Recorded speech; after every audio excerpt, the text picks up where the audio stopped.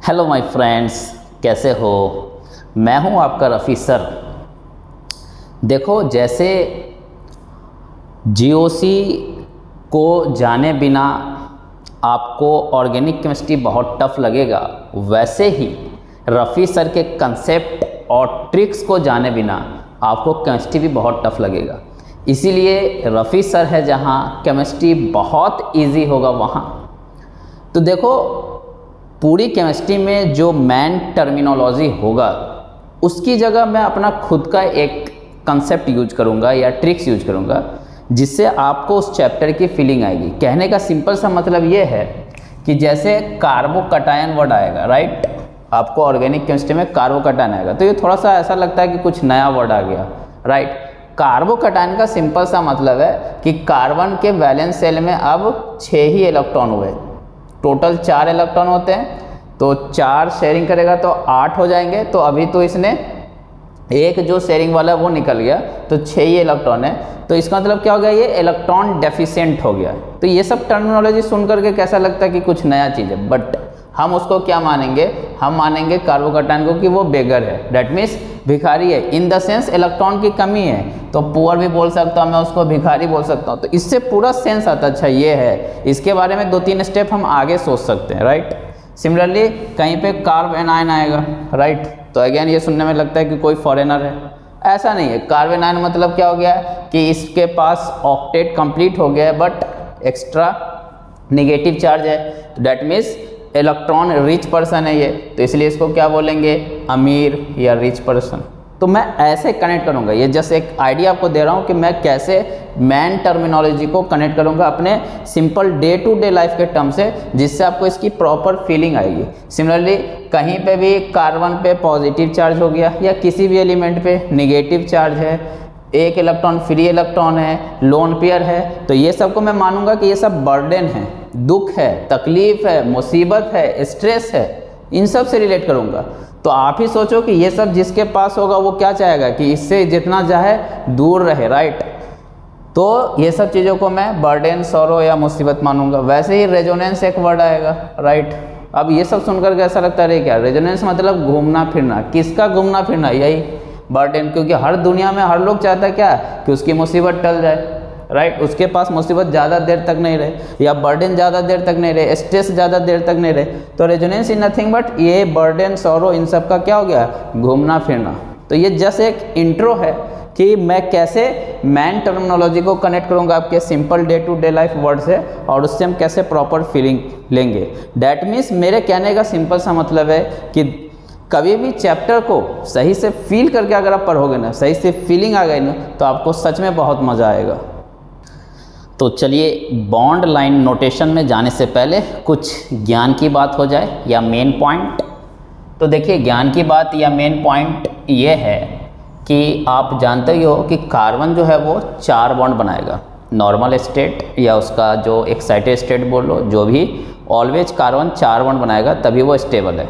अगर चार बॉन्ड नहीं बनाया, कहीं पे तीन बॉन्ड बनाया वो तो डैट मीन्स वो इंटरमीडिएट है, वो स्टेबल स्टेट उसका नहीं है ओके या दो बॉन्ड बनाया तो भी वो इंटरमीडिएट है।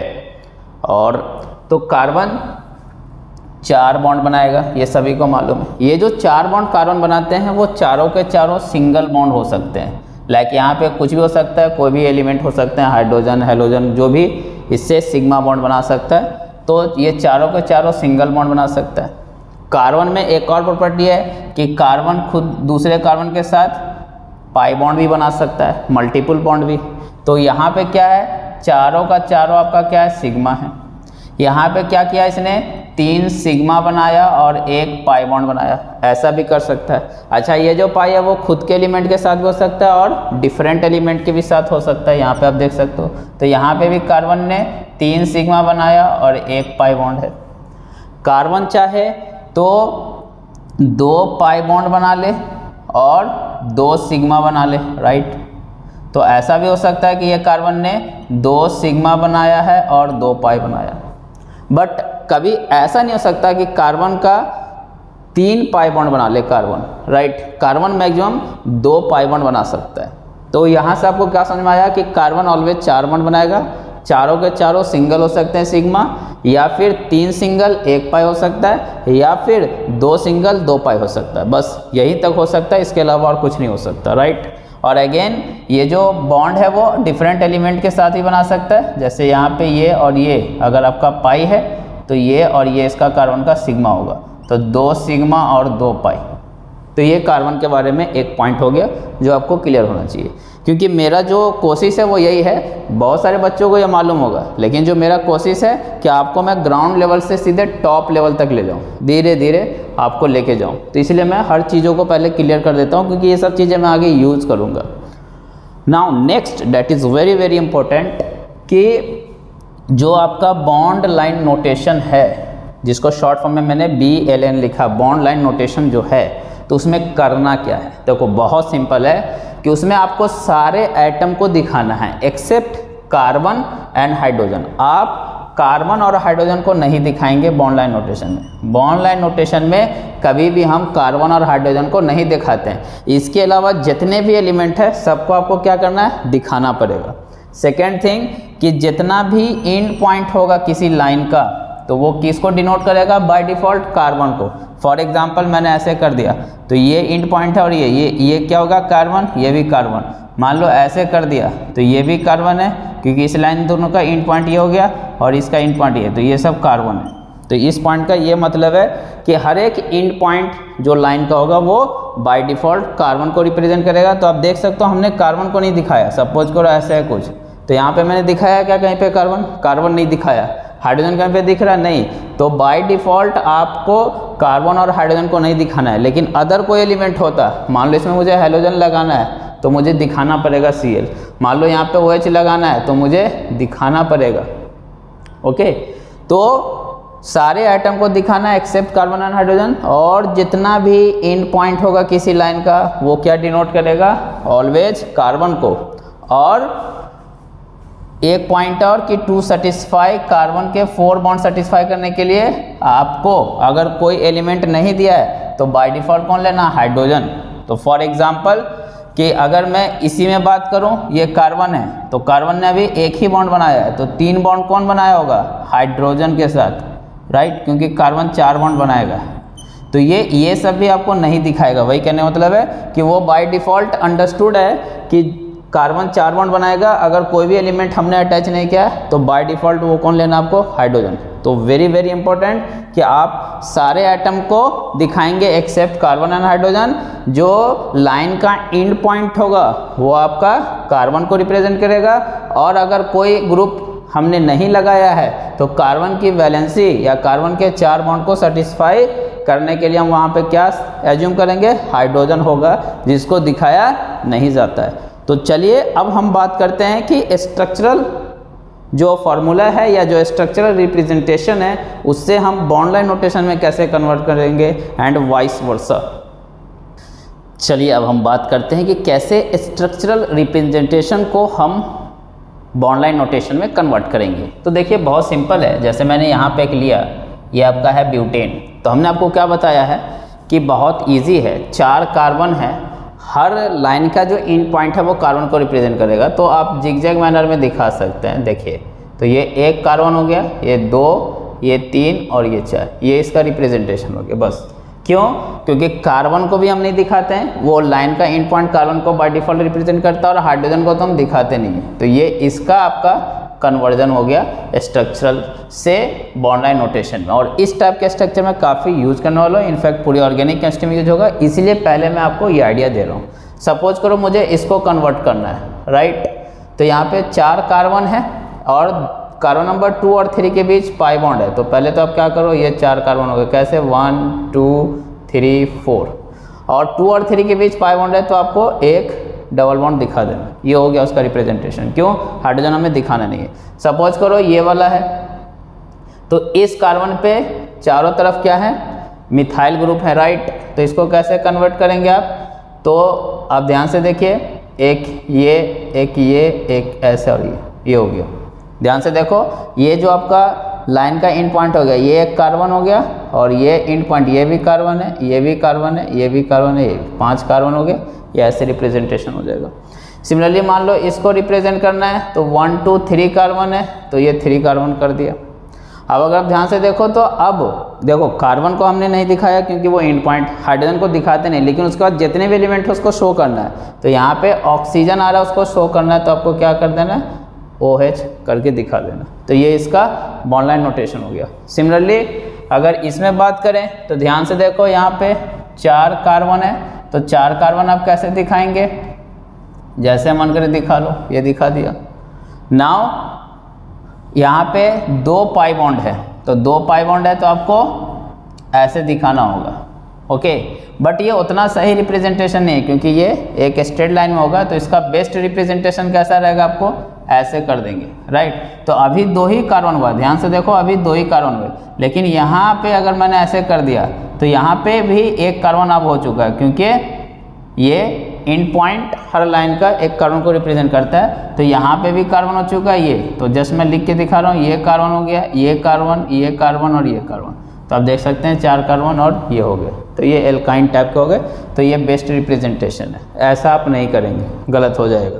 क्योंकि लीनियर स्ट्रक्चर होगा। नाउ ये वाला साइक्लिक स्ट्रक्चर है तो आप क्या करेंगे? देखो, ये corner carbon corner carbon carbon ये हो गया। साइक्लो प्रोपेन ये हो चुका। है सिमिलरली ये वाला अगर आप ध्यान से देखें तो इसको कैसे ड्रॉ कर सकते हैं? इस टाइप से। ये जितने भी देख लो, ये कार्बन ये कार्बन ये कार्बन ये कार्बन ये कार्बन और ये कार्बन। छः कार्बन हो गए। राइट अल्टरनेट पाई बॉन्ड है। तो अगर आपने यहाँ पे दिया तो इसको छोड़ के यहाँ पे देना, इसको छोड़ करके यहाँ पे। ये हो गया इसका नोटेशन क्योंकि कार्बन को हम हर लाइन का इंड पॉइंट से समझते हैं और हाइड्रोजन को दिखाते नहीं तो आप देख सकते हो। सिमिलरली मान लो मुझे इसको आप रिप्रेजेंट करना है। एक कार्बन, दो कार्बन, तीन कार्बन है। तो आप ये तीन कार्बन कर लिया। कैसे? एक दो और ये तीन। हर लाइन का इन पॉइंट कार्बन को रिप्रेजेंट कर रहा है। उसके बाद आप देखो कार्बन नंबर टू पे डबल बॉन्ड ओ है तो आप दिखाना पड़ेगा तो डबल बॉन्ड ओ अब हमें दिखाना पड़ेगा। और ये वाले कार्बन पे ओ OH है तो हमें दिखाना पड़ेगा कि ओ OH ये हो गया उसका नोटेशन बाकी हाइड्रोजन को हम कभी दिखाते नहीं हैं। हाँ ऑक्सीजन के साथ लगाओ तो डेफिनेटली उसको हमको दिखाना पड़ेगा। कुछ एग्ज़ाम्पल और देखते हैं हम। तो यहाँ पे ध्यान से देखो तो one two three four five carbon है तो आप क्या करेंगे?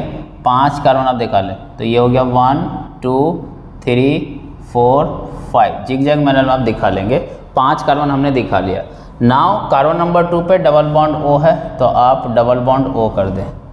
थ्री फोर पे ओ OH है तो फोर पे ओ OH है तो ओ OH कर हैं और ये फाइव पे सी डबल बॉन्ड और ओ एच है। तो अब देखो, दिखाना पड़ेगा। सी डबल बॉन्ड ओ है फाइव पे और इसी पे ओ एच है।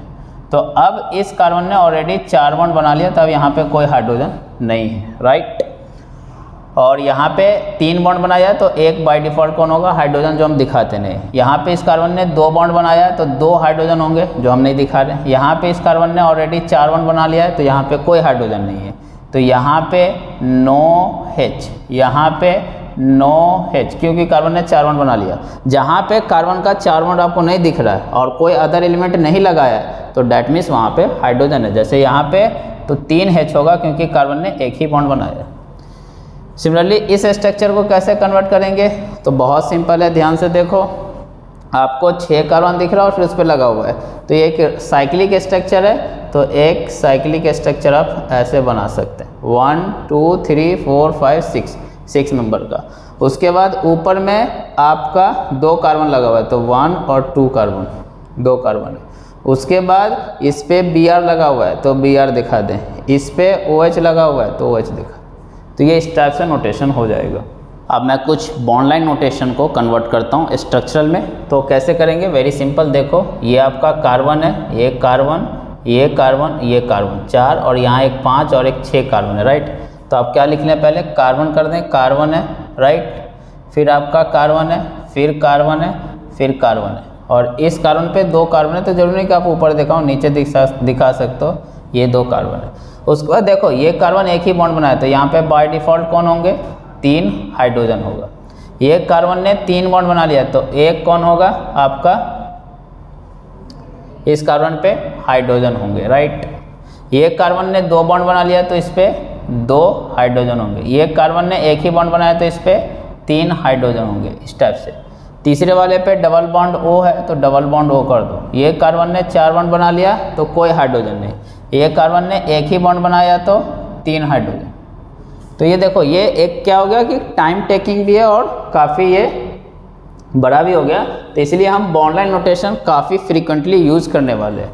तो ये इसका मैं स्ट्रक्चर फॉर्म में कन्वर्ट किया। ध्यान से देखो, अगर मुझे इसको कन्वर्ट करना है तो मैं कैसे कन्वर्ट कर रहा हूँ? ध्यान से देखो, पहले ये छः कार्बन है तो आप छः कार्बन ड्रॉ कर दो। One two three four five और ये सिक्स उसके बाद ध्यान से देखो कि यहाँ पे डबल बॉन्ड है अल्टरनेट पे तो वो डबल बॉन्ड आप दिखा दो। ये मैंने दिखा दिया। उसके बाद अब कार्बन का देखो, इस कार्बन ने तीन ही बॉन्ड बनाया है तो एक कौन हो जाएगा आपका? हाइड्रोजन ये कार्बन में तीन बॉन्ड बनाया तो हाइड्रोजन एक कार्बन में तीन बॉन्ड बनाया तो हाइड्रोजन इसने भी तीन बॉन्ड बनाया तो हाइड्रोजन यहाँ पे ऑलरेडी लगा हुआ है राइट तो इस पर एक कार्बन है, फिर कार्बन है। तो इस कार्बन ने चार बॉन्ड बना लिया तो अब हाइड्रोजन हम अटैच नहीं करेंगे। बट इस कार्बन ने तीन बनाया तो हाइड्रोजन इस कार्बन ने दो बनाया तो दो हाइड्रोजन चार बॉन्ड बनाना। इसने एक ही बनाया तो तीन हाइड्रोजन तो ये इसका रिप्रेजेंटेशन हो गया। तो ये एक ओपन स्ट्रक्चर कहलाता है, ये एक साइक्लिक स्ट्रक्चर है। अगर रिंग बन जाएगी तो साइक्लिक स्ट्रक्चर है रिंग नहीं है तो ओपन स्ट्रक्चर है। सिमिलरली इसको कैसे कन्वर्ट करेंगे? तो बहुत सिंपल है ये। मैं इसका यहाँ आंसर लिख रहा हूँ। कैसे कन्वर्ट करेंगे? पाँच कार्बन आपको दिख रहा है। कैसे? ध्यान से देखो। One two three four five ring में पाँच कार्बन तो पाँच कार्बन से एक रिंग अब बना दो। ये देखो, पाँच कार्बन से हमने रिंग बना दिया राइट अब उसका, उसके बाद देखो, एक कार्बन पे कार्बन कार्बन है राइट इस कार्बन पे कार्बन और कार्बन है। अब बाकी कार्बन के वैलेंसी को हाइड्रोजन से हम पूरा करेंगे। तो ये कार्बन ने दो बॉन्ड बनाया तो दो हाइड्रोजन इस कार्बन ने दो बॉन्ड बनाया तो दो हाइड्रोजन इसने भी दो बनाया तो दो हाइड्रोजन चार हो गया, इसने भी दो बनाया तो ये हो गया। यहाँ पे इसने ऑलरेडी तीन बॉन्ड बना लिया है तो यहाँ पे एक ही हाइड्रोजन होगा। इस कार्बन पे OH था तो मैंने OH कर दिया। इस कार्बन ने तीन बॉन्ड बनाया तो एक ही हाइड्रोजन होगा। इसने एक ही बनाया तो तीन हाइड्रोजन आपके होंगे।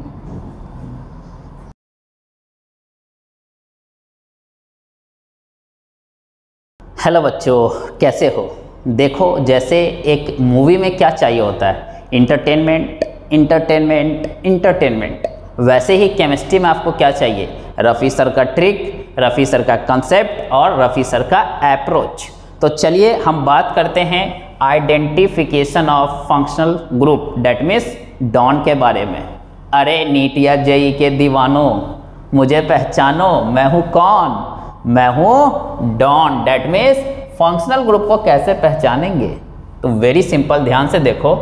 देखो, इसके बारे में सब लोग जानते हैं. डेट इज़ वाटर राइट अब इसमें हम क्या करेंगे? चेंज करेंगे तो हमारा फंक्शनल ग्रुप बन करके तैयार हो जाएगा। इसलिए जो ट्रिक का आज का पॉइंट है, वो है कौन मैं हूँ डॉन कौन का क्या मतलब है? कि मैंने सबसे पहले ऑक्सीजन को उठाया है। ऑक्सीजन के अगर दोनों साइड हाइड्रोजन है तो ये बच्चे बच्चे को मालूम है कि इसको वाटर बोलते हैं। अब इसमें चेंजेज करेंगे। अगर एक तरफ़ हाइड्रोजन ही रखा ओके और एक तरफ़ आपने कार्बन लगा दिया। कार्बन सिर्फ़ एक ही लगा होगा, ऐसा ज़रूर नहीं। जितना भी कार्बन लगाना है, लगाओ बट एक तरफ़ हाइड्रोजन अटैच होना चाहिए और एक तरफ़ कार्बन तो इसको बोलेंगे अल्कोहल या फिर इसी को फिनॉल भी बोल सकते हैं, अगर वो बेंजीन होगा तो अल्कोहल या फिनॉल और अगर सपोज़ करो कि दोनों हाइड्रोजन को हटा दिए, दोनों तरफ़ कार्बन लगा दिए तो इसको बोलते हैं ईथर तो वेरी सिंपल है। अल्कोहल फिनॉल और ईथर को अगर आपको पहचानना हो तो वाटर एक बेस पॉइंट हो गया। वाटर में ऑक्सीजन के दोनों साइड हाइड्रोजन है तो वाटर एक साइड हाइड्रोजन एक साइड कार्बन है तो अल्कोहल या फिनॉल दोनों साइड कार्बन है तो ईथर ऑक्सीजन का काम हो गया। नाउ अब हम दोनों को कंबाइन करके लेते हैं सी ओ राइट तो सी डबल बॉन्ड ओ ध्यान से देखो, सब में हमने फिक्स कर दिया सी डबल बॉन्ड ओ ये फिक्स हो गया। अगर सी डबल बॉन्ड ओ के दोनों साइड हाइड्रोजन है, क्योंकि यू नो कार्बन चार बॉन्ड बना सकता है। अगर सी डबल बॉन्ड हो के दोनों साइड हाइड्रोजन हो, या एक साइड हाइड्रोजन एक साइड कार्बन हो, दोनों ही केस में इसको क्या बोलेंगे? अल्डिहाइड और अगर सी डबल बॉन्ड हो, के दोनों साइड कार्बन हो, इसको क्या बोलेंगे?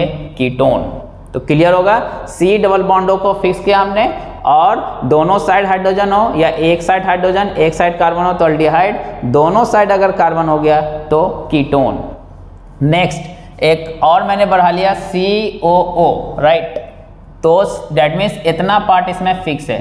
C double bond O O that means carbon ने ऑलमोस्ट तीन बॉन्ड बना लिया राइट अब सिर्फ़ एक ही बॉन्ड बनाना है। तो अगर इस साइड कार्बन है और ऑक्सीजन के इस साइड हाइड्रोजन है तो इसको बोलते हैं कार्बोक्सिलिक एसिड ओके और ये उसके क्या हो जाएँगे? डेरिवेटिव एसिड डेरिवेटिव क्योंकि बस इसमें चेंजेस करेंगे तो ये सब आपको मिल जाएँगे ओके तो अगेन ये सी डबल बॉन्ड ओ और ओ फिक्स हो गया। अभी इधर में हमने कार्बन रखा और इधर हाइड्रोजन की जगह भी कार्बन कर दिया तो क्या हो जाएगा ये? एस्टर राइट और सिमिलरली अगर सी डबल बॉन्ड हो ये फिक्स रखा और ऐसा ही एक और आपने अटैच कर दिया सी डबल बॉन्ड हो और दोनों साइड कार्बन रख दिया तो क्या हो जाएगा? एन हाइड्राइड तो ध्यान से देखो, अगर सी डबल बॉन्ड हो ओ एक साइड कार्बन एक साइड हाइड्रोजन होगा तो कार्बोक्सिलिक एसिड अगर इसके दोनों साइड कार्बन होगा तो एस्टर, अगर इसके एक साइड कार्बन हो और एक साइड सेम ऐसा ही सी डबल बॉन्ड हो तो उसको बोलेंगे एनहाइड्राइड। नाउ नेक्स्ट, अगर सिर्फ़ मैं नाइट्रोजन की बात करूँ एन की बात करूँ तो ध्यान से देखो, अगर नाइट्रोजन तीन बॉन्ड बनाता है, तीनों हाइड्रोजन हुआ तो इसको बोलेंगे ammonia. This is the base point अब एक हाइड्रोजन हटा करके एक ही कार्बन अटैच किया तो वन डिग्री अमाइन दो हाइड्रोजन हटा करके दो कार्बन अगर अटैच किया तो टू डिग्री अमाइन और तीनों हाइड्रोजन अगर आपने हटा दिया और तीन कार्बन अटैच कर दिया तो थ्री डिग्री अमाइन तो ध्यान से देखें कि नाइट्रोजन के केस में ये सब डिफरेंट फंक्शनल ग्रुप माने जाते हैं. अगर नाइट्रोजन से एक ही कार्बन अटैच है तो वन डिग्री अमाइन दो कार्बन अटैच है तो टू डिग्री अमाइन और थ्री कार्बन नाइट्रोजन से डायरेक्टली अटैच है तो थ्री डिग्री अमाइन तो ये हो गया नाइट्रोजन का. नाउ अब हम क्या करते हैं? कि सी ओ एन तीनों को लेते हैं साथ में सी ओ एन अगर ये होगा सी डबल बॉन्डो और एन तो इसको बोलते हैं अमाइड कौन? तो अमाइड होगा ये। और सी और एन को सिर्फ़ अगर लोगे तो कार्बन नाइट्रोजन को लोगे तो साइनाइड होगा। और नाइट्रोजन से अगर बॉन्ड बना रखा है इधर कार्बन ने तो इसको बोलेंगे आइसोसाइनाइड नाउ नेक्स्ट अगर सी डबल बॉन्ड ओ के इधर में हेलोजन है और इधर में कार्बन है right C double bond O जो ये वाला था, एक साइड में हेलोजन हो और एक साइड में कार्बन हो तो इसको बोलते हैं एसिड हेलाइट क्या बोलेंगे? एसिड हेलाइट और यू नो हेलोजन कौन कौन है? फ्लोरीन क्लोरीन ब्रोमीन आयोडीन तो इसको बोलेंगे हेलो तो ये आई होप आपको क्लियर होगा कि हम कैसे फंक्शनल ग्रुप को पहचानेंगे। वेरी सिंपल है। इसमें कोई कन्फ्यूज़न नहीं होना चाहिए, क्योंकि ये पहचान के आप तो ऑर्गेनिक में आपको बहुत ईजी होगा। अब हम बात करते हैं आइडेंटिफिकेशन ऑफ़ पोजीशन के बारे में। तो ध्यान से देखो, ये जो है ना, ये, इसको मैं क्या बोलूँगा प्यार से? बहन जी। ये है बेंजीन बेंजीन है, लेकिन इसको मैं प्यार से बोलूँगा बहन जी। ओके? तो बहन जी पे ये छह हाइड्रोजन है। अगर मान लो कि किसी एक हाइड्रोजन को हटा करके आपने फंक्शनल ग्रुप लगा दिया, कोई भी फंक्शनल ग्रुप जो भी बताया, अगर आप बेंजीन से हाइड्रोजन को हटा करके फंक्शनल ग्रुप ऐड कर दोगे तो उसको क्या बोलेंगे? फिर इसको क्या बोलेंगे? Aryl okay? तो ये अराइल पोजीशन हो गया। डैट मीन्स बहन जी से एक हाइड्रोजन हटा देना है। तो जो स्ट्रक्चर आपको मिलेगा, जो ये पाँच हाइड्रोजन और ये छः carbon that is C six H five ये आपका क्या कहलाएगा? अराइल तो बहन जी का एक बाल निकाल देना है, समझे बात को? तो अगर बहन जी से एक हाइड्रोजन हटा दिया तो आपको क्या मिल जाएगा? अराइल बोलेंगे उसको। सिमिलरली ध्यान से देखो कि ये अगेन आपका बहन जी है राइट बहन जी पे अगर कोई एक कार्बन अपने अटैच कर दिया और उस पर कोई फंक्शनल ग्रुप है, ध्यान से देखें, बहन जी पे कोई कार्बन अटैच किया हाइड्रोजन हटा करके और फिर उस पर उसी कार्बन पे कोई फंक्शनल ग्रुप है तो इसको बोलेंगे बेंजाइलिक पोजीशन बेंजीन के रेस्पेक्ट में ये बेंजाइल पोजीशन कहलाएगा और बेंजीन पे ही डायरेक्ट है तो अराइल पोजीशन कहलाएगा. वैसे ही सेम वैसे ही, अगर डबल बॉन्ड पे ही आपका फंक्शनल ग्रुप है ओके डबल बॉन्ड पे ही फंक्शनल ग्रुप है तो उसको बोलेंगे विनाइलिक और अगर डबल बॉन्डेड कार्बन से जो कार्बन अटैच है डबल बॉन्डेड कार्बन से जो कार्बन अटैच है, उस पर कोई फंक्शनल ग्रुप है तो उसको बोलेंगे अलाइलिक तो इसकी हाइब्रिडेशन होनी चाहिए sp3 ये ध्यान रखें। इसकी भी हाइब्रिडेशन होनी चाहिए sp3 डेट मीन्स ये सारे सिंगल बॉन्डेड होने चाहिए। तो आई होप क्लियर होगा। अगर बहन जी से एक हाइड्रोजन हटा दिए तो जो मिलेगा वो अराइल बहन जी से एक हाइड्रोजन हटा के कार्बन जोड़ो। कार्बन पे कोई फंक्शनल ग्रुप होगा तो उसकी पोजीशन को बोलेंगे बेंजाइलिक पोजीशन डबल बॉन्डेड पे ही फंक्शनल ग्रुप है तो विनाइलिक डबल बॉन्डेड कार्बन से जो कार्बन अटैच है, उस पर कोई फंक्शनल ग्रुप है तो उसको बोलेंगे अलाइलिक सिमिलरली यू नो ये आपका हो गया एल्केन राइट एल्केन से एक हाइड्रोजन अगर आप हटा दोगे तो जो स्ट्रक्चर बचेगा, उसको बोलेंगे अल्काइल इसलिए इसका formula you know C N H two N plus two है तो एल्काइल का फॉर्मूला क्या हो जाएगा? C N H two N minus one उससे एक कम हाइड्रोजन तो जितना एल्केन में होता है, उससे अगर एक कम हाइड्रोजन है तो उसको क्या बोलेंगे? अल्काइल डेट मीन्स ये बॉन्ड फ्री हो गया, इधर से ये किसी से भी अटैच हो सकता है। सिमिलरली अगर एल्कीन से एक हाइड्रोजन हटाओगे तो बोलोगे alkenyl formula C N H two N था एल्कीन का तो C N H two N minus one हो जाएगा। और सिमिलरली एल्काइन ट्रिपल बॉन्ड से अगर एक हाइड्रोजन हटाओगे तो क्या हो जाएगा? एल्काइनाइल और formula C N H two N minus two था, इसका क्या हो जाएगा? C N H two N minus three तो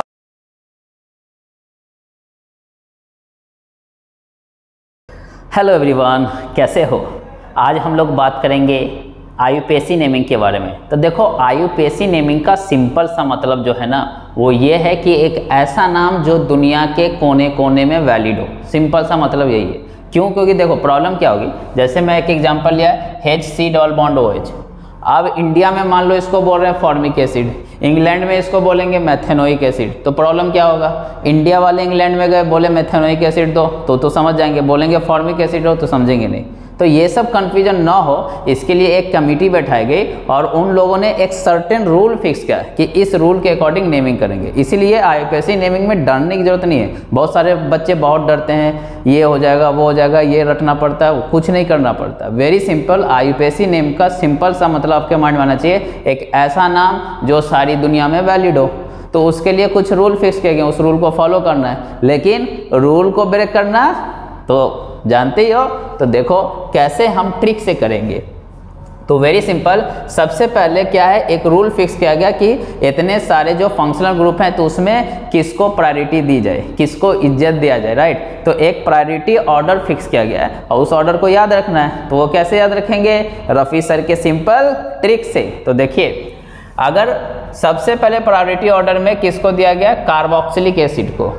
ओके फिर सल्फोनिक फिर आपका ये एनहाइड्राइड फिर एस्टर फिर एसिड हेलाइड फिर अमाइड फिर साइनाइड फिर आइसोसाइनाइड फिर अल्डिहाइड ओके फिर कीटोन फिर अल्कोहल फिर थायो अल्कोहल फिर अमाइन फिर एल्कीन फिर एल्काइन फिर एल्केन फिर ईथर फिर हेलो फिर नाइट्रो तो ये टोटल 19 फंक्शनल ग्रुप हमने लिख दिए हैं उसके प्रायोरिटी ऑर्डर के बेसिस पे।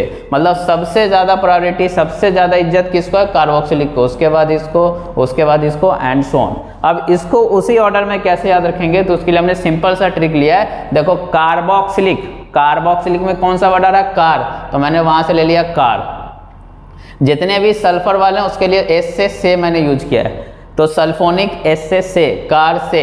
ये हो गया आपका एनहाइड्राइड एनहाइड्राइड से एनी वर्ड लिया एनी ये हो गया एस्टर एस्टर से मैंने बना लिया सिस्टर एस्टर से सिस्टर जस्ट कनेक्शन है राइट एसिड हेलाइड एसिड से ऐसा और हेलोजन में क्लोरीन बात है तो ऐसा कल एसिड हेलाइड से ऐसा कल अमाइड आइमा अमाइड से मैंने बना लिया आइमा साइनाइड से साइना आइसोसाइनाइड से आइस राइट आइसोसाइनाइड से ice C double bond O H C H O लिखते हैं इसको तो उससे बना लिया चोर, आइस चोर। सी डबल बॉन्ड ओ से, ये इसको पढ़ोगे क्या? को। ओ एच अल्कोहल लास्ट में हॉल आता है तो हॉल फिर सल्फ़र आया तो से।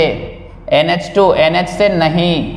ये यहाँ पे डबल बॉन्ड है तो टू ट्रिपल बॉन्ड है तो थ्री सिंगल बॉन्ड है तो वन ओ आर इस साइड से पढ़ेंगे तो R double O M room room hello bromine से बाहर, फ्लोरीन से फेंको NO2 से नाला में।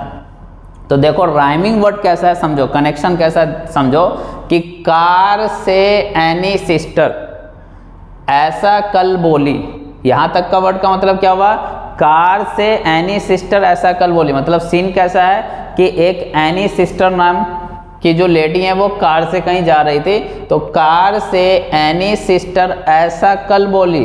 किसको बोली? आयमा साइना को। क्या बोली? आइस चोर को। आयमा साइना को क्या बोली? कि आइस चोर को हॉल से नहीं 231 रूम से बाहर फेंको नाला में। डेट मीन्स एनी सिस्टर को मालूम था कि उसके हॉस्पिटल में जो आइस चोराने वाला है, वो 231 रूम में है। तो वेरी सिंपल है राइट अगर यहाँ पे ध्यान से देखो तो स्टार्टिंग में जितने के जितने हैं स्टार्टिंग में जितने भी हैं, सब में ध्यान से देखो, ये ग्रुप कॉमन है C double bond O carbonyl ये कॉमन है राइट जैसे सी डबल बॉन्ड ओ तब ओ एच है right C double bond O तब ये ओ सी आर है C double bond O R है C double bond O X जितने भी कार्बोनिल वाले हैं, वो सबसे पहले आए हैं। ये सब प्रायोरिटी ऑर्डर में पहले आते हैं, उसके बाद ही आते हैं। तो ये वन टू नाइन जो हमने लिखा है, ये वन टू नाइन इन सबको हम डॉन फंक्शनल ग्रुप भी बोलेंगे। इसका नाम मैं क्या रखूँगा? Don functional group. क्यों? क्योंकि डॉन जहाँ खड़ा होता है, वहाँ से लाइन शुरू होती है। मतलब ये फंक्शनल ग्रुप जहाँ पे होंगे, ये फंक्शनल ग्रुप जहाँ पे होंगे, ये फंक्शनल ग्रुप जहाँ पे होंगे, ये फंक्शनल ग्रुप जहाँ पे होंगे, ये सब में नेमिंग कार्बन की स्टार्टिंग वहीं से हो जाएगी। ओके तो ये भी मैं बता दूँ कि सबसे ज़्यादा 99 परसेंट कौन कौन से फंक्शनल ग्रुप यूज़ होते हैं? उसको मैं टिक कर रहा हूँ, उसको आपको ध्यान ही रखना है। कार्बोक्सिलिक सबसे ज़्यादा यूज़ होता है राइट सल्फोनिक यूज़ नहीं होता। एनहाइड्राइड भी बहुत कम यूज़ होते हैं। एस्टर कभी कभी यूज़ होते हैं, जाने दो। एसिड हेलाइड यस ये यूज़ हो जाता है आपका। अमाइड वेरी रेयर साइनाइड ज़रूर यूज़ होता है राइट और अल्टीहाइड ज़रूर। तो इसमें से ये चार ज़रूर यूज़ होते हैं। और इधर वाले जितने भी लिखे हुए हैं वन टू नाइन ये सब के सब क्या है? Don functional group don functional group कहने का मतलब क्या हो गया? कि ये ऐसे फंक्शनल ग्रुप है जहाँ पे कार्बन की नंबरिंग यहीं से स्टार्ट होगी। क्योंकि डॉन जहाँ खड़ा होता है, वहीं से लाइन स्टार्ट होती है। तो ये बात समझ में आ गई? तो इसमें कौन कौन ध्यान में रखना आपको? ये वन वाला राइट कार्बोक्सिलिक वाला। ये एसिड हेलाइड वाला, ये साइनाइड वाला राइट और ये अल्डिहाइड वाले। ये चार बहुत यूज़ होते हैं 99 परसेंट आपको आईपीएससी नेमिंग इन्हीं में से होगा। सिमिलरली इधर में किसको याद रखना है? तो यस कीटो वर्ड आते हैं। अल्कोहल यूज़ होता है राइट एल्किन तो खैर होगा ही, या एल्काइन या एल्केन तो होते ही हैं राइट और ये तीनों बेचारे वो हैं जो परमानेंट बेइज्जती वाले हैं। परमानेंट बेइज्जती समझे कि ये ऑलवेज प्रीफिक्स में आएँगे। इनका नेमिंग आपको पहले ही कर देना है, इसको ज़्यादा भाव नहीं देना है। जिसका सफिक्स है मतलब वो इज्जतदार लोग हैं। इज्जतदार लोग कहना मतलब कि उनका नाम आराम से पीछे हम लेंगे राइट लेकिन कौन कौन तो ये आपका ईथर और जितने भी हेलोजन है fluorine chlorine bromine iodine and nitro ये तीनों एक ऐसे फंक्शनल ग्रुप हैं जिनकी परमानेंट भी इज्जती होती है। कहने का मतलब वो ऑलवेज प्रीफिक्स में यूज़ होंगे। पहले नेम से पहले यूज़ होंगे। नेम के बाद इसको यूज़ नहीं करते हैं। एक पॉइंट और क्लियर है कि अब अगर एक से ज़्यादा फंक्शनल ग्रुप आ गया, आपकी नेमिंग में अगर एक से ज़्यादा फंक्शनल ग्रुप है तो इसीलिए उसके लिए प्रायोरिटी ऑर्डर बताया गया राइट अगर एक ही फंक्शनल ग्रुप है तो कोई दिक्कत नहीं है। एक से ज़्यादा होगा तो जो प्रायोरिटी में पहले आ गया, उसको इज़्ज़त देना है। बाकी सब क्या हो जाएँगे? प्रीफिक्स में आ जाएँगे। इस बात को भी क्लियरली समझ लो कि अगर एक से ज़्यादा फंक्शनल ग्रुप हैं तो किसी एक को प्रायोरिटी मिलेगी। डेट मीन्स उसको लिए सफिक्स यूज़ करेंगे। बाकी जितने भी फंक्शनल ग्रुप बचे, उसमें सबके लिए प्रीफिक्स यूज़ करना पड़ेगा। बट ये वाले वैसे हैं जो ऑलवेज प्रीफिक्स में यूज़ होते हैं। कौन कौन? तो ईथर हेलो नाइट्रो तो आई होप ये बात आपको समझ में आ गई होगी। अब इसके लिए हम बात करते हैं कि इसको कैसे हमें अप्लाई करना है। तो चलिए अब हम बात करते हैं आयु पैक नेमिंग ट्रिक्स के बारे में। तो ध्यान से देखो, आप किसी भी कंपाउंड का जब नाम लिखोगे तो आपको ये पाँच चीज़ें यूज़ करना पड़ेगा, जिसको मैंने लिस्ट आउट किया है कि आप किसी भी ऑर्गेनिक कंपाउंड का जब आयु पैक नेमिंग करेंगे तो आपको वर्ड रूट लगाना ही है। ये आपको ऐड करना ही है और वन डिग्री सफिक्स ये ऐड होंगे ही। वन डिग्री सफिक्स में कौन कौन है? एन अगर सारे के सारे सिंगल बॉन्ड है, कोई पाई बॉन्ड नहीं है तो एन लगेगा। अगर एक भी पाई बॉन्ड आ जा रहा है तो इन लगेगा। और अगर एक भी ट्रिपल बॉन्ड आ रहा है तो आइन लगेगा। राइट सिमिलरली वर्ड रूट जो लॉन्गेस्ट कार्बन चैन आप सेलेक्ट करेंगे, अगर वो दो कार्बन के है तो ईथ तीन कार्बन के है तो prop and Son you know already तो ये दोनों चीज़ें क्या हैं? आप ऑर्गेनिक केमिस्ट्री में किसी भी कंपाउंड का आयु पैक नेमिंग करें, ये दोनों चीज़ें तो आएँगी, इसलिए हमने लिखा है मस्ट ये दोनों चीज़ें आएँगी।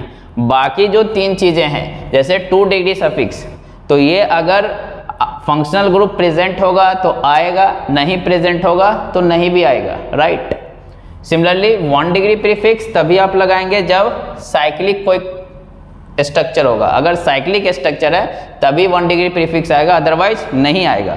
Right similarly two degree prefix कब आएँगे? जब आपका हेलोजन कोई ग्रुप लगा होगा अटैच होगा हेलोजन या नाइट्रो या फिर ईथर अगर ये सब फंक्शनल ग्रुप है तो ही टू डिग्री प्रीफिक्स आएगा।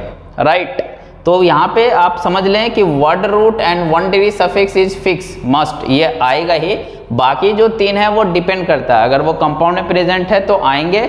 नहीं प्रेजेंट है तो नहीं भी आएँगे। राइट नाउ एक और जो इम्पोर्टेंट पॉइंट है कि जब आप प्रायोरिटी ऑर्डर जो आपको ट्रिक दे रखा हूँ, उसको जब आप असाइन करेंगे प्रायोरिटी ऑर्डर से कोई एक ही फंक्शनल ग्रुप आपका सफिक्स बनेगा। डेट मीन्स वही पीछे ऐड होंगे। बाकी जितने भी फंक्शनल ग्रुप होंगे, सबके सब आपके कहाँ पे आ जाएँगे?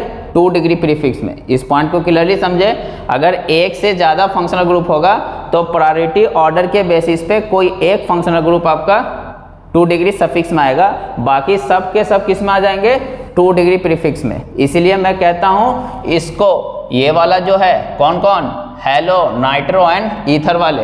ये परमानेंट बेइज्जती वाले हैं। परमानेंट बेइज्जती मतलब समझे कि इनको ऑलवेज पहले लिख देना है। इनका कोई इज़्ज़त नहीं, इसको पहले लिख देना राइट और अगर एक से ज़्यादा फंक्शनल ग्रुप हो तो जितने भी फंक्शनल ग्रुप होंगे, उसमें किसी एक कोई प्रायोरिटी मिलेगी। तो बाकी सब के सब टू डिग्री प्रीफिक्स में जाएँगे। तो उसको मैं बोलूँगा टेम्प्रोरी बेजती।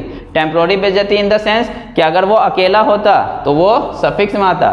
बट अगर तीन चार के साथ है तो फिर उसकी इज़्ज़त थोड़ा कम हो जाएगी। क्यों? क्योंकि उसमें से किसी एक को इज़्ज़त मिलेगा। मतलब एक टू डिग्री सफिक्स में जाएगा, बाकी सब के सब टू डिग्री प्रीफिक्स में आ जाएँगे। इसलिए वो टेम्प्रोरी बेजती वाले बात समझ में आ गई? लेकिन ये परमानेंट ये ऑलवेज टू डिग्री प्रीफिक्स में। ये तभी यूज़ होंगे जब कोई साइक्लिक स्ट्रक्चर होगा। और ये दोनों तो मस्ट है, आएँगे ही। तो ये पहले ये पॉइंट आई होप क्लियर हो गया होगा। इस पॉइंट को मैंने एक सिंपल एग्ज़ाम्पल से भी समझाने की कोशिश की है कि आप ध्यान से देखो। तो यहाँ पे मैंने कार्बोक्सिलिक एसिड वाला लिया C double bond O H right तो ये डॉन फंक्शनल ग्रुप होते हैं। डॉन फंक्शनल ग्रुप के केस में नेमिंग आपको वहीं से स्टार्ट करना होता है। नंबरिंग वहीं से स्टार्ट करेंगे तो one two three four right तो इसका नाम क्या हुआ? ध्यान से देखो थ्री पे नाइट्रो चार कार्बन है तो ब्यूट टू पे डबल बॉन्ड है तो टू इन और जो फंक्शनल ग्रुप है, वो ओइक एसिड आप लेंगे। तो मैं इससे ये चीज़ें समझाना चाह रहा हूँ कि ध्यान से देखो वर्ड रूट इज़ वॉट ये आपका वर्ड रूट हो गया, ये। ये यूज़ होगा ये मस्ट है।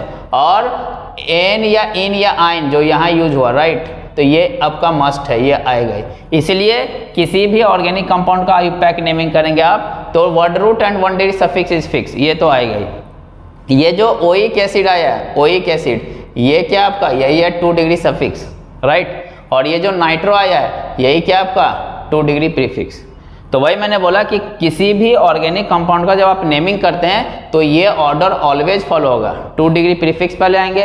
अगर साइक्लिक स्ट्रक्चर आ रहा है तो वन डिग्री प्रीफिक्स से पहले आएँगे। वर्ड रूट से पहले ये दोनों आएँगे। वर्ड रूट के बाद वन डिग्री सफिक्स लगेगा आइदर एन इन या एन और उसके बाद आपका टू डिग्री सफिक्स लगेगा। तो आई होप ये क्लियर होगा। नाउ अब हम बात करते हैं वो ट्रिक की, जिससे आप किसी भी आयु पैक नेमिंग वाले क्वेश्चन को बहुत इजीली कर लोगे। कैसे? तो रफ़ी सर का ये ट्रिक ध्यान में रखो। सबसे पहला पॉइंट हमने क्या लिखा है? प्रायोरिटी ऑर्डर को पहचान लो। राइट तो वो सिंपल है, क्योंकि उसका मैंने ट्रिक दे रखा है। कार से एनी सिस्टर ऐसा कल बोली, आयमा साइना आइस चोर को हॉल से नहीं 231 रूम से बाहर फेंको नाला में राइट तो ये ट्रिक मैं दे रखा हूँ। तो उससे आपको पता लग जाएगा कि कौन फंक्शनल ग्रुप प्रायोरिटी ऑर्डर में पहले एक बार उसका प्रायोरिटी ऑर्डर आपने असाइन कर लिया तो उससे आपको चार ऑप्शन गिवन होंगे तो उससे आपको पता लग जाएगा कि एंड में क्या लगेगा। जैसे यहाँ पे ओ एक लगेगा, क्योंकि ये प्रायोरिटी ऑर्डर में पहले है। अगर मान लो कहीं पे प्रायोरिटी अल्कोहल है अल्डिहाइड है राइट और कीटोन है तो यूनो प्रायोरिटी ऑर्डर में अल्डिहाइड आएँगे। तो लास्ट में क्या लगना चाहिए? अल। तो आप वो ऑप्शन को चेक करेंगे जिसमें लास्ट में अल लगा हुआ है। तो ये पॉइंट का ये मतलब है कि उससे आपको इंड में क्या ऐड करना है, वो पता लग जाएगा प्रायोरिटी ऑर्डर से। सिमिलरली प्रायोरिटी ऑर्डर से ये भी आपको पता लग जाएगा कि जो फंक्शनल ग्रुप है, अगर वो डॉन है तो नंबरिंग हमको वहीं से स्टार्ट कर देना है। अगर वो डॉन फंक्शनल ग्रुप होंगे, क्योंकि डॉन जहाँ खड़ा होता है, वहीं से लाइन स्टार्ट होती है। तो डॉन फंक्शनल ग्रुप कौन है, वो भी मैंने लिस्ट आउट किया वन से नाइन वाले, जो प्रायोरिटी ऑर्डर में जितने भी कार्बोनिल वाले हैं, जैसे कार्बोक्सिलिक एसिड है अल्टीहाइड है आपका राइट साइनाइड है, ये सब डॉन फंक्शनल ग्रुप है तो इस केस में नंबरिंग वहीं से स्टार्ट हो जाती है।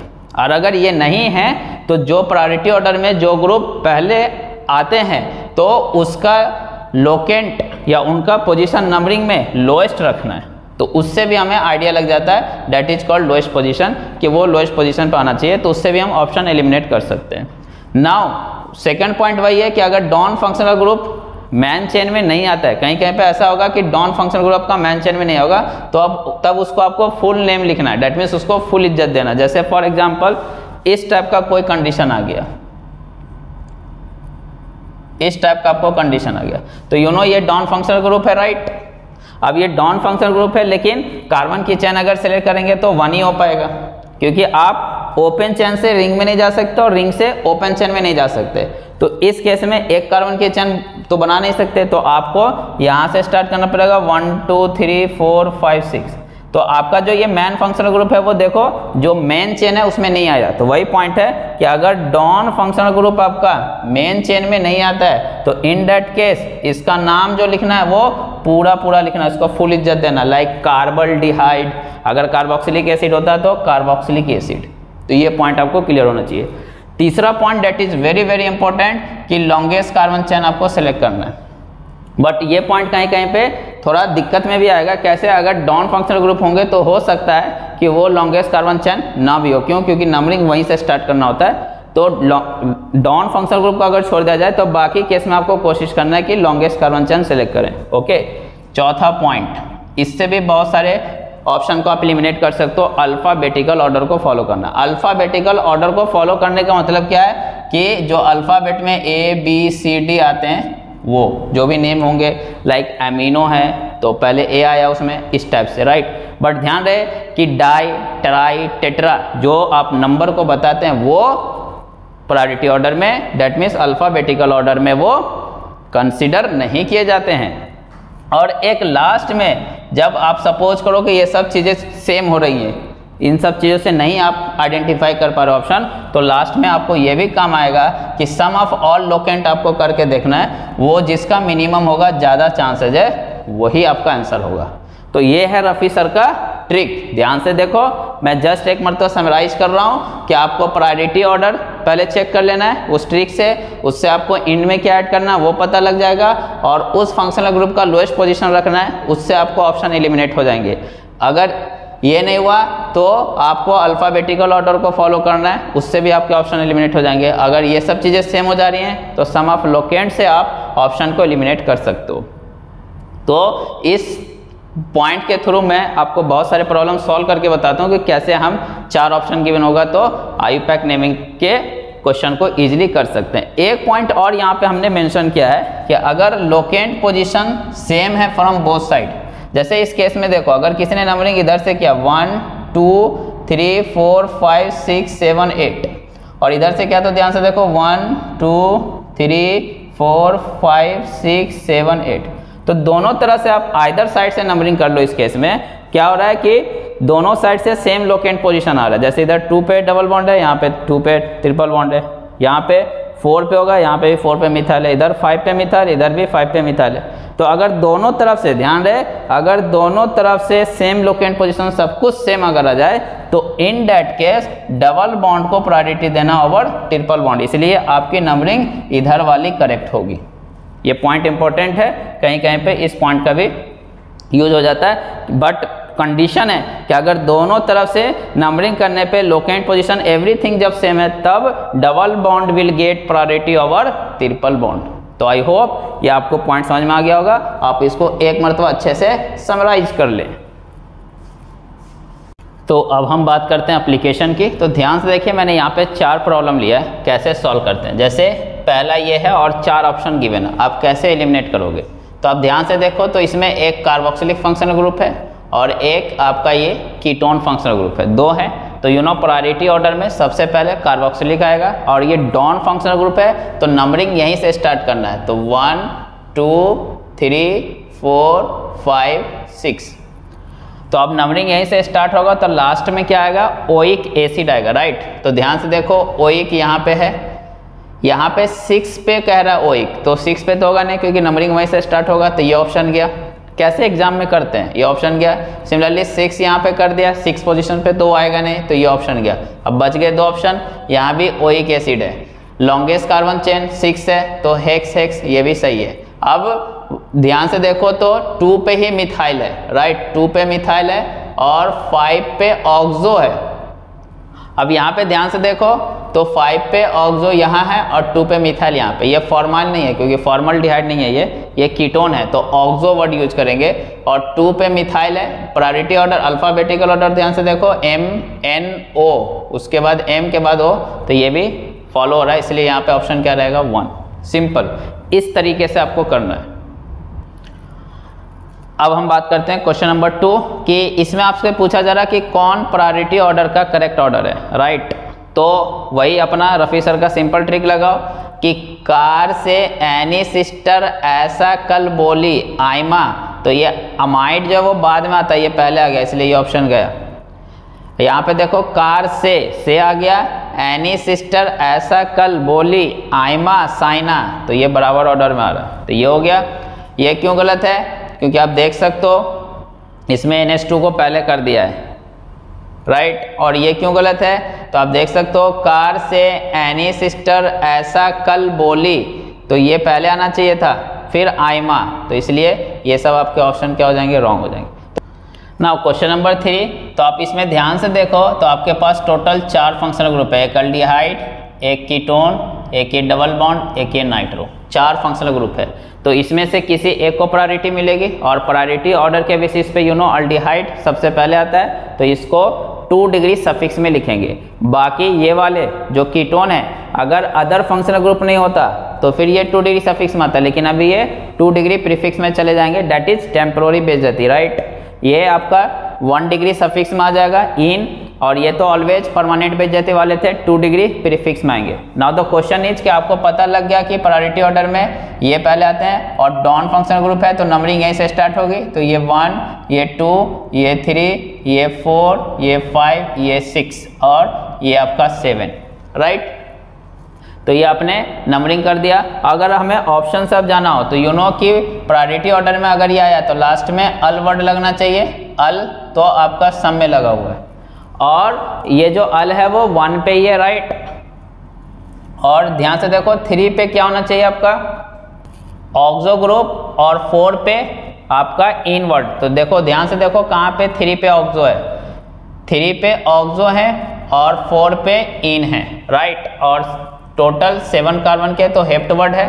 तो ये ये हेक्स था तो इसलिए ये ऑप्शन तो वैसे भी नहीं था राइट और इनमें थे बट फोर पे आपका डबल बॉन्ड आ रहा है, फोर पोजीशन पे तो ये थ्री थ्री था तो ये क्या इसलिए ऑप्शन क्या हो जाएगा? सी और ध्यान से देखो अल्फ़ाबेटिकल ऑर्डर एम के बाद एन एन के बाद ओ ये भी फॉलो होना चाहिए। इन सबसे भी हम पहचान सकते हैं। तो जस्ट मैं आपको एक आइडिया देना चाह रहा हूँ कि आपके पास चार ऑप्शन है तो डेफिनेटली आप करेक्ट ऑप्शन तक चले जाओगे। अगर रफ़ी सर के वो चार पॉइंट को अगर आपने अच्छे से समझ लिया तो। तो ध्यान से देखो एम एन ओ ये ऑर्डर फॉलो हो रहा था। यहाँ पे इससे भी हम कट कर सकते हैं। एम के बाद ओ फिर एन किया।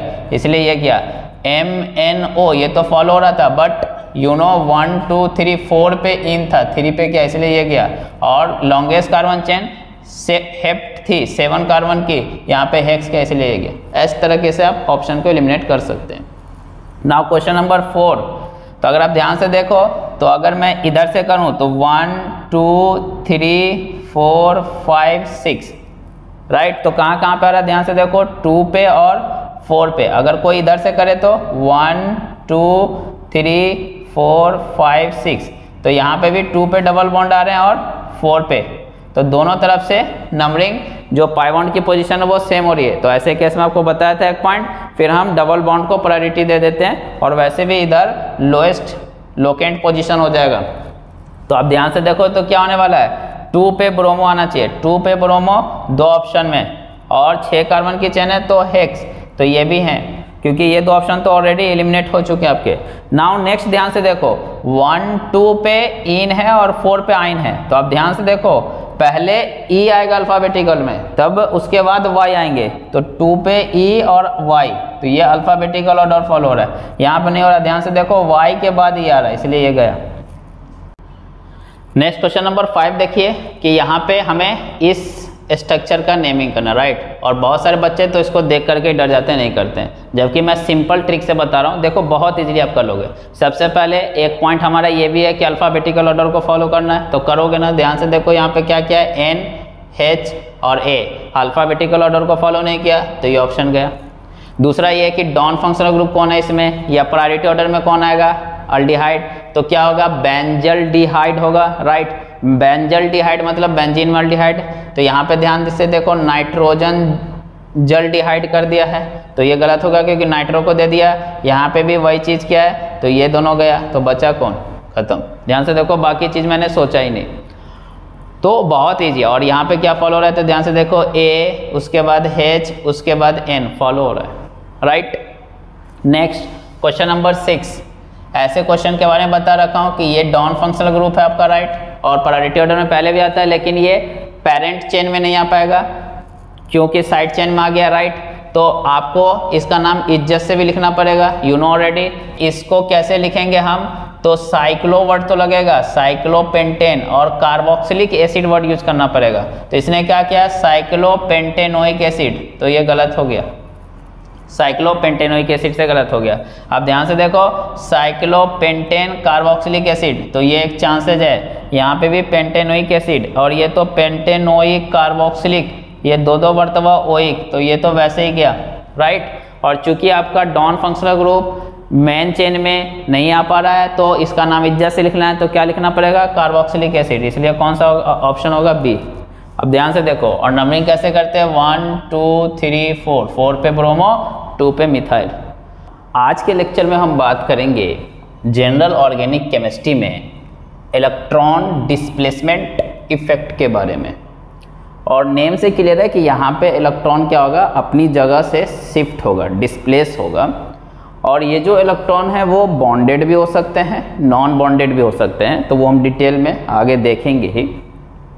तो ये जो इलेक्ट्रॉन डिस्प्लेसमेंट इफ़ेक्ट होता है, ये एक्चुअली दो टाइप के होते हैं। एक को हम बोलते हैं परमानेंट इफ़ेक्ट और एक को बोलते हैं टेम्परोरी इफ़ेक्ट देखो परमानेंट वर्ड से ही क्लियर है। परमानेंट इन द सेंस आपके पास जो भी मॉलिक्यूल है सपोज़ करो, मैं एक मॉलिक्यूल लेता हूँ सपोज़ करो मेरे पास ये। तो ये मेरे पास एक मॉलिक्यूल है। तो परमानेंट इफ़ेक्ट का इसका क्या मतलब है कि इस मॉलिक्यूल में वो इफ़ेक्ट ऑलवेज ऑपरेट होगा। इरेस्पेक्टिव ऑफ़ कि इसके सराउंडिंग में क्या है।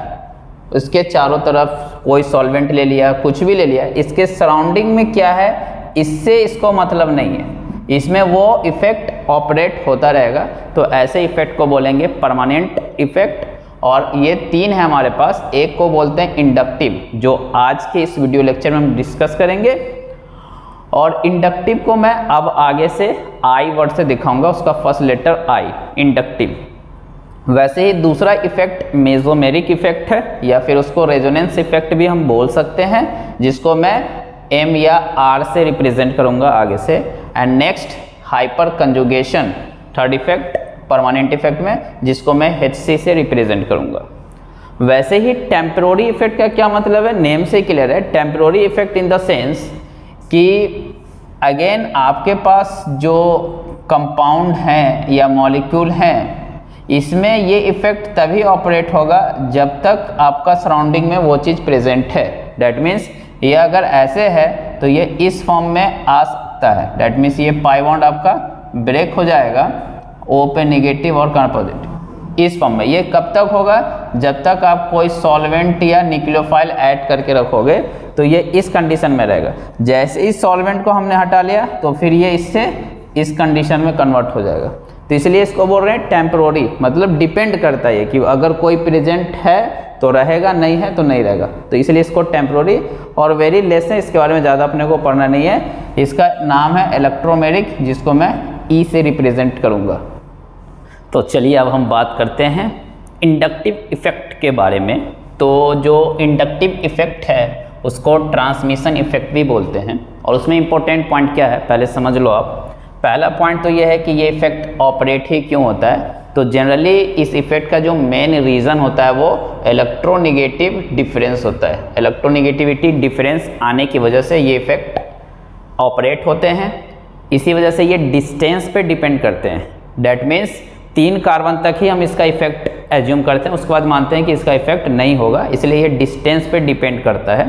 तीन कार्बन का मतलब क्या है कि जिस कार्बन पे ग्रुप लगा हुआ है उससे तीन कार्बन किसी भी डायरेक्शन में तो वहीं तक ये इफ़ेक्ट ऑपरेट होता है। उसके बाद इसका इफ़ेक्ट ऑलमोस्ट ज़ीरो हो जाता है। तो इसलिए ये डिस्टेंस डिपेंडेंट है। नाउ ये ऑपरेट जो होता है वो जनरली वो सिग्मा बॉन्ड के थ्रू एक खिंचाव होता है पुलिंग होता है इलेक्ट्रॉन का शेड इलेक्ट्रॉन का, इसलिए बोलते हैं operated through sigma electron now partial shifting होती है इसमें। ऐसा नहीं है कि इलेक्ट्रॉन अपने घर को छोड़ के चला जाएगा, अपने ऑर्बिटल को छोड़ के चला जाएगा। ऑलवेज पार्शियल शिफ्टिंग होता है, इसलिए हम पार्शियल चार्ज दिखाएँगे इस टाइप से डेल टाइप में, ऐसे कर करके। अगर वो खींच रहा होगा तो माइनस और अगर दे रहा होगा तो प्लस तो ये पार्शियल शिफ्टिंग होती है यहाँ पे। इसको मैं प्रैक्टिकली फील भी कराता हूँ, और वही प्लस पॉइंट है कि थर्ड कार्बन के बाद इसका इफ़ेक्ट हम मानते हैं ज़ीरो तो देखो, ये तो हो गई जो मैंने पहले बताया था, ये सब इंपॉर्टेंट टर्म्स हो गए। नाउ अब हम इसको फील कैसे करेंगे? डे टू डे लाइफ में व्हाट इज़ इंडक्टिव इफ़ेक्ट इसको हम कैसे कनेक्ट करेंगे? तो देखो, बहुत सिंपल है और जस्ट ये समझाने के लिए इसको ज़्यादा सीरियस नहीं लेना है। जैसे सपोज़ करो कि आपके सामने वाली खिड़की में आपकी क्रश रहती है राइट तो आप ऑलवेज क्या रहेंगे? जो आपकी खिड़की होगी, उससे अट्रैक्टेड रहेंगे, उसकी तरफ़ झांकते रहेंगे राइट तो आप ज़्यादा से ज़्यादा अपने घर को कम यूज़ कर रहे हो, अपने ऑर्बिटल को, और उसकी तरफ़ ज़्यादा आप शिफ्टेड हो। तो that is called inductive effect अभी भी आप अपने घर में ही हो, आप अपने घर से बाहर नहीं गए जस्ट आपका जो खिंचाव है वो उधर की तरफ़ है। तो ऐसे इफ़ेक्ट को बोलेंगे हम inductive effect I hope clear होगा। नाउ इलेक्ट्रोनेगेटिविटी पे जब ये डिपेंड करता है तो बहुत सारे बच्चे को इलेक्ट्रोनेगेटिविटी मालूम ही नहीं होती है। तो मैंने उसके लिए भी बहुत सिंपल सा ट्रिक्स लाया है कि इतने ही एलिमेंट का आपको इलेक्ट्रोनिगेटिविटी याद रखना और वो कैसे? तो वो भी मेरे सिंपल ट्रिक्स है। कैसे आप याद रखेंगे कि देखो लिथियम का इलेक्ट्रोनिगेटिविटी वैल्यू वन होगा। कितना हो जाएगा? लिथियम का वन ये सबको याद रखा, पहला एलिमेंट एस ब्लॉक का वन है। उसके बाद आपको क्या करना है? पॉइंट फाइव इंक्रीज करते जाना है। कितना? पॉइंट फाइव इंक्रीज करते जाना है। तो वन में पॉइंट फाइव इंक्रीज करूँगा तो कितना होगा? One point five, two two point five, three three point five and four. Periodic table का सबसे ज़्यादा इलेक्ट्रोनिगेटिव एलिमेंट फ्लोरीन आ गया राइट तो ये इलेक्ट्रोनिगेटिविटी वैल्यू ही हमने याद करवा दिया आपको। तो यही सब ग्रुप कार्बन पे लगे होंगे तो आपको देख लेना कि कार्बन से ज़्यादा इलेक्ट्रोनिगेटिव है तो अपनी तरफ़ इलेक्ट्रॉन खींचेगा, कम है तो वो कार्बन को इलेक्ट्रॉन देगा ओके नेक्स्ट वाले को कैसे याद रखेंगे? तो you know down the group electronegativity decrease होती है तो वन से कम हो जाएगा डेट मीन्स कितना हो जाएगा? पॉइंट नाइन और कितना इंक्रीज करना है? पॉइंट थ्री इंक्रीज करना है।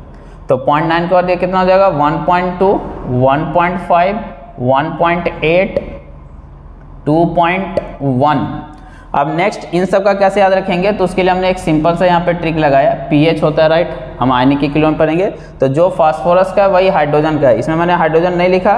फास्फोरस का 2.1 है तो हाइड्रोजन का भी कितना होगा? 2.1 ऑलमोस्ट सेम सल्फ़र का कैसे याद रखेंगे? आयोडीन, सल्फ़र और कार्बन। ये तीनों को मैंने आईएससी वर्ड से, inter of science, right? ISC तो जो आयोडीन का, वही सल्फ़र का, वही कार्बन का कार्बन का आपको मालूम है 2.5 तो सल्फ़र का भी कितना हो जाएगा? 2.5 और आयोडीन का भी आपका कितना हो जाएगा? 2.5 क्लोरीन का तो 0.5 इंक्रीज करा दो तो ऑलमोस्ट थ्री के आसपास होता है राइट बट नाइट्रोजन से थोड़ा लेस होगा, और थ्री और 2.5 के बीच में कितना होगा? 2.8 क्योंकि down the group electronegative decrease होती है। तो ये मैंने इलेक्ट्रोनिगेटिविटी का डायरेक्ट वैल्यू ही लिखवा दिया, जिससे हम इसका प्रॉपर यूज़ कर सकते हैं, और वो भी कहाँ? तो देखिए, यहाँ। कैसे यूज़ करेंगे? देखो कार्बन पे आपका कोई ग्रुप लगा होगा राइट कार्बन पे आपका कोई भी ग्रुप लगा होगा तो वो ग्रुप कार्बन के साथ क्या कर रहा है? उस इफ़ेक्ट की हम बात कर रहे हैं। इस पूरे चैप्टर में जीओसी में, हम ग्रुप का इफ़ेक्ट देखेंगे कार्बन पे। ये पॉइंट ध्यान में रखना। तो कार्बन पे कोई ग्रुप लगा है। अब इस ग्रुप के बारे में क्या क्या बोल सकते हैं? तो तीन पॉइंट कि ये ग्रुप कार्बन से ज़्यादा इलेक्ट्रोनिगेटिव हो गया। मोर मतलब ग्रुप जो है वो मोर इलेक्ट्रोनिगेटिव है कार्बन से। तो क्या करेगा वो? ये जो शेयर्ड इलेक्ट्रॉन है आपके तो ये जो शेयर्ड इलेक्ट्रॉन है, इसको अगर ग्रुप अपनी तरफ़ खींच रहा है तो वो कब खींच सकता है? जब वो कार्बन से मोर इलेक्ट्रोनिगेटिव होगा तो इस ग्रुप का बोलेंगे हम कौन सा इफ़ेक्ट है? माइनस का इफ़ेक्ट मतलब इलेक्ट्रॉन को वो विड्रॉ कर रहा है, अपनी तरफ़ खींच रहा है। तो इसलिए ऐसे ग्रुप को बोलेंगे इलेक्ट्रॉन विड्रॉइंग ग्रुप और इलेक्ट्रॉन एक्सेप्टिंग ग्रुप एक्सेप्ट भी कर रहा है। तो उसको शॉर्ट फॉर्म में ई जी या ई जी बोलूँगा। जैसे जितने भी मोर इलेक्ट्रोनिगेटिव वाले हो गए ऑल हेलोजन नाइट्रोजन ऑक्सीजन सब के सब क्या हो जाएँगे? इलेक्ट्रॉन एक्सेप्टिंग ग्रुप या फिर इलेक्ट्रॉन विदड्रॉइंग ग्रुप वैसे ही कार्बन से जो ग्रुप लगा है, अगर सपोज़ करो कि उसकी इलेक्ट्रोनिगेटिविटी कम है लेस है कार्बन से तो फिर इस केस में क्या होगा?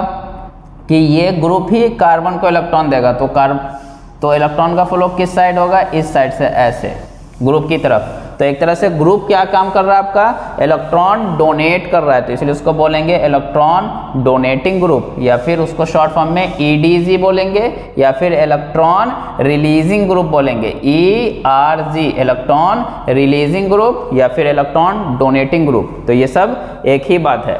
और वो केस जहाँ पे हम कुछ भी इफ़ेक्ट नहीं लेते हैं, वो हाइड्रोजन वाला अगर कार्बन से हाइड्रोजन अटैच है तो हम मानते हैं कोई इफ़ेक्ट नहीं है। अदरवाइज़ कोई भी ग्रुप अटैच हो इवन दो कार्बन ही क्यों ना अटैच हो, उसका इफ़ेक्ट आएगा। और कौन सा इफ़ेक्ट आएगा, वो हम डिस्कस करते हैं अगले पार्ट में। ना अब हम बात करते हैं ग्रुप के इफ़ेक्ट के बारे में। तो देखो वेरी सिंपल है कि मैं इस तरह से एक जनरल लिया हूँ कि ये कार्बन की चैन होगी और उस पर जो ग्रुप लगा होगा तो इसका कौन सा इफ़ेक्ट होगा, ये हम कैसे आइडेंटिफाई करेंगे? तो देखो, अगर इस ग्रुप पे गलती से अगर पॉजिटिव चार्ज आ गया सपोज़ करो आपने देख लिया कि जो कार्बन की चैन है, उस पर कोई ग्रुप लगा, उस पर पॉजिटिव चार्ज है, जैसे एन एफ़ थ्री और नाइट्रोजन से अटैच होगा तो इसलिए नाइट्रोजन ने चार बॉन्ड बना लिया, तीन फ्लोरीन के साथ, एक कार्बन के साथ इसलिए उस पर प्लस आ गया। तो N F three plus N H three plus इस टाइप का जैसे ग्रुप पे पॉजिटिव चार्ज देखे तो वो ऑलवेज माइनस आई शो करेंगे।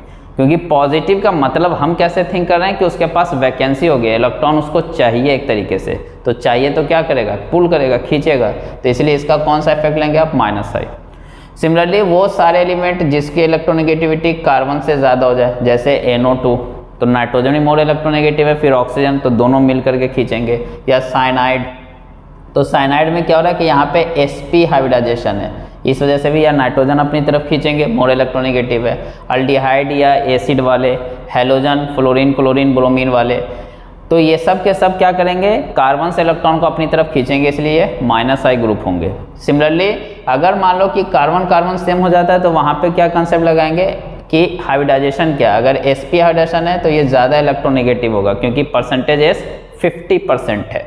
तो इसलिए उस केस में आपको ये वाला ऑर्डर फॉलो करना है कि एसपी वाले कार्बन की इलेक्ट्रोनिगेटिविटी ज़्यादा होगी, उससे कम एस उससे कम एस पी नाउ अगर प्लस आई इफ़ेक्ट के बारे में बात करें तो वो सारे ग्रुप जिसपे निगेटिव चार्ज आ जाए तो निगेटिव आ गया ऑलरेडी उसके पास इलेक्ट्रॉन है तो वो क्या चाहेगा? किसी को देना चाहेगा राइट दे करके हटाना चाहेगा।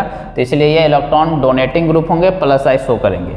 तो ऑलवेज ये प्लस जैसे एन एच माइनस है कहीं पे कहीं पे ओ माइनस है। तो इसके यहाँ पे ये नहीं सोचना फिर कि nitrogen more electronegative oxygen more electronegative अगर निगेटिव चार्ज आ गया तो वो ऑलवेज प्लस आई शो करेंगे।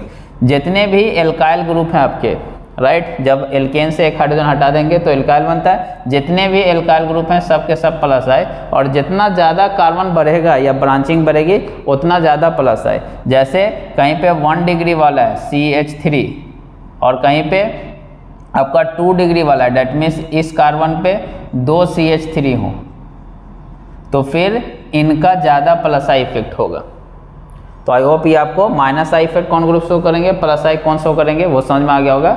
नाउ ये सब तो हो गई समझाने वाली बात। एक्चुअल इसका अप्लीकेशन क्या है सर वो बताओ, इसको अप्लाई कैसे करना इस पर बेस्ट क्वेश्चन कैसे आते हैं? तो उसके बारे में मैं डिस्कस कर रहा हूँ। तो चलिए अब हम बात करते हैं अप्लीकेशन एंड ट्रिक्स की, जिसके लिए मैं जाना जाता हूँ। तो ध्यान से देखो, समझो कि आपको क्वेश्चन कैसे पूछे जाएँगे। कार्बो कैटायन होगा डैट मीन्स कार्बन पे प्लस चार्ज होगा, या फ्री रेडिकल होंगे डैट मीन्स कार्बन पे एक इलेक्ट्रॉन होगा, तीन बॉन्ड बनाने के बाद एक इलेक्ट्रॉन फ्री इलेक्ट्रॉन तो फ्री रेडिकल बोलेंगे। या फिर बेसिक करेक्टर का ऑर्डर पूछा जाएगा। इन तीनों ही केस में, अब मैंने जो कनेक्ट किया अपने ट्रिक को कैसे, कि कार्बोकैटायन मतलब कार्बन के पास क्या है इलेक्ट्रॉन की कमी है। फ्री रेडिकल का भी मतलब क्या हो गया कि अभी भी कार्बन के पास ऑक्टेट कंप्लीट नहीं हुआ, साथ ही इलेक्ट्रॉन है वैलेंस सेल में टोटल तो वो भी इलेक्ट्रॉन डेफिशिएंट है।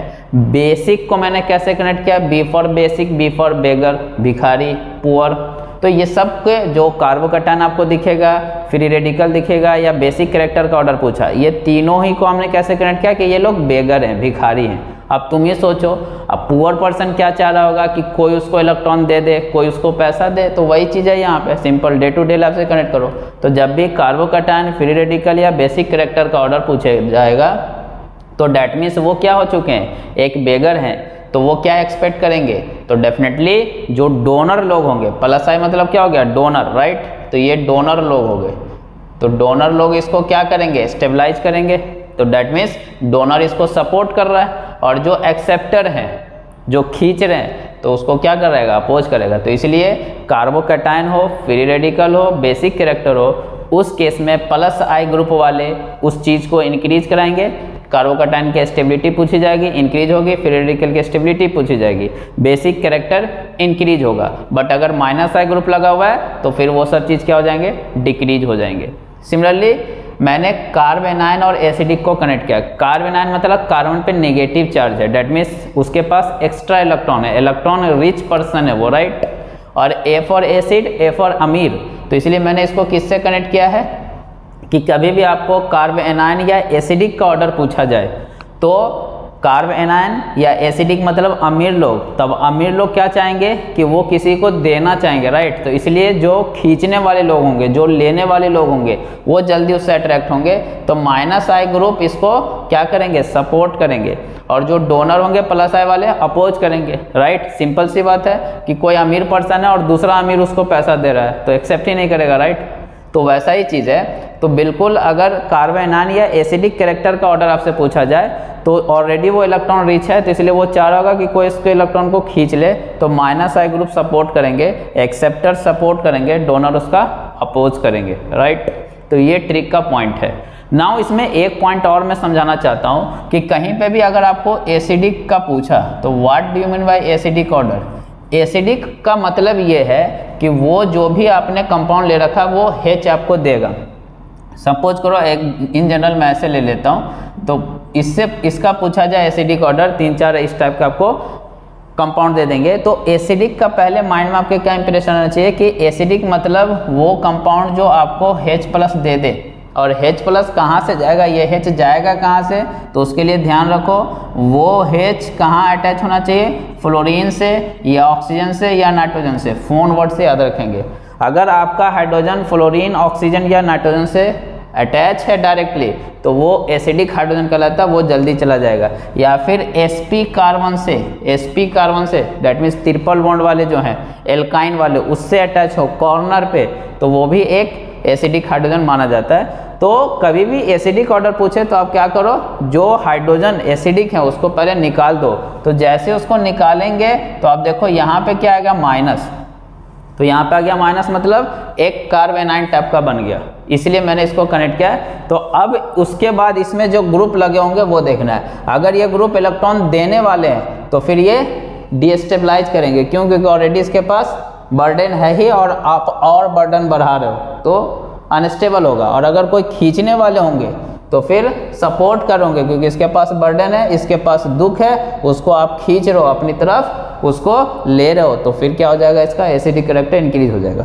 वैसे ही अगर बेसिक पूछा जाए बेसिक के बारे में तो इसका मतलब यहाँ पे क्या है ऑर्गेनिक में? ऑर्गेनिक में बेसिक का मतलब है कि जो इजिली लोन पर दे दे। अब आप आप ही सोचो कि लोन पर इजिली कौन दे सकता है? तो पहले देने के लिए तो क्या होना चाहिए कि पीछे उसके पास सपोर्ट होना चाहिए? अगर मैं किसी को पैसे दे सकता हूँ तो मेरी फाइनेंशियल कंडीशन अच्छी होनी चाहिए राइट तो बेसिक करेक्टर मतलब लोन पर देना है। जैसे सपोज़ करो कि यहाँ पे आपने NH2 ग्रुप लगाया तो इसके पास लोन पर अब इसको देना है। तो जो ग्रुप इधर लगे होंगे, इधर कहीं पे भी तो वो कैसा बिहेव कर रहे हैं इसके साथ? अगर ये ग्रुप इसको सपोर्ट कर रहे हैं, दे रहे हैं इलेक्ट्रॉन तो ये इजिली दे देगा। क्यों? क्योंकि इसके पीछे फैमिली प्रोटेक्शन है, ठीक है, करो तुम, हम सपोर्ट करेंगे। अगर मान लो कि ग्रुप ऐसा लगा जो इलेक्ट्रॉन को खींच रहा अपनी तरफ़ तो फिर ये जल्दी देना नहीं चाहेगा। क्यों? क्योंकि इसके पास ऑलरेडी वैकेंसी क्रिएट होने वाली है। तो वही सेम चीज़ है। तो इसलिए बेसिक में हमने या फिर कार्बोकेटा ने फिर रेडिकल में उस कंडीशन को आपका कनेक्ट किया है कि B for beggar that means इसको देना है तो देने के लिए इसके पास वैसे ग्रुप होने चाहिए। जो इसको सपोर्ट करें तो प्लस आई वाले सपोर्ट करेंगे बेगर को। और माइनस आई वाले अपोज करेंगे। सिमिलरली एसिडिक किया, कार्बेनाइन की स्टेबिलिटी पूछे तो अमीर वर्ड तो अमीर को माइनस आई सपोर्ट करेंगे खींचने वाले, क्योंकि अमीर से लोग पैसा लेंगे राइट और प्लस आई वाले देने वाले उसको अपोज करेंगे। तो अब हम कुछ एग्ज़ाम्पल लेकर के आपके इस एप्लीकेशन या ट्रिक्स को और भी क्लियर करता हूँ। सपोज़ करो, जो आप आइनिक में पढ़ोगे भी, कहीं पे भी अगर आपसे पूछा जाता है एसिडिक तो के ए कांस्टेंट ऑफ़ एसिड तो जितना ज़्यादा एसिडिक होगा, उतना ज़्यादा के होगा राइट तो एसिडिक अगर इंक्रीज हो रहा है तो के ए भी इंक्रीज होगा। बट पी के ए राइट पी के ए वाला, वो पी के नहीं। पी के ए तो पी के ए जो हो जाएगा, उतना कम हो जाएगा। मतलब के ए एंड पी के ए ऑलवेज इन्वर्सली चलते हैं। दोनों एक दूसरे से इन्वर्सली है। तो कभी भी के ए का अगर ऑर्डर पूछा जाए मतलब एसिडिक ऑर्डर पी के पूछे तो एसिडिक निकाल लो, उसका उल्टा कर दो। वैसे ही बेसिक जितना ज़्यादा होगा के बी बेस का इक्रम कांस्टेंट उतना ज़्यादा होगा। मतलब वो रिएक्शन उतना फॉरवर्ड हो जाएगी, लेकिन पी के बी की बात करेंगे तो वो उतना कम होगा। ओके तो ये पॉइंट भी आपको ध्यान में रखना है। चलिए, अब हम बात करते हैं एप्लीकेशन की। तो यहाँ पे ध्यान से देखिए क्वेश्चन नंबर वन कि इन सब का आपको एसिडिक ऑर्डर पूछा गया है कि कौन सबसे ज़्यादा एसिडिक होगा, उससे कम उससे कम एंड उससे कम। तो ऐसे क्वेश्चन आपको सबसे पहले करना क्या है कि पहले देखना पड़ेगा। तो सब में देखो कार्बोक्सिलिक एसिड है राइट सब में C double bond O H है कार्बोक्सिलिक एसिड है। तो सबका स्ट्रक्चर पहले क्विकली अगर ड्रॉ कर लोगे तो आपको ज़्यादा समझ में आएगा right C double bond O H C double bond O H C double bond O H उसके बाद ध्यान से देखो तो सब पे कार्बन है, इस कार्बन पे तीन हाइड्रोजन है राइट यहाँ पे कार्बन पे दो हाइड्रोजन है और एक क्लोरीन है। यहाँ पे कार्बन पे तीन फ्लोरीन है राइट और यहाँ पे कार्बन पे दो हाइड्रोजन है और एक ब्रोमीन है। अब इन सब का एसिडिक ऑर्डर पूछा गया। सपोज़ कर लेते हैं, ये वन है, ये टू है ये थ्री है और ये फोर है। तो देखो, अब भाई हमने बताया था एसिडिक मतलब ये जो हाइड्रोजन आपका ये एसिडिक है। क्यों? क्योंकि ऑक्सीजन से अटैच है। ये वाले एसिडिक हैं, ये वाले एसिडिक हैं, ये वाले एसिडिक तो इस हाइड्रोजन को हटा देना, हटाने के बाद ये कैसे जाएगा? खुद प्लस फॉर्म में चला जाएगा। तो इन सब पे क्या आ जाएगा आपका? माइनस आ जाएगा।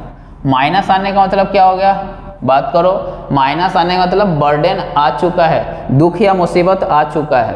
तो अब इस मुसीबत को जितने लोग शेयर करेंगे, जितने लोग खींचने वाले होंगे, उतना इजीली ये देना चाहेगा। क्यों?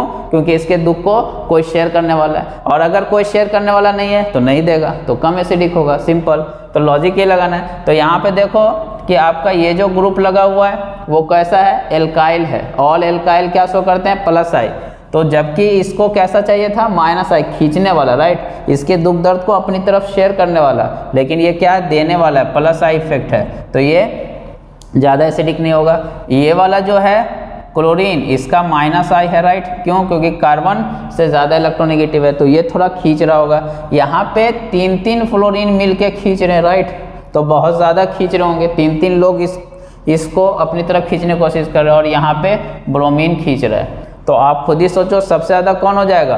थर्ड वन क्यों? क्योंकि तीन तीन फ्लोरीन मिलके खींच रहे हैं। उसके बाद सेकेंड और फोर्थ में अगर देखें तो क्लोरीन खींच रहा है ब्रोमीन क्लोरीन ज़्यादा इलेक्ट्रोनेगेटिव है तो ज़्यादा पावर से खींच रहा होगा। तो इसलिए कौन हो जाएगा? टू फिर लास्ट फोर उसके बाद लास्ट में कौन हो जाएँगे? वन क्योंकि ये तो अपोज कर रहे थे। ये सब माइनस आई वाले थे सपोर्ट कर रहे थे, ये अपोज कर रहा था। तो इस टाइप के आपको क्वेश्चन मिलेंगे, जो मैंने एक बेसिक आइडिया देने की कोशिश की इस टाइप के आप कोई प्रॉब्लम कर लोगे।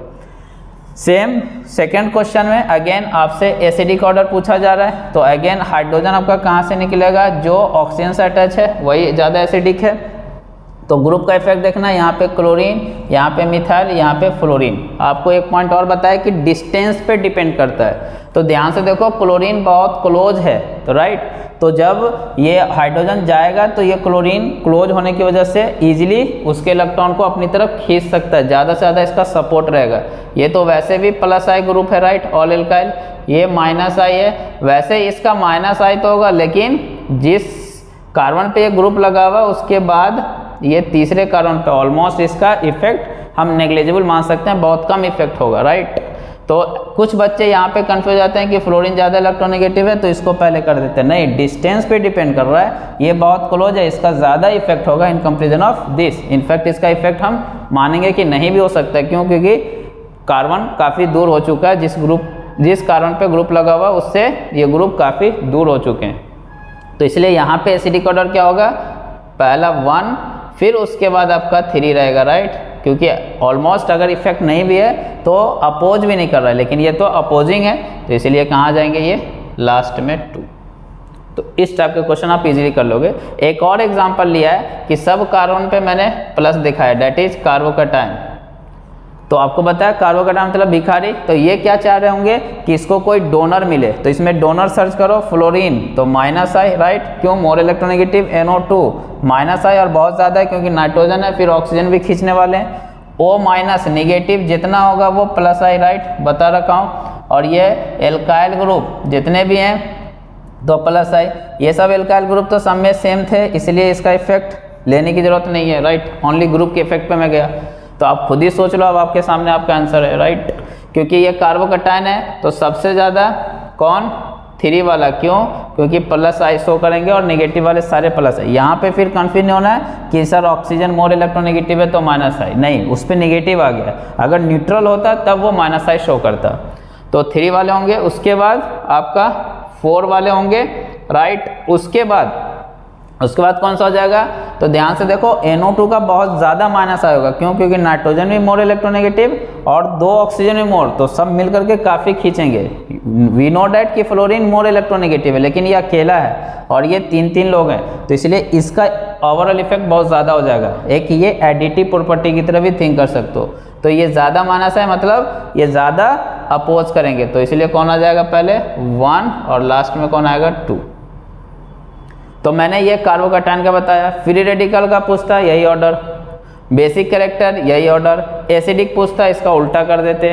कार्बेनाइन का पूछता, इन सब पे प्लस की जगह माइनस ले आता, इसका उल्टा कर देते. तो कोई एक ध्यान में रखो और एकदम सिंपल कनेक्ट कर करके डे टू डे लाइफ से फील करने की कोशिश करोगे. जिस दिन तुमने सब्जेक्ट को फील करना सीख गए तो उस दिन फिर सब्जेक्ट में आपको मज़ा आएगा। रेजोनेंस को मैं प्यार से अब आगे रज्जो बोलूँगा। रेजोनेंस को क्या बोलाएँगे? रज्जो। ओके तो रज्जो के बारे में कुछ इंपॉर्टेंट पॉइंट पहले जान ले कि रज्जो में क्या क्या है। तो पहला पॉइंट ये है कि जो रज्जो है, वो है क्या एक्चुअली तो that is nothing but delocalisation of pi electron और लोन पेयर पाई इलेक्ट्रॉन या लोन पेयर का डीलोकलाइजेशन मतलब घूमना, फिरना, वो एक जगह पे नहीं रहेगा। एक आइटम से दूसरे आइटम पे, दूसरे आइटम से तीसरे आइटम पे। तो इसमें हम वही बात करने वाले हैं कि डीलोकलाइजेशन ऑफ़ पाई इलेक्ट्रॉन और लोन पेयर। ध्यान रहे, इसमें एटम की शिफ्टिंग नहीं होती है। रेजोनेंस में कभी भी एटम शिफ्ट नहीं होते। Atom shifting not allowed okay चलिए सेकेंड पॉइंट पाते हैं। कि जो रेजोनेंस होगा उसके लिए कंडीशन ये है कि मॉलिक्यूल जिस मॉलिक्यूल में रेजोनेंस की बात कर रहे हैं, वो प्लेनर होना चाहिए। डैट मीन्स उसमें जो एटम सब हैं, उसकी हाइब्रिडेशन sp2 या sp होनी चाहिए। या फिर एक और ये कंडीशन हो सकता है कि जहाँ तक रेजोनेंस हो रहा है, वहाँ तक के जो सारे एटम हैं, वो एक प्लेन में होनी चाहिए। ये कंडीशन हो गई रज्जो की। नेक्स्ट पॉइंट इज़ कि जितने भी रेजोनेटिंग स्ट्रक्चर आप बनाएँगे तो उसमें चार्ज मेंटेन रहेगा। अगर मान लो कि स्टार्टिंग में आपका जो मॉलिक्यूल या स्ट्रक्चर था, उस पर कोई चार्ज नहीं था तो उसके जितने भी आर एस आप बनाएँगे रेजोनेटिंग स्ट्रक्चर तो उसमें किसी पे भी चार्ज नहीं आना चाहिए। अगर माइनस वन का चार्ज है तो सब में माइनस वन का चार्ज मेंटेन होना चाहिए। तो तीसरे पॉइंट का वही मतलब है कि charge should be maintain in all resonating structure जो हम डिफरेंट स्ट्रक्चर ड्रॉ करेंगे, जो आगे हम देखने वाले हैं। फोर्थ पॉइंट कि इट इज़ डिस्टेंस इंडिपेंडेंट ये जो है डिस्टेंस पे डिपेंड नहीं करता, जबकि इंडक्टिव इफ़ेक्ट करता था राइट तो इट इज़ डिस्टेंस इंडिपेंडेंट इसीलिए ये उससे ज़्यादा क्या होगा? इफ़ेक्टिव होगा राइट right? या स्ट्रॉन्गर इफ़ेक्ट होगा। और it is a permanent effect we already know fifth point is कि ड्यू टू रेजोनेंस होता है मतलब रेजोनेंस हो ही क्यों रहा है? तो रज्जो इस वजह से हो रहा है, इसकी वजह से क्या होता है? स्टेबिलिटी इंक्रीज होता है और पोटेंशियल एनर्जी डिक्रीज होता है। पोटेंशियल एनर्जी को हम कैसे रिलेट करेंगे यहाँ पे? पोटेंशियल एनर्जी का मतलब हमारे लिए क्या हो गया? स्ट्रेस या दुख या पीड़ा, कष्ट, जो आप समझो। तो वो जितना कम होगा, उतना स्टेबिलिटी रहेगी। तो स्टेबिलिटी रेजोनेंस से क्या होता है? स्टेबिलिटी इंक्रीज होती है। डैट मीन्स पोटेंशियल एनर्जी कम होती है। नेक्स्ट पॉइंट कि जितना ज़्यादा रेजोनेटिंग स्ट्रक्चर आप बनाएँगे, उतना ज़्यादा स्टेबिलिटी होगी। डैट मीन्स दुख को जितने ज़्यादा लोग बांटने वाले होंगे ऑब्वियसली बात है, वो आदमी उतना ईजिली सर्वाइव करेगा, उतना उसको ईजी रहेगा जीना right next point is seven point की जो R S that means resonating structure या फिर canonical structure right C S तो आर एस कहीं पे लिखा हो या सी एस लिखा हो, ये सब समझ जाना, ये शॉर्ट फॉर्म यूज़ कर रहा हूँ। तो ये सब जो है वो हाइपोथेटिकल है। ये हम लोग ड्रॉ करेंगे। ये एक्चुअल में हो रहा है या नहीं हो रहा है, ये किसी को मालूम नहीं है राइट बट इस कंसेप्ट को यूज़ कर करके हम सारे रिज़ल्ट तक पहुँच पा रहे हैं, इसलिए इस थ्योरी को एक्सेप्ट किए हुए तो it is a hypothetical phenomenon right तो एक्चुअल में है क्या सर तो एक्चुअल जो है वो रेजोनेंस हाइब्रिड है। तो resonance hybrid R H short form में बताएँगे, वो एक्चुअल है और वो बनता कैसे है? तो जितने भी आपके आर एस हैं, उनके कंट्रीब्यूशन से बनता है। तो चलिए अब हम बात करते हैं ट्रिक्स की, जिसके लिए मैं जाना जाता हूँ। तो देखो, रज्जो के लिए जो ट्रिक लेके आया हूँ मैं, रज्जो आपको बता रखा हूँ रेजोनेंस को प्यार से मैं बोलूँगा रज्जो। तो जैसे देखो, एक हाथ में पाँच उंगली है, वैसे ही रफ़ी सर के पाँच पॉइंट है रेजोनेंस के लिए। अगर इसको आपने समझ लिया तो फिर आपका रेजोनेंस समझ में आ जाएगा। पहले हम कैसे जानेंगे कि यहाँ पे रेजोनेंस होगा कि नहीं होगा तो उसके लिए ये पाँच पॉइंट हमने लिस्ट आउट किया है कि अगर आपका positive charge is in conjugation with pi bond हो डैट मीन्स पॉजिटिव चार्ज के बाद सिंगल बॉन्ड आए सिग्मा बॉन्ड उसके बाद फिर पाई इलेक्ट्रॉन हो पाई बॉन्ड हो तो वहाँ पे रेजोनेंस होगा। एक पॉइंट जो यहाँ पे मैं मेंशन करना चाह रहा हूँ पॉजिटिव चार्ज का ये मतलब क्या है? यहाँ पे वैकेंट ऑर्बिटल होना मस्ट है। वैकेंट ऑर्बिटल होना चाहिए। पॉजिटिव चार्ज नहीं भी है तो भी चल जाएगा। वैकेंट ऑर्बिटल का होना ज़रूरी है। ओके फॉर एग्ज़ाम्पल ध्यान से देखो। पॉजिटिव सिंगल डबल क्या यहाँ पे हो रहा है? यस yes, देखो पॉजिटिव उसके बाद सिंगल फिर डबल तो इसका मतलब इसमें रेजोनेंस हो जाएगा। ऐसे चेक करना है। सिमिलरली यहाँ पर ध्यान से देखो तो यहाँ पे कोई पॉजिटिव चार्ज नहीं है। बट वैकेंट और बाइटल है, क्योंकि बोरोन ने अभी तीन ही बॉन्ड बनाया तो वैकेंट और बाइटल यहाँ पे आ गया सिंगल और फिर ये डबल तो यहाँ भी रेजोनेंस हो जाएगा ओके वो केसेस जहाँ पे रेजोनेंस नहीं होगा, जैसे ऐसा कहीं पे है N H three plus C H double bond C H two अगर ऐसा है तो आपको क्या लगेगा कि पॉजिटिव सिंगल डबल ये सर ने बताया था रेजोनेंस हो जाएगा, नहीं? सर का ये कहना है कि पॉजिटिव चार्ज ज़रूरी नहीं है, ज़रूरी क्या है? वैकेंट और वाइटल तो यहाँ पे नाइट्रोजन पे पॉजिटिव इसलिए आया है क्योंकि इसने चार बॉन्ड बना लिया है। तो यहाँ पे कोई वैकेंट और वाइटल नहीं इसलिए इसमें रेजोनेंस नहीं होगा। तो I hope point number one clear होगा। जब भी आपका पॉजिटिव सिंगल डबल आए डेट मीन्स वहाँ पे रेजोनेंस होगा। पॉजिटिव का मतलब वैकेंट और वाइटल है, ये ध्यान में रखना है। चलिए अब अब हम आते हैं पॉइंट नंबर टू पे। जब भी आपका लोन पेयर या फिर निगेटिव चार्ज उसके बाद सिंगल बॉन्ड है फिर pi bond that means lone pair या negative charge is in conjugation with pi bond तो वहाँ पे रेजोनेंस होगा. फॉर एग्जांपल जैसे ये लोन पेयर है सपोज़ करते हैं, कारण पे लोन पेयर नहीं, ये निगेटिव चार्ज होगा. निगेटिव चार्ज सिंगल और ये डबल तो देखो नेगेटिव सिंगल डबल अगर इस सीक्वेंस को फॉलो कर रहे हो, ये फॉलो हो रहा है मतलब वहाँ पर रेजोनेंस हो जाएगा। ये रफ़ी सर का ट्रिक है, जिससे आप इजीली पहचान सकते हो कि वहाँ पर रेजोनेंस होगा कि नहीं। सिमिलरली यहाँ पे देखो lone pair single double lone pair single double तो इस सिक्वेंस को फॉलो कर रहा है, यहाँ रेजोनेंस हो जाएगा। ध्यान दें कि जब एक एलिमेंट पे एक से ज़्यादा लोन पेयर हो तो एक ही लोन पेयर रेजोनेंस में जाएगा। सिमिलरली अगर एक से ज़्यादा यहाँ पे पाई बॉन्ड होता तो एक ही पाई बॉन्ड रेजोनेंस में जाता। तो ये पॉइंट नंबर टू हो गया। नेक्स्ट पॉइंट नंबर थ्री अगर आपका double bond is in conjugation with double bond हो या ट्रिपल बॉन्ड ट्रिपल बॉन्ड का मतलब क्या हो गया? दो पाई बॉन्ड तो जब double bond is in conjugation with double bond हो तो वहाँ पे भी रेजोनेंस होंगे। For example double single double तो ये उस सीक्वेंस को फॉलो कर रहा है डेट मीन्स यहाँ पे रेजोनेंस हो जाएगा। नेक्स्ट पॉइंट नंबर फोर अगर आपका free radical is in conjugation with pi bond हो तो वहाँ भी रेजोनेंस होगा। For example free radical single double तो यहाँ भी रेजोनेंस हो जाएगा। तो इसलिए मैंने वो कंडीशन को लिखा है, जो रफीशर का ट्रिक है, और एक एक एग्ज़ाम्पल लिया है कि कैसे आपको उसको अप्लाई करना है। नेक्स्ट अगर आपका लोन पेयर या फिर negative charge is in conjugation with vacant orbital हो। वैकेंट ऑर्बिटल आइदर पी भी हो सकते हैं या डी भी हो सकते हैं तो वहाँ पे भी रेजोनेंस होगा। फॉर एग्जांपल नाइट्रोजन के पास यहाँ पे लोन पेयर है, फिर ये सिंगल कार्बन पे प्लस है मतलब वैकेंट और ऑर्बिटल है। तो यहाँ पे रेजोनेंस हो जाएँगे। तो ये पाँच पॉइंट आपको ध्यान में रखना है। अगर इस सीक्वेंस को फॉलो हो रहा है कहीं पे मॉलिक्यूल में तो वहाँ पे रेजोनेंस होगा। नाउ जो सबसे इम्पोर्टेंट पॉइंट है कि ये जो पॉजिटिव चार्ज है आपका, या ये जो लोन पेयर है, या ये जो निगेटिव चार्ज है, या फिर ये जो फ्री रेडिकल है, या ये जो पाई इलेक्ट्रॉन है, ये सब के सबको आपको प्रैक्टिकल लाइफ में क्या एज्यूम करना है कि ये बर्डन है। दुख है, तकलीफ़ है, मुसीबत है, पीड़ा है, कष्ट है स्ट्रेस है, यही तो है ये सब। अब तुम ही सोचो कि अब हम क्या सोचेंगे?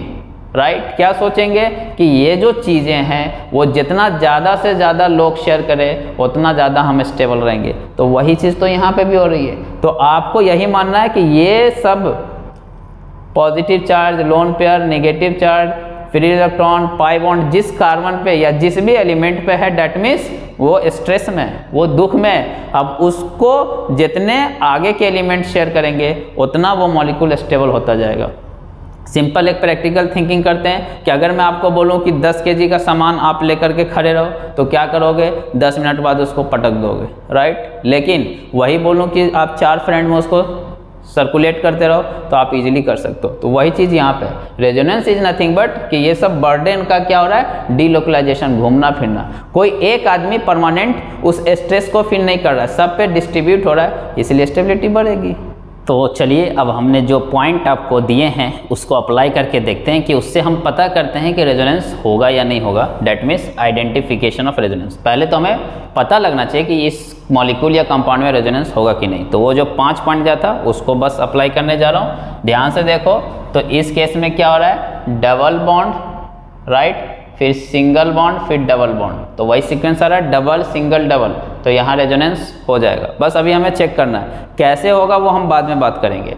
सिमिलरली यहाँ पे ध्यान से देखो तो डबल सिंगल सिंगल आ गया। ध्यान से देखो डबल सिंगल फिर सिंगल तब डबल आ रहा है। तो फिर यहाँ नहीं होगा, क्योंकि डबल सिंगल डबल होना चाहिए था राइट यहाँ पे ध्यान से देखो तो पॉजिटिव चार्ज मतलब वैकेंट और वाइटल कार्बन पे है तो फिर सिंगल, फिर डबल। तो पॉजिटिव सिंगल, डबल हो रहा है मतलब रेजोनेंस हो जाएगा।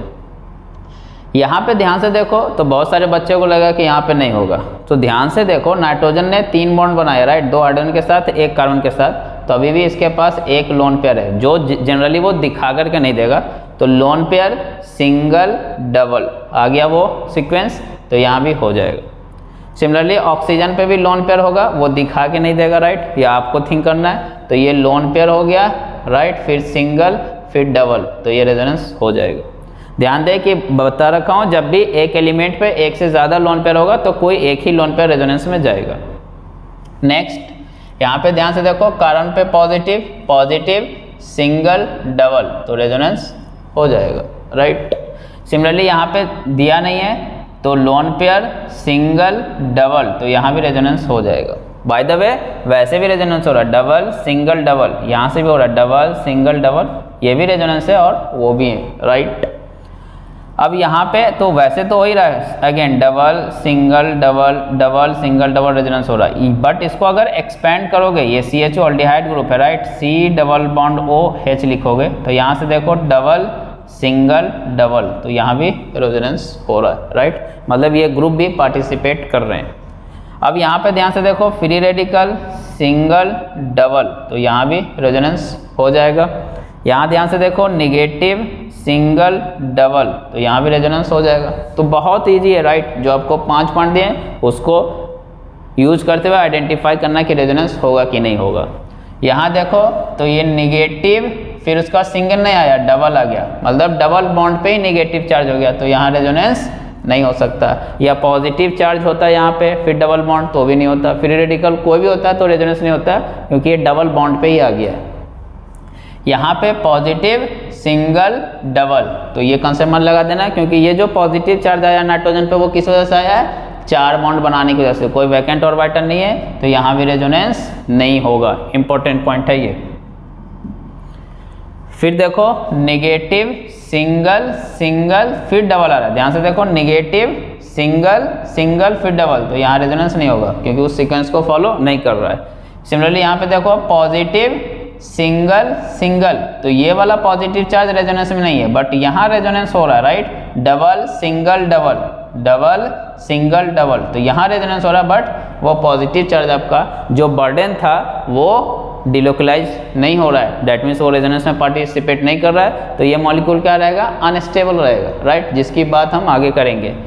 ये वाला अगेन पॉइंट ध्यान से देखो, यहाँ पे बहुत सारे बच्चे को लगेगा रेजोनेंस नहीं होगा, क्योंकि है ही नहीं डबल डबल है राइट पहले ध्यान से देखो कि इसके पास लोन पेयर है और इनके पास भी लोन पेयर है राइट अब कंसेप्ट लगाओ लोन पेयर नो डाउट ये पाइबॉन्ड है तो इसमें एक सिग्मा तो है राइट लोन पेयर सिग्मा और इधर पाइबॉन्ड तो है राइट तो उस कंडीशन को फॉलो कर गया लोन पेयर फिर सिंगल बॉन्ड है, फिर इधर पाई बॉन्ड है राइट तो यहाँ रेजोनेंस हो जाएँगे।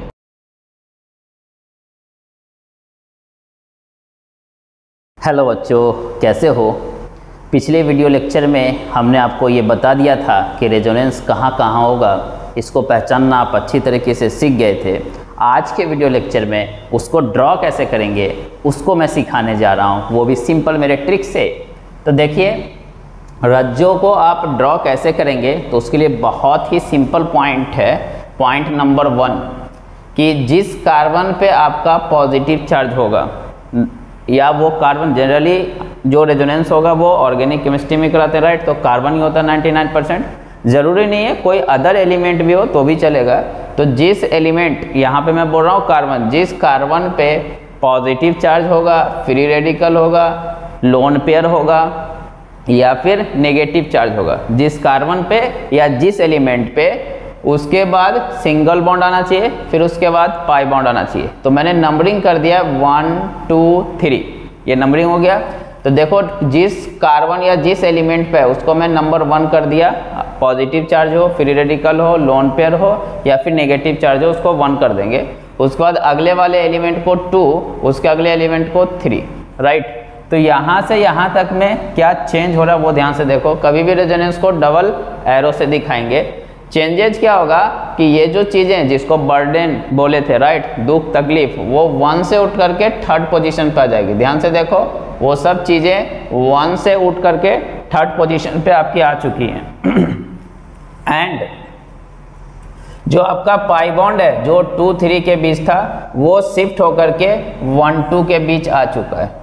तो यहाँ से यहाँ तक के प्रोसेस में क्या चेंज हुआ? ध्यान से देखो ओनली पाई बॉन्ड की पोजीशन शिफ्ट हुई है, या फिर जो आपका बर्डन है, उसका पोजीशन शिफ्ट हुआ है। एटम शिफ्ट नहीं हुए हैं, ना ही सिग्मा बॉन्ड शिफ्ट होते हैं। ये बात को बिल्कुल ध्यान में रखना है। इसलिए पॉइंट नंबर फोर बहुत ही इंपॉर्टेंट कि मैंने इसलिए मैं हिंदी में लिखा हूँ। कभी भी रज्जों में एटम कभी भी रज्जों में एटम या फिर सिग्मा बॉन्ड एटम और सिग्मा बॉन्ड शिफ्ट नहीं होगा।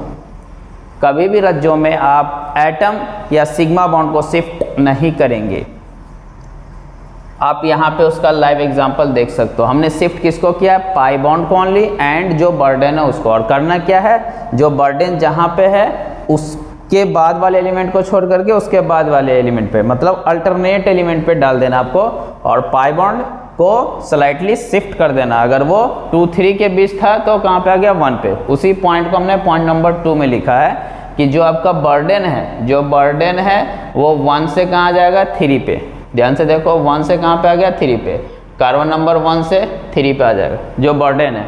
और जो आपका पाई बॉन्ड है डबल बॉन्ड है, वो क्या होगा? जिन दो कार्बन के बीच था पहले टू थ्री के बीच था टू थ्री के, वो कहाँ पे आ जाएगा? वन टू के बीच में आ जाएगा। इंटरचेंज हो गया। एक तरीके से ध्यान से देखो, ये पाई बॉन्ड यहाँ आ गया, ये चीज़ें यहाँ आ गई। इंटरचेंज टाइप बहुत ईजी है। तो ये हो गया। नेक्स्ट अगर इस टाइप का कंजुगेशन हो पॉइंट नंबर थ्री कि डबल सिंगल डबल टाइप का हो तो आपको क्या करना है? एक वेव की तरह शिफ्ट करते जाना है। इसलिए मैंने एरो से दिखाया, ये दोनों पाई बॉन्डेड इलेक्ट्रॉन को मैंने उठा करके यहाँ पटक दिया। और ये दोनों को उठा करके मैंने यहाँ इस कारण पे पटक दिया। तो ध्यान से देखो क्या हो गया। जहाँ से ये उठेगा वहाँ पे क्या हो गया? वैकेंसी क्रिएट हो गई राइट तो इसलिए वहाँ पे आ जाएगा प्लस। उठ कर करके यहाँ पे आया है तो यहाँ पे एक पाई बॉन्ड आ, आ गया आपका। और ये वाला जो पाई बॉन्ड है ये उठ करके इस कारण पे पटक दिया है तो यहाँ पे आ जाएगा निगेटिव। ये बिल्कुल डे टू डे लाइफ से भी कि अगर आदमी स्लाइटली शिफ्ट हो रहा है। तो जहाँ से उठा वो, वहाँ वैकेंसी क्रिएट हुई। जहाँ पे गया, वहाँ पे भरा। और वो आदमी जहाँ से उठा वो अदर जगह, वहाँ पे जगह को भर दिया। तो वैसा ही बिल्कुल यहाँ पे है। एंड लास्ट पॉइंट जो कि अगेन मैंने हिंदी में लिखा है, कि जितने पार्ट में आप रेजोनेंस करा रहे हो एट ए टाइम आपको एक इस टाइप का सिस्टम कंजुगेटेड सिस्टम मिलेगा। तो इतने पार्ट में अगर रेजोनेंस करा रहे तो अगर इस मॉलिक्यूल में और भी पार्ट है तो उसको वैसे का वैसे ही रहने देना, उसमें कुछ छेड़छाड़ नहीं करना है। जितने पार्ट में रज्जो करा रहे हो, उसमें ही चेंज होगा, बाकी जैसा का तैसा रहेगा। तो ये मेरे पॉइंट हो गए, जिसको मैं अब रेजोनेटिंग स्ट्रक्चर ड्रॉ करने में यूज़ करूँगा। तो चलिए अब हम बात करते हैं कि रेजोनेटिंग स्ट्रक्चर को ड्रॉ कैसे करेंगे। तो ध्यान से देखो, मैंने एग्ज़ाम्पल नंबर वन लिया है, जिसमें पॉजिटिव चार्ज आपका कंजुगेशन विथ पाई बॉन्ड है। ध्यान से देखो कैसे पॉजिटिव पॉजिटिव सिंगल डबल उसके बाद फिर आगे भी रेजोनेंस हो रहा है डबल सिंगल डबल तो इसको बोलते हैं कंजुगेशन जो आपको मैंने पाँच पॉइंट दिए थे। अगर वो सीक्वेंस चल रहा है तो वो रेजोनेंस हो रहा है राइट जैसे देखो पॉजिटिव सिंगल डबल फिर डबल, सिंगल, डबल। तो यहाँ से लेकर के यहाँ तक रेजोनेंस होगा। अब कैसे ड्रॉ करेंगे? तो वेरी सिंपल हमने आपको क्या बोला था? जिस पे पॉजिटिव है वन टू थ्री अभी इतने ही पार्ट को अफेक्ट करना है, बाकी को वैसे ही रहने देना है। तो पहले डबल एरो दिखाया। पहले आप सारे सिग्मा वाले बना लो राइट तो कितने कार्बन है? One two three four five six one two three four five six देखो मैंने पहले बना दिया। सिग्मा में कोई छेड़छाड़ नहीं करना है, एटम में कोई छेड़छाड़ नहीं करना है, सिर्फ़ पॉजिटिव या डबल जो बॉन्ड है वही इंटरचेंज होंगे। अब क्या हुआ? ये आपका जो कार्बन नंबर वन था, इसको भी मैं लिख दे रहा हूँ। वन टू थ्री इतना में चेंज कराना है। तो वन वाला पॉजिटिव चार्ज कहाँ पे आ जाएगा आपका? थ्री पे। और ये जो टू थ्री के बीच का डबल बॉन्ड था, वो कहाँ पे आ जाएगा? वन टू के बीच। ये चेंज हो गए। बाकी को चेंज नहीं करना है, क्योंकि ये वैसा का वैसा ही रहेगा। ध्यान से देखो। समझ गए? अब आगे क्या होगा? तो आगे फिर से रेजोनेंस हो सकता है राइट कैसे? पॉजिटिव सिंगल डबल तो फिर इसको लेके जाना है। तो अगेन आप चेंज किसमें कर रहे हो? उसको मैं अलग नंबर से लिख रहा हूँ। ए बी सी से। इसमें चेंजेस करने जा रहे हैं। तो बाकी चीज़ को वैसे ही रखना है। तो पहले आप ड्रॉ कर दो। One two three four five six और जो पहले जैसा था वैसे ही रहने दो। यहाँ पे आपका पाइवॉन्ट था ही राइट तो यहाँ पे पाइवॉन्ट को रहने दो। चेंज किया हुआ है इसको मैं नंबर कर दे रहा हूँ A B C A B C में क्या चेंज हुआ है? कि ए का पॉजिटिव चार्ज आप सी पे चला जाएगा और बी सी के बीच का डबल बॉन्ड ए बी के बीच आ जाएगा। तो ये ड्रॉ हो गया। क्योंकि अब इस चीज़ को, ये डबल एरो क्यों दिखाया क्योंकि इसको अगर मैं बैक करूँगा तो ये बन जाएगा। और इसको अगर बैक करूँगा तो ये बन जाएगा ये सब एक दूसरे में इंटर कन्वर्टेबल है। तो इसके तीन आर एस हो गए राइट जो आपने गिवन है क्वेश्चन में, वो भी एक रेजोनेटिंग स्ट्रक्चर है और बाकी दो जो हमने बनाया तो ये तीन आर एस बने। जितना ज़्यादा रेजोनेटिंग स्ट्रक्चर बनेगा, उतना ज़्यादा स्टेबिलिटी होगा। क्यों? क्योंकि आपको बताया था पॉजिटिव चार्ज क्या है? बर्डन तो जितने लोग इसको शेयर करेंगे, उतना स्टेबिलिटी बढ़ेगा। तो यहाँ से एक प्रॉपर फीलिंग आ रही होगी आपको। आप इस बात को समझोगे, क्या हुआ? कि ये जो पॉजिटिव चार्ज है, जो कार्बन नंबर टू पे था, अगर मैं इधर से नंबरिंग करूँ तो वो थ्री पे भी टू पे जो था, उसको नंबरिंग करके समझाता हूँ। One two three four five six तो जो टू पे था वो फोर पे भी जा सकता है और सिक्स पे भी जा सकता है। तो एक तरह से बर्डन क्या हो गया? धीरे धीरे डिस्ट्रीब्यूट हो गया है। इसलिए मॉलिक्यूल की स्टेबिलिटी या इंटरमीडिएट की स्टेबिलिटी क्या हो जाएगी? बढ़ जाएगी। चलिए हम टू की बात करते हैं। तो टू में ध्यान से देखो तो डबल सिंगल डबल ये भी रेजोनेंस में है, लेकिन मेनली हम positive charge negative charge lone pair free radical इन सबको बर्डन मान रहे राइट और ये सबको हमें डिलोकलाइज करना है। तो यहाँ पे ये लोन पेयर आपका क्या होगा? अगर इस टाइप से देखा है तो ये लोन पेयर उठ करके अगर यहाँ पे आएगा तो ये डबल बॉन्ड उठ कर करके आपका यहाँ पे आ जाएगा राइट तो वही सेम पॉइंट है वन टू थ्री जो चेंज करना है वो वन टू थ्री में करना आपको। बाकी चीज़ को वैसे ही ड्रॉ कर देना है। तो पहले सारे देखो मैंने सिग्मा स्केलेटन बना दिया। पहले सारे सिग्मा को ड्रॉ कर दिया। उसमें कोई छेड़छाड़ नहीं करना है एटम में कोई छेड़छाड़ नहीं करना ये। अब चेंजेज कहाँ से कहाँ तक मोड़ तो वो यहाँ से लेकर के आपका यहाँ तक मोड़ है। तो बाकी चीज़ को वैसे ही दिखा दो तो इधर कुछ नहीं किया हमने, इधर कुछ नहीं किया हमने। चेंजेज क्या हुआ? इसका लोन पे अब यहाँ पे आ गया। तो यहाँ पे मैंने पाई बॉन्ड बना दिया। और ये जो दो पाई बॉन्ड थे, ये वाले, ये उठ करके यहाँ पे आ गए। तो यहाँ पे आ गए तो क्या हो गया? निगेटिव और ये इसने दे दिया तो इसका क्या हो गया? डोनर आइटम पॉजिटिव और अगर नहीं समझ में आ रहा तो ऐसे ही समझ सकते हो। पहले ये मॉलिक्यूल आपका कैसा था? न्यूट्रल इस पर कोई चार्ज नहीं था। तो उस, अगर ये न्यूट्रल है तो इसका जितना भी रेजोनेटिंग स्ट्रक्चर बनाओगे, सब ओवरऑल न्यूट्रल होना चाहिए। तो आप देख सकते हो पॉजिटिव नेगेटिव मिलके क्या हो जाएँगे? कैंसिल हो जाएँगे राइट तो इससे भी आप पहचान सकते हो। तो ये भी एक बहुत इंपॉर्टेंट पॉइंट है रेजोनेंस में, कि आपका पहला जो गिवन कंपाउंड है, उस पर जैसा चार्ज होगा, वही throughout the resonating structure आपको फॉलो करना है। उसके बाद आप ध्यान से देखो, फिर से रेजोनेंस की कंडीशन बन गई। कैसे? निगेटिव सिंगल डबल तो आप क्या करेंगे? इस नेगेटिव को यहाँ पटक देंगे और इस डबल बॉन्ड को यहाँ पटक देना है। तो ध्यान से देखो चेंजेज फिर कहाँ से कहाँ तक में होगा यही तीन कार्बन में राइट तो बाकी चीज़ को वैसे ही रहने देना है। तो ध्यान से देखो, पहले मैं क्या किया? पहले मैं क्या किया? पूरा सिग्मा स्केलेटन बना दिया। ध्यान से देखो नाइट्रोजन एच टू हमारा जो अफेक्टेड वाला पार्ट है वो कौन सा है? ये वाला, ये। राइट तो इधर कुछ नहीं किया तो वैसे ही रहने देता हूँ। इधर कुछ नहीं किया, वैसे ही रहने देता हूँ। यहाँ पे प्लस था, क्योंकि नाइट्रोजन ने चार बॉन्ड बनाया। राइट तो वैसा ही छोड़ दिया। इतना पार्ट में हो रहा है। तो इतने पार्ट में हो रहा है तो क्या हो गया कि यहाँ पे आप पाई बॉन्ड आ गया।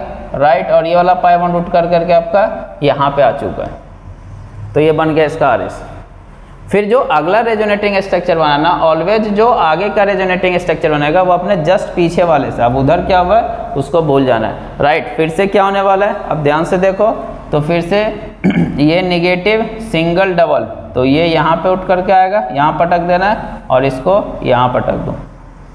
तो अगेन जो अफेक्टेड पार्ट है, उसको मैं रेड से दिखा रहा हूँ। जो अफेक्टेड है, बस उसमें ही चेंज करना, बाकी को वैसे ही रह देना है। तो देखो, बाकी मैं कोई छेड़छाड़ नहीं कर रहा हूँ मैं। पहले सारे सिग्मा बॉन्ड को मैं ड्रॉ कर लेता हूँ। ये सबसे बेस्ट वे है ड्राइंग का। पहले सारे सिग्मा को ड्रॉ कर लिया। उसके बाद चेंजेज कहाँ से कहाँ तक में, उसको मैंने रेड कलर से दिखाया, यहाँ तक में। तो बाकी जो चीज़ जैसे है, वैसे ही रहने दो। उसमें छेड़छाड़ नहीं करो। आपका जो चेंजेज वाला पार्ट है वो यहाँ से यहाँ तक में। यहाँ से यहाँ तक में क्या हो गया कि यहाँ पे पाइबॉन्ड आ गया और यहाँ पे आपका निगेटिव चार्ज आ गया। दैट मीन्स दो इलेक्ट्रॉन है। ये क्या है? दो इलेक्ट्रॉन है आपके पास। फिर से रेजोनेंस की कंडीशन बन रही है। कैसे? देखो निगेटिव सिंगल डबल तो अगेन क्या करना है? इसको उठा करके यहाँ पटक देना और इसको उठा कर करके यहाँ पटक देना है। तो इसको मैं बना लेता हूँ अब। तो पहले मैं क्या करूँगा? सारे सिग्मा स्केलेटन से ड्रॉ कर दूँगा राइट ये सिग्मा वाले हमने बना दिया। अब ध्यान से देखो तो अफेक्टेड पार्ट आपका कौन सा है? डॉटर से मैं दिखा रहा हूँ, यहाँ से लेकर के यहाँ तक। तो इसीलिए बाकी चीज़ में कोई छेड़छाड़ नहीं करना है तो ये यहाँ था, वैसे ही कर दिया, ये जहाँ था, वैसे ही। इतना पार्ट में अफेक्ट अफेक्टेड हुआ है। और कैसे हुआ है? तो यहाँ पे एक पाइबॉन्ड आपका आ चुका है राइट ये पाइबॉन्ड शिफ्ट होकर के तो यहाँ पे आपका लोन पर आ चुका है। और पॉजिटिव नेगेटिव क्या हो गए? कैंसिल हो गए। तो आप देख सकते हो throughout the resonating structure इसके जितने भी आरएस हमने बनाए, चूँकि पहले आपका ये एनिलीन एक न्यूट्रल कंपाउंड था तो ओवरऑल सारे रेजोनेटिंग स्ट्रक्चर न्यूट्रल होना चाहिए। तो इसलिए यहाँ पॉजिटिव नेगेटिव यहाँ भी पॉजिटिव नेगेटिव यहाँ भी पॉजिटिव नेगेटिव और यहाँ फिर से न्यूट्रल तो कभी कभी हम ऐसे ही पहचान सकते हैं कि ये दोनों एक दूसरे के रेजोनेटिंग स्ट्रक्चर है कि नहीं।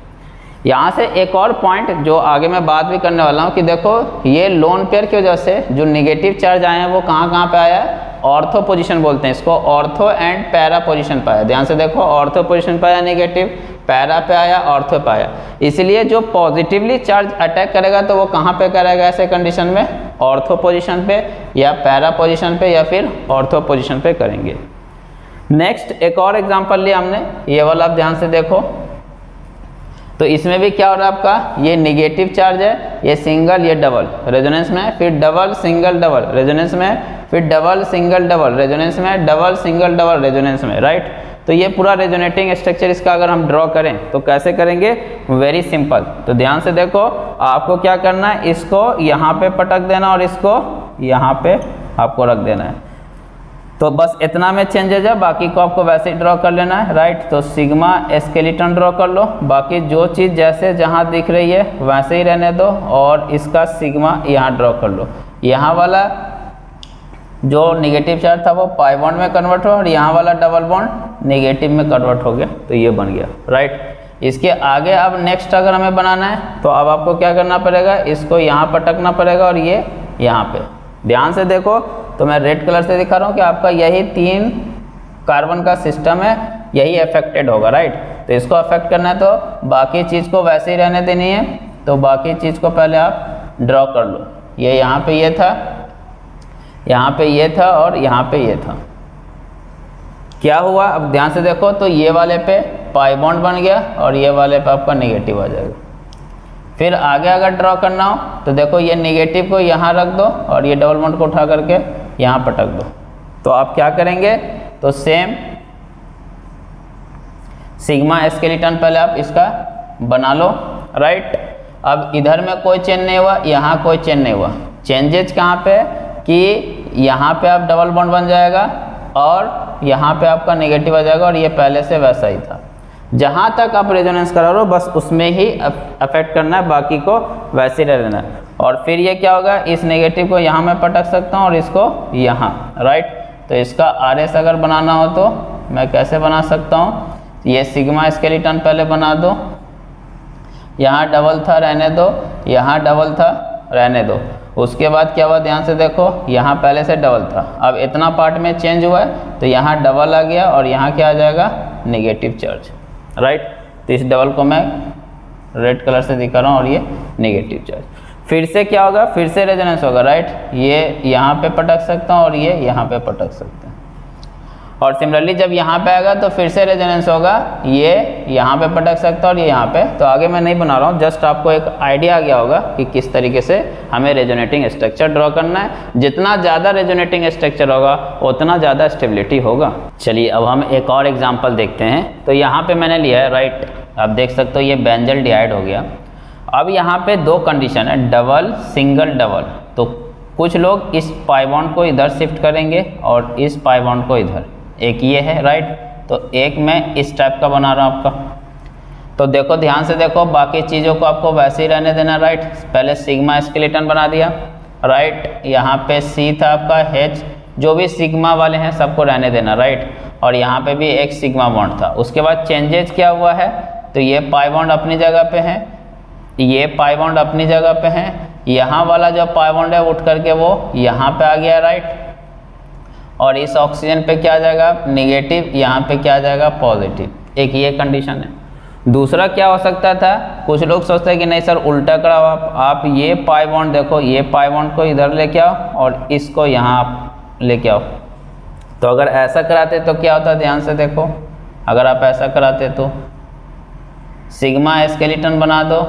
C H double bond O की जगह भी सिग्मा वाले सिंगल बॉन्ड हमने ड्रॉ कर दिया।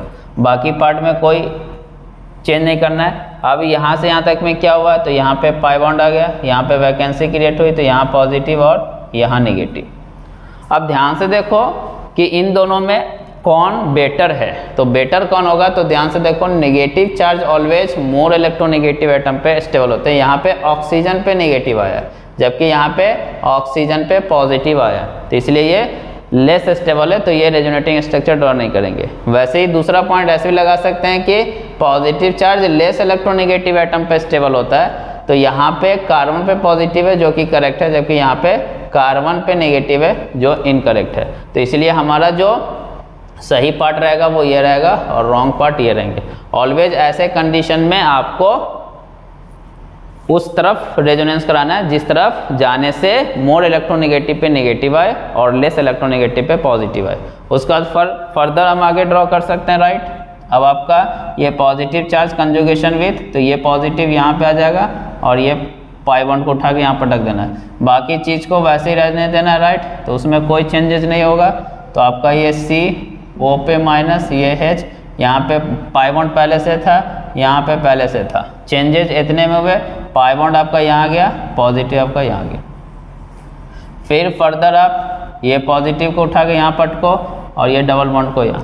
तो जितने में चेंज हो रहा है, उतने ही को ड्रॉ करना है राइट बाकी को वैसे ही रहने देना है।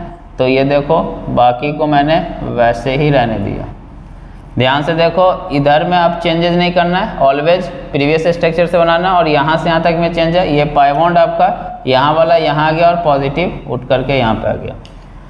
फिर से फर्दर हो सकता है राइट ये पॉजिटिव यहाँ आ जाए और ये यहाँ चला जाए। तो आप ध्यान से देखो तो आपको क्या करना पड़ेगा? पहले सारे सिग्मा वाले को ड्रॉ कर लेना राइट इस पाइबॉन्ड में कोई चेंज नहीं हुआ। यहाँ पे आप कोई चेंज नहीं होगा।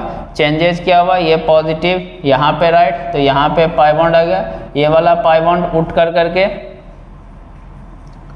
आपका कहाँ पे चलाएगा इस कार्बन पे। इस पे पहले से नेगेटिव था। तो यहाँ पे आ जाएगा आपका। ध्यान से देखो। और उसके बाद, ध्यान से देखो तो पॉजिटिव सिंगल और ये लोन पेयर या निगेटिव चार्ज तो यहाँ भी रेजोनेंस हो जाएँगे। तो एक और आपको ड्रॉ करना पड़ेगा।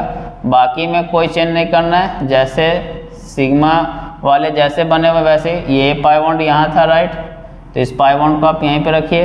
ये यहीं पे था, ये यहाँ पे था। चेंजेज क्या हुआ है वो ध्यान से देखो। कि ये जो आपका ऑक्सीजन वाला है, यहाँ पे आप डबल बॉन्ड बन गया और चार्ज बैलेंस हो चुका है। तो ध्यान से देखो कि किस तरीके से मैं ड्रॉ कर रहा हूँ। सिग्मा बॉन्ड को मैं शिफ्ट नहीं कर रहा हूँ एटम को शिफ्ट नहीं कर रहा हूँ। सिर्फ़ जो पाई बॉन्ड है या फिर जो निगेटिव पॉजिटिव चार्ज है, उसको शिफ्ट कर रहा हूँ। अब ये सब क्या हो गया आपका रेजोनेटिंग स्ट्रक्चर इन सबको मिला करके डेट मीन्स इनको इनको इनको, इन सब के कंट्रीब्यूशन से एक स्ट्रक्चर बनेगा, क्योंकि ये जितना भी हमने बनाया, ये सब क्या? है हाइपोथेटिकल है ध्यान दें कि ये स्ट्रक्चर और ये स्ट्रक्चर सेम नहीं है। क्यों? क्योंकि इसमें रिंग में पाई बॉन्ड की पोजीशन चेंज है। तो कोई आपसे पूछ सकता है कितने इसके आर एस बनेंगे? तो one two three four five six six resonating structure है। तो डेट मीन्स उतना ज़्यादा स्टेबल होगा ये। अब ये सब रेजोनेटिंग स्ट्रक्चर है, ये सब हाइपोथेटिकल है, ये हमने एज्यूम करके बनाया है, लेकिन एक्चुअल में क्या एग्जिस्ट होता है? तो आपको बताया था रेजोनेंस हाइब्रिड और वो कैसे बनाएँगे? तो वो एक ही बनाएँगे राइट पहले सारे सिग्मा को मैं ड्रॉ करके बता दे रहा हूँ, आपको सिग्मा सारा ड्रॉ करके हमने बता दिया। पहले ये सिग्मा स्केलेटन बना लेना। उसके बाद आपको देखना है कि क्या क्या हो रहा है। तो अगर आप ध्यान से देखो तो पूरे स्ट्रक्चर में आपको देखना है कि वो पाइबॉन्ड क्या हो रहा है। तो देखो पाइबॉन्ड हर जगह पे। पहले यहाँ पे पाइबॉन्ड था तो पार्शियल डबल बॉन्ड ऐसे दिखाएँगे। यहाँ पे था। क्या यहाँ पे था किसी स्ट्रक्चर में? यस यहाँ पे है। तो यहाँ पे भी पाइबॉन्ड था तो ऐसे। क्या यहाँ पे था? तो यस पहले वाले स्ट्रक्चर में था। तो आपको यहाँ पे भी दिखाना है कि पाइबॉन्ड यहाँ पे भी था। क्या यहाँ पे कभी आया? यस यहाँ दिख रहा है। तो जहाँ जहाँ जा सकता है। क्या यहाँ पे कभी था? यस पहले वाले में था राइट तो यहाँ पे भी दिखाना क्या यहाँ पे था? इस जगह पे, कहीं पे? यस इस वाले में राइट तो यहाँ पे भी पाइबॉन्ड था। क्या यहाँ पे था? तो यहाँ पे राइट दिख रहा है तो यहाँ पे। क्या यहाँ पे कभी था? यस था कभी? यस यहाँ पे राइट तो ये आ गया तो ये इस तरीके से आपको बनाना है राइट तो इसको क्या बोलेंगे? Resonance resonance hybrid. यही आपका रेजोनेंस हाइब्रिड इससे सब कुछ पता लगता है कि ये मॉलिक्यूल के बारे में, इसलिए ये रियल हैं, ये सब क्या है? हाइपोथेटिकल है। ओके और कैसे बनाया? तो पूरा सिग्मा को आप ड्रॉ कर दो, उसमें कोई छेड़छाड़ मत करो, और उसके बाद आप सारे स्ट्रक्चर को देखो कि आपका पाइबॉन्ड या चार्ज किस तरीके से कहाँ कहाँ पे था। जहाँ जहाँ पे था, वहाँ पे पार्शल ड्रॉ करते हुए चला जाना। है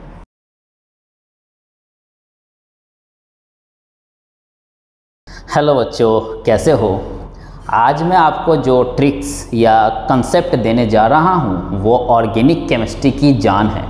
डैट मीन्स ये बहुत ही इंपॉर्टेंट कंसेप्ट है या ट्रिक्स है, क्योंकि 50 परसेंट ऑर्गेनिक केमिस्ट्री इसी कंसेप्ट या ट्रिक्स पे बेस्ड है। तो इसलिए हम इसको बहुत अच्छे से समझेंगे और बहुत आसानी से भी वाया रफीसर ट्रिक्स तो we are going to talk about mesomeric effect ये रेजोनेंस का एक पार्ट है। रेजोनेंस का कंसेप्ट लगेगा।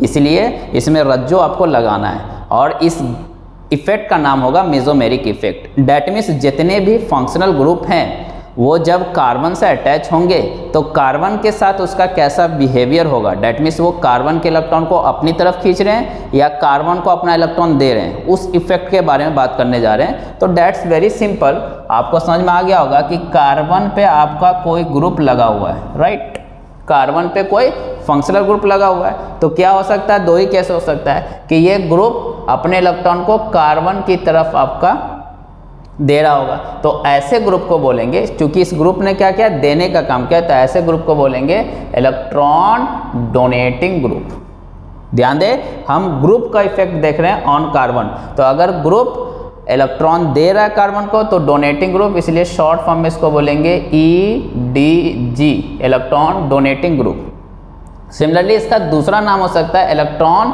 रिलीजिंग ग्रुप क्योंकि ये रिलीज़ कर रहा है। तो इलेक्ट्रॉन रिलीजिंग ग्रुप और शॉर्ट फॉर्म में इसको बोलेंगे ई आर जी ओके इसका एक और नाम हो सकता है प्लस एम प्लस साइन यहाँ पे क्या रिप्रेजेंट कर रहा है? डोनर है ये राइट रिच पर्सन है डोनर है ये, क्योंकि डोनेट कर रहा है। या प्लस आर मतलब रेजोनेंस तो इसका बहुत सारा नाम हो सकता है। Electron donating group, electron releasing group, plus M group, plus R group, okay?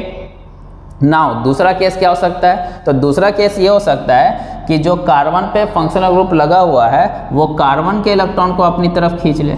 Group electron को अपनी तरफ़ खींच ले। तो इस ग्रुप का क्या इफ़ेक्ट हुआ? खींच रहा है, कर्ज ले रहा है। तो इसलिए इसको क्या बोलेंगे? एक्सेप्टिंग ग्रुप क्या बोलेंगे? Electron accepting group E A G short form में।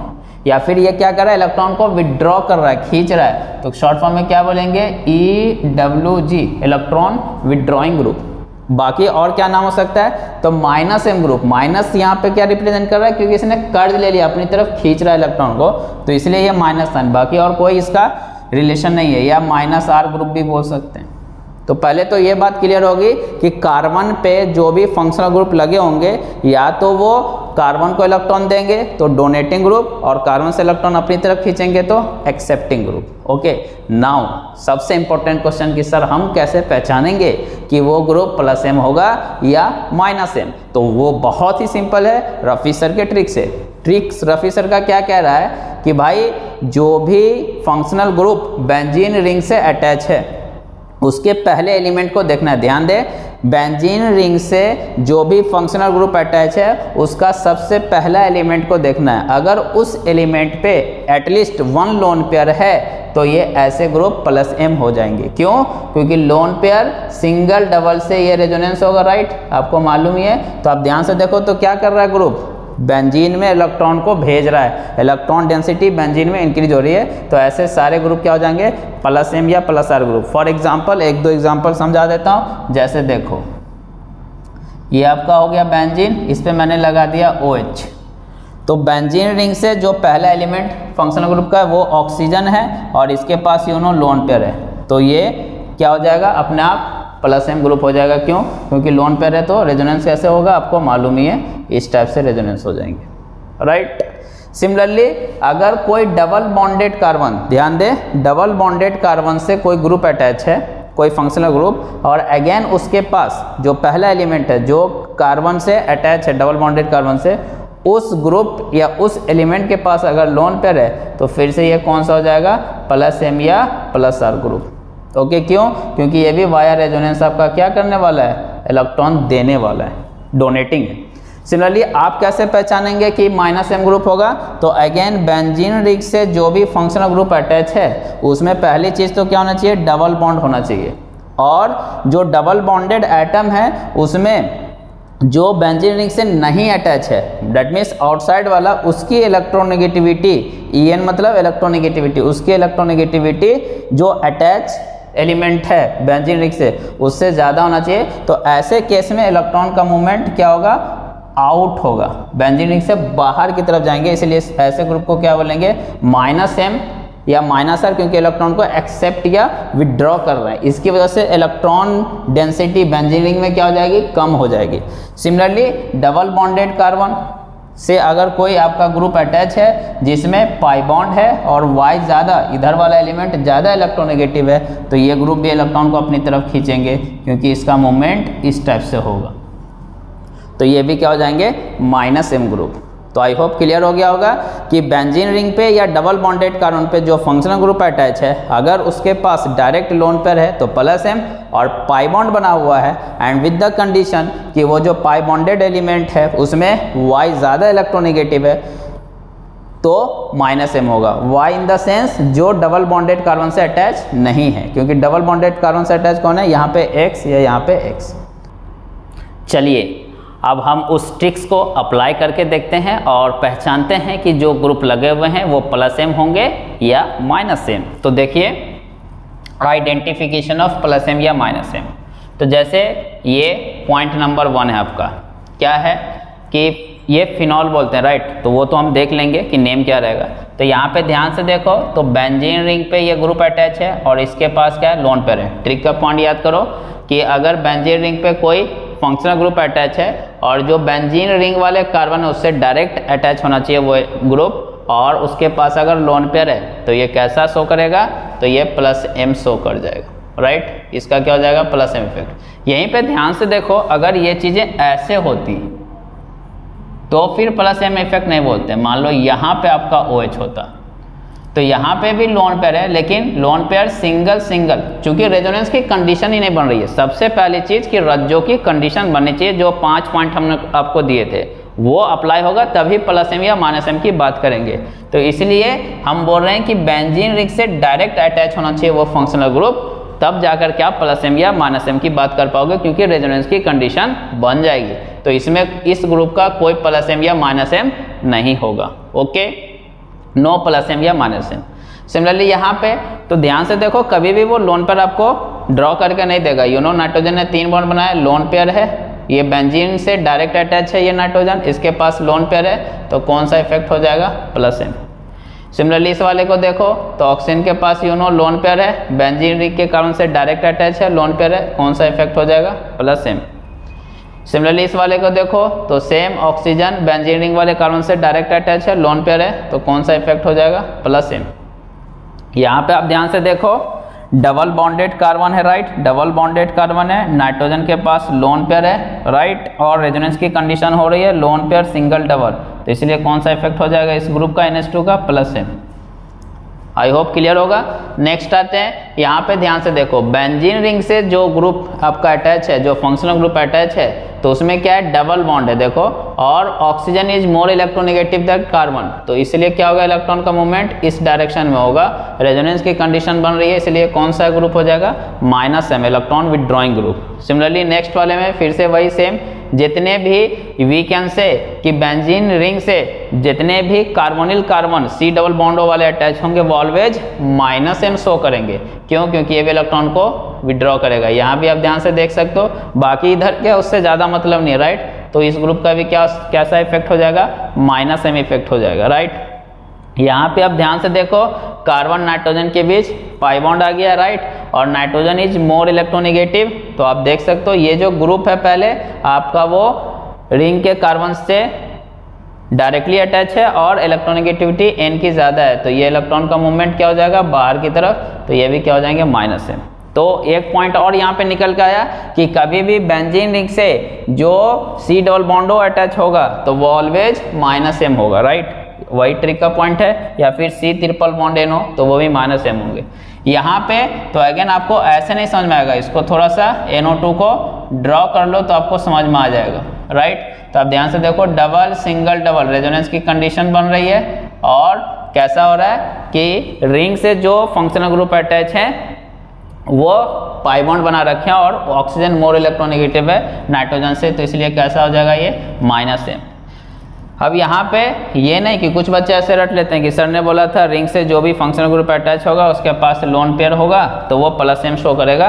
तो आप ऐसा नहीं कि इसको प्लस एम लिख देंगे, गलत हो जाएगा। रीज़न क्योंकि यहाँ पे रेजोनेंस की कंडीशन ही नहीं बनी। ध्यान से देखो लोन पेयर सिंगल सिंगल जब तक रेजोनेंस रज्जो नहीं होगा यू कांट से कि प्लस एम होगा कि माइनस एम होगा। वो लगा ही नहीं सकते। तो यहाँ पे no effect right plus M या माइनस एम बात नहीं कर सकते।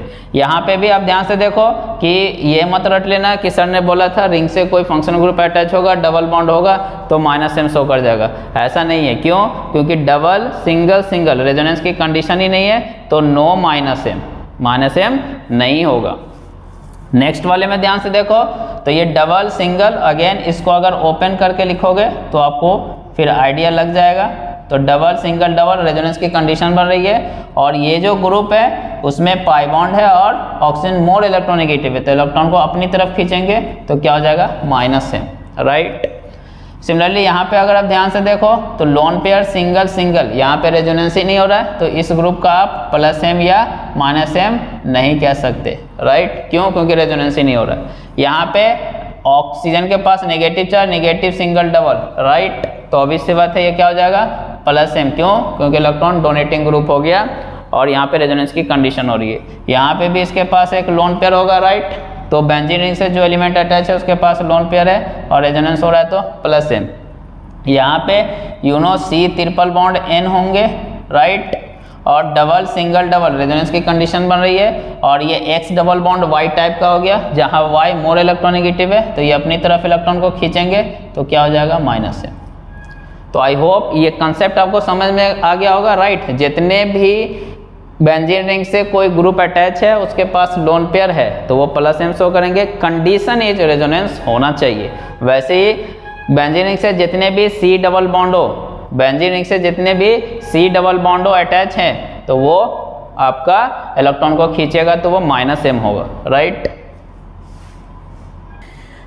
चलिए अब हम बात करते हैं प्लस एम और माइनस एम का एनालिसिस की। राइट और बहुत इंपॉर्टेंट है। यही कंसेप्ट को आपको समझना है। तो एक मैंने प्लस एम वाला लिया है। क्यों? क्योंकि बेंजीन रिंग से ये ग्रुप अटैच है और इसके पास लोन पेयर है। राइट और रेजोनेंस की कंडीशन आपकी बन रही है। तो ये कैसे ग्रुप है आपके? Plus M. तो इसका मैंने रेजोनेटिंग स्ट्रक्चर ड्रॉ कर लिया पहले से। राइट आपको कैसे ड्रॉ करना है, ये ऑलरेडी वीडियो लेक्चर में बता रखा हूँ। तो मैं यहाँ पे क्या समझाना चाह रहा हूँ कि ध्यान से देखो, बस दो मिनट में आपका लूँगा, ये चीज़ आपको समझ में आ गई तो पूरी ऑर्गेनिक आपको मज़ा आएगा। कि अगर मैं इन जनरल ले रहा हूँ, ये नहीं कि NH2 के केस में होगा, कोई भी प्लस एम ग्रुप होगा तो वो कर क्या रहा है?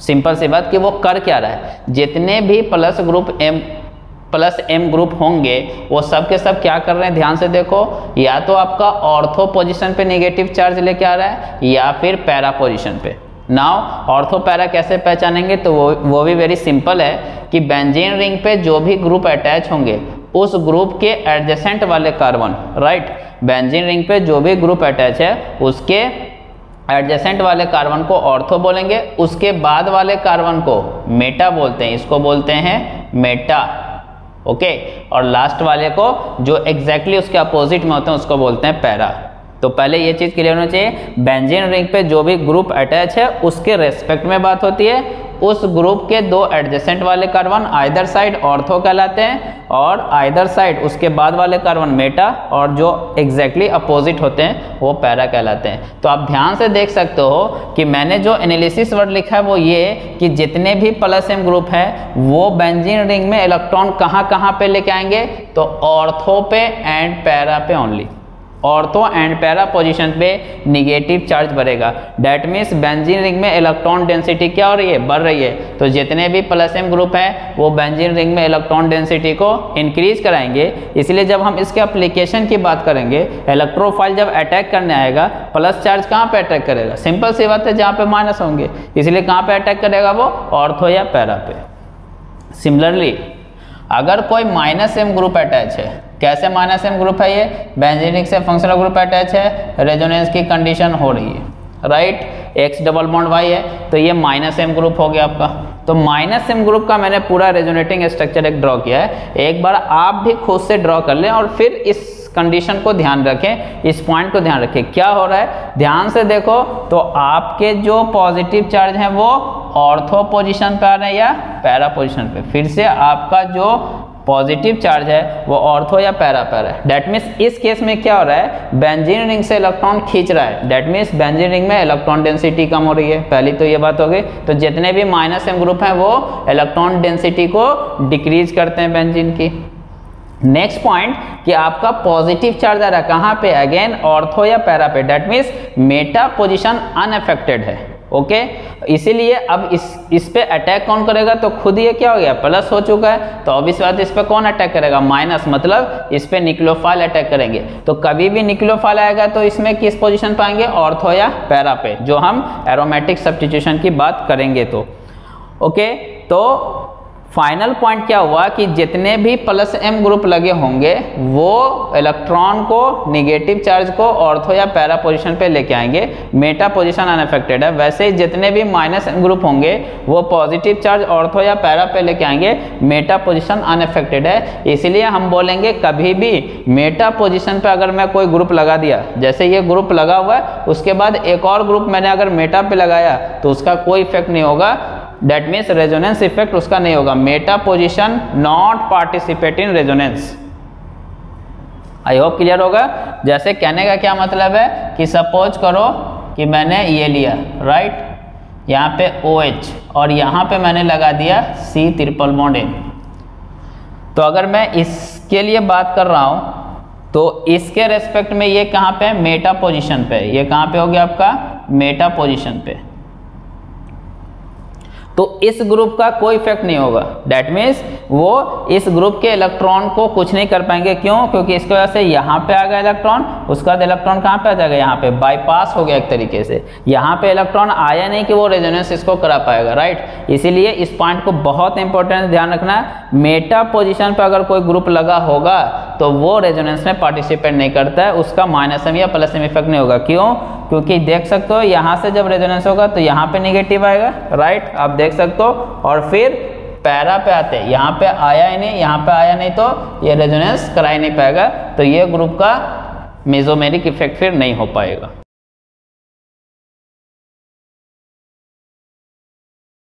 हेलो बच्चों, कैसे हो? आज हम लोग बात करेंगे परमानेंट इफ़ेक्ट में last effect that is hyperconjugation के बारे में। तो देखो हाइपर कंजुगेशन को प्यार से लोग बेकर नाथन इफ़ेक्ट भी बोलते हैं। हाइपर कंजुगेशन को बेकर नाथन इफ़ेक्ट के नाम से बुलाएँगे। नो बॉन्ड रेजोनेंस भी बोल सकते हैं या फिर सिग्मा पाई इफ़ेक्ट तो हाइपर कंजुगेशन के चार नेम हो गए। Hyperconjugation Baker Nathan effect no bond resonance sigma pi effect सब एक ही बात है। ओके ये तो हो गया किताब का ज्ञान। हाइपर कंजुगेशन को मैं प्यार से क्या बुलाता हूँ? हाइपर कंजुगेशन को मैं प्यार से बोलूँगा हाई क्रश देखो, उस सज्जन को देखो। करश का नाम आते ही जाग गए। बेटा, थोड़ा पढ़ लो तो लोगों के करश बन जाओगे। नहीं पढ़ोगे तो समझ रहे हो ना? करश तो जाओगे। समझ गए होगे? तो देखो देखो, ये चीज़ें जो मैं जोड़ रहा हूँ, ये प्रॉपर फीलिंग दिलाने के लिए ओके हवा में बातें नहीं होनी चाहिए। एकदम कंसेप्चुअल बातें हो रही है कि मैं क्यों इसको हाइपर कंजुगेशन को हाई क्रस बोल रहा हूँ, ताकि इस चैप्टर की, इस कंसेप्ट की आपको फीलिंग आ जाए। कैसे? ध्यान से देखो। क्रश का यहाँ पे रिलेट करने का मतलब क्या है कि जिस कार्बन पे पॉजिटिव चार्ज होगा, जिस कार्बन पे पॉजिटिव चार्ज होगा, जिस कार्बन पे फ्री रेडिकल होगा या जिस कार्बन पे डबल बॉन्ड होंगे। ध्यान से देखो, जो कार्बन डबल बॉन्ड बना रखा होगा या जिस कार्बन पे पॉजिटिव चार्ज होंगे या जिस कार्बन पे फ्री रेडिकल होगा, ये क्रश वाला बंदा हो गया। ओके? कौन हो गए? क्रश वाले बंदे। और इससे जो अटैच होंगे, वो उनके क्रश हो गए। राइट तो ट्रिक का पॉइंट क्या है? कि जिस कार्बन पे डबल बॉन्ड या प्लस चार्ज या फ्री रेडिकल होगा, वो क्रश वाला बंदा हो गया। उससे जो कार्बन अटैच होंगे, वो उसकी क्रश होगी राइट और उसका नाम, उस क्रश का नाम उसने प्यार से क्या रखा है? अल्फ़ा कार्बन क्या रखा है? अल्फ़ा कार्बन अब तुम ही सोचो कि जो क्रश वाला बंदा क्या चाहेगा कि जो अल्फ़ा कार्बन होना चाहिए, वो क्या होना चाहिए? सिंगल होनी चाहिए कि नहीं? सिंगल का यहाँ पे क्या मतलब है? Sp3 हाइब्रिडेशन तो पहला point that is very very important कि alpha carbon should be sp3 hybridise that means वो सिंगल होनी चाहिए। ओके और जो करस की फ्रेंड है करस की जो फ्रेंड है, उसका नाम उसने प्यार से क्या रखा है? अल्फ़ा हाइड्रोजन आप सोचो डे टू डे लाइफ में क्या होता है? जैसे ध्यान से देखो, इस कार्बन पे, ये जो कार्बन है आपका, इस पे आइदर प्लस चार्ज होगा या फिर सिंगल इलेक्ट्रॉन होंगे फ्री इलेक्ट्रॉन तो ये ये जो बंदा होगा ये क्रश वाला बंदा हो गया. ये जो कार्बन है आपका, ये, जो इससे डायरेक्टली कनेक्टेड है, ये उसकी क्रश हो गई. ये भी कार्बन उसका क्रश हो गया राइट ये कार्बन भी उसके क्रश हो गए. आप प्रैक्टिकली फील करो राइट अब ये क्रश हो गए तो ये बंदा क्या चाह रहा होगा कि ये पहले तो सिंगल होनी चाहिए right that mean S P three तो एस पी थ्री है, सारे सिंगल बॉन्ड है। दूसरा ये बंदा और क्या चाह रहा होगा कि इसके ज़्यादा से ज़्यादा क्या होना चाहिए? फ्रेंड होना चाहिए। क्यों?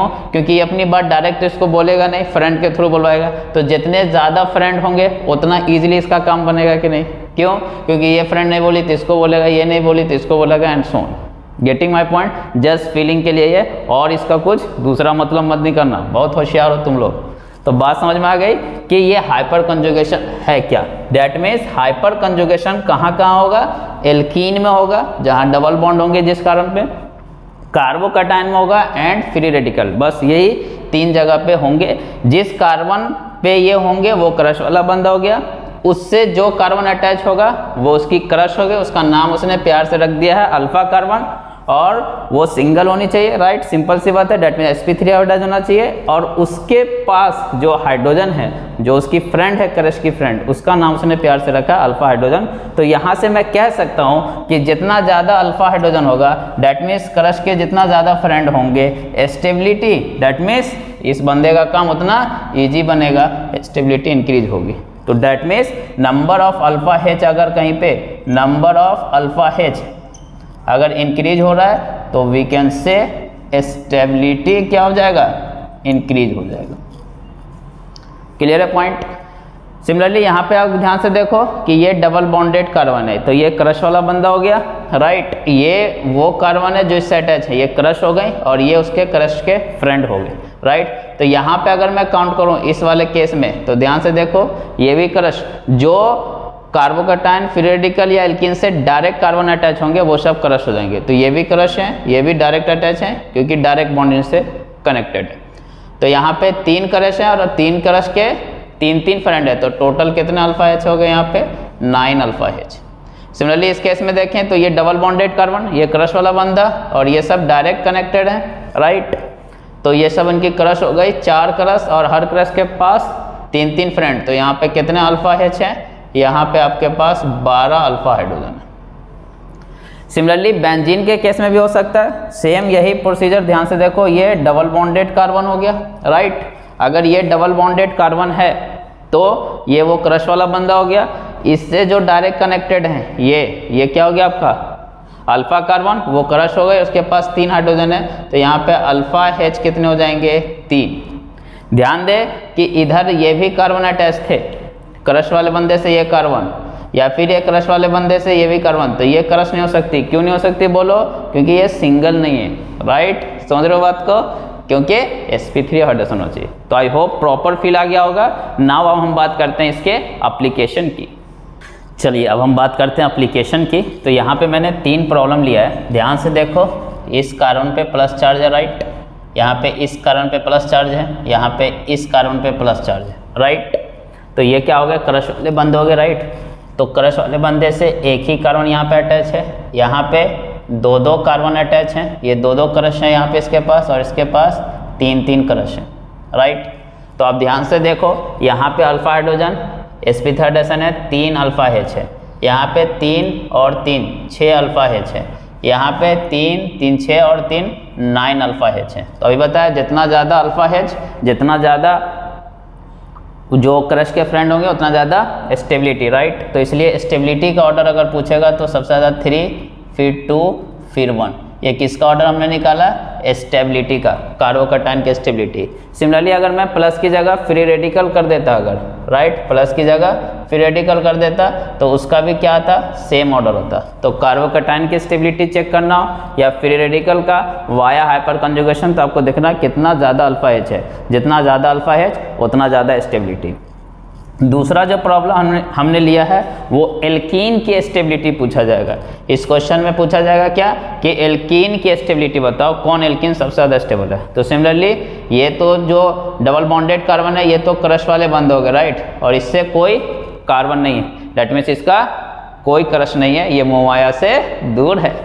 अब यहाँ पे देखो, ये क्रश वाले बंद हो गए, इससे ये कार्बन अटैच है, और सिंगल है तो ये क्रश हो गई उसकी राइट तीन हाइड्रोजन तो यहाँ पे तीन अल्फ़ा हेच है।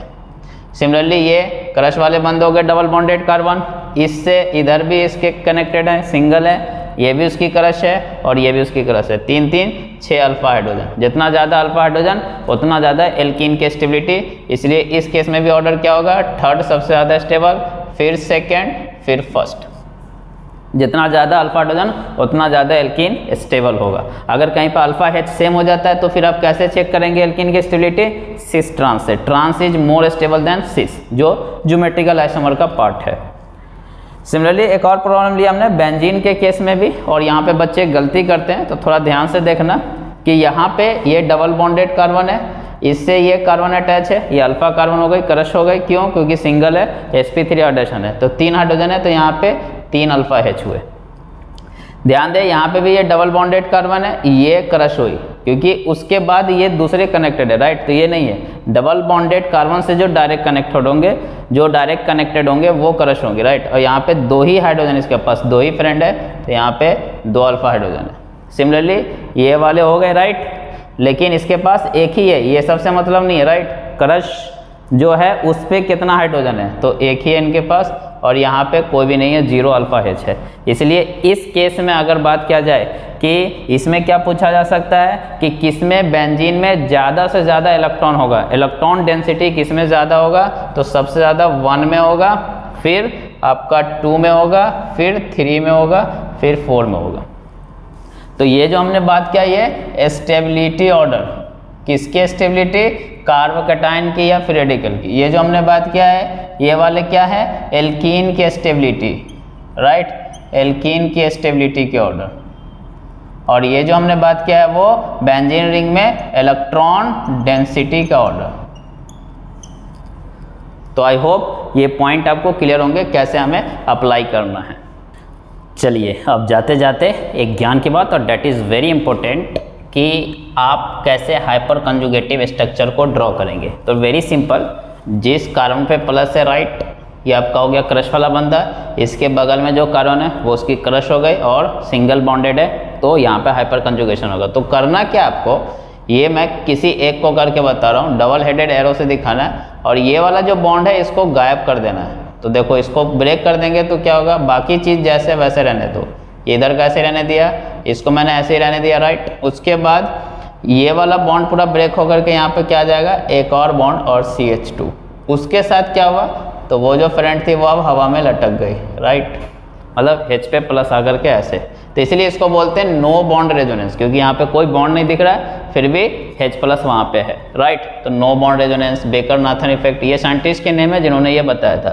तो आपको हाइपर कंजोगेटिव स्ट्रक्चर ड्रॉ करना होगा तो ऐसा करना है। तो यहाँ से यहाँ तक के प्रोसेस में हो क्या रहा है? ध्यान से देखो, ये जो प्लस चार्ज है, वो एक बार हेच इस हेच को मिल रहा है, एक बार इस हेच को, इस, एक बार इस हेच को। तो वही चीज़ मैंने बताया था कि ये बर्डन था राइट तो जितने लोग इसको शेयर करेंगे, जितने लोगों में ये डिस्ट्रीब्यूट होगा, उतना ज़्यादा स्टेबिलिटी बढ़ेगा। वही पॉइंट तो यहाँ पे लग रहा है सिंपल दूसरा point that is very important कि अगर इस टाइप के क्वेश्चन आ जाए तो यहाँ पे गलती होने के चांसेस है, लेकिन ध्यान से देखो। यहाँ पे अगर आप ध्यान से देखो तो ये डबल बॉन्डेड कार्बन है, ये कार्बन और ये कार्बन इसकी क्रश हो गई तो यहाँ पे चार अल्फ़ा हाइड्रोजन है, क्योंकि यहाँ पे दो हेच होंगे कार्बन चार बॉन्ड बनाता है राइट ये सब लोग जानते हैं, यहाँ चार अल्फ़ा एच हो गए इस केस में अगर देखेंगे तो ये डबल बॉन्डेड कार्बन है तो ये क्रश हो गई, ये भी हो गई राइट यहाँ पे तीन अल्फ़ा एच होंगे, क्यों? क्योंकि कार्बन चार बॉन्ड बनाएगा एक ही बॉन्ड बनाया था तो तीन एच और यहाँ पे दो एच तो यहाँ पे कितने हो गए? टोटल फाइव अल्फ़ा एच यहाँ पे फाइव है, और यहाँ पे कितने हैं? फोर है। तो अब लोगों को क्या लगेगा कि ये ज़्यादा स्टेबल है। क्यों? क्योंकि सर ने बताया था, जितना ज़्यादा अल्फ़ा है, उतना ज़्यादा स्टेबिलिटी बट यहाँ पे थोड़ा सा केयरफुल रहना और समझना है कि हो क्या रहा है। देखो, ध्यान से देखो तो यहाँ पे रिंग में डबल बॉन्ड आने की वजह से एंगल कितना है? 60 डिग्री जबकि एस पी टू हाइब्रिडाइजेशन की वजह से कितना एंगल होना चाहिए? 120 डिग्री एंगल कितना मिल रहा है? 60 डिग्री और यहाँ पे दो दो कार्बन ऐसे हैं जो अफेक्ट हो रहे हैं इससे। इस प्रॉब्लम को दो दो कार्बन फील कर रहे हैं कि एंगल 120 होना चाहिए था, लेकिन मिला कितना 60 जबकि यहाँ पे सिर्फ़ और सिर्फ़ एक कार्बन इस चीज़ को फील कर रहा है। ये दो कार्बन रिंग का एज यूजल है एस थ्री में है। जो 109 चाहिए तो 120 से तो कम है। तो एंगल स्ट्रेन होने की वजह से भले ही यहाँ पे अल्फ़ा है ज़्यादा है बट स्टेबल कौन ज़्यादा होगा? वो। तो ये एक एक्सेप्शन इस टाइप के ध्यान रखना है कि रिंग के केस में ही मैनली लगेगा ये कि अगर ऐसा चीज़ आ रहा है तो देखना है कि कितने लोग इससे अफेक्ट हो रहे हैं। कितने कार्बन एंगल स्ट्रेन फील कर रहा है ओके तीसरा point that is very very important question को घुमा करके कैसे पूछा जाता है कि हीट ऑफ़ हाइड्रोजनेशन का ऑर्डर बताओ। एल्कीन की स्टेबिलिटी ना पूछ करके हीट ऑफ़ हाइड्रोजनेशन पूछ देगा। तो इसको उसी से मैंने कनेक्ट कर दिया कि कभी भी हीट ऑफ़ हाइड्रोजनेशन पूछे तो आप स्टेबिलिटी ऑफ़ एल्कीन निकाल लो और उसका क्या कर दोगे? उस ऑर्डर का उल्टा कर दोगे तो आपको हीट ऑफ़ हाइड्रोजनेशन आएगा। हीट ऑफ़ हाइड्रोजनेशन का मतलब क्या है? कि मैंने ये एक एग्ज़ाम्पल लिया कि इस कंपाउंड की रिएक्शन आपने किससे करा दिया? H2 से। तो ये पाई बॉन्ड जो है, ये ब्रेक होकर के क्या आ जाएँगे? एच एच आ जाएँगे। वैसे ही इस कंपाउंड की भी रिएक्शन अपने किससे करा दिया? एच टू से। राइट तो ये पाई बॉन्ड ब्रेक करके क्या आ जाएँगे? एच एच आ जाएँगे। मतलब एल्केन में कन्वर्ट हो गया।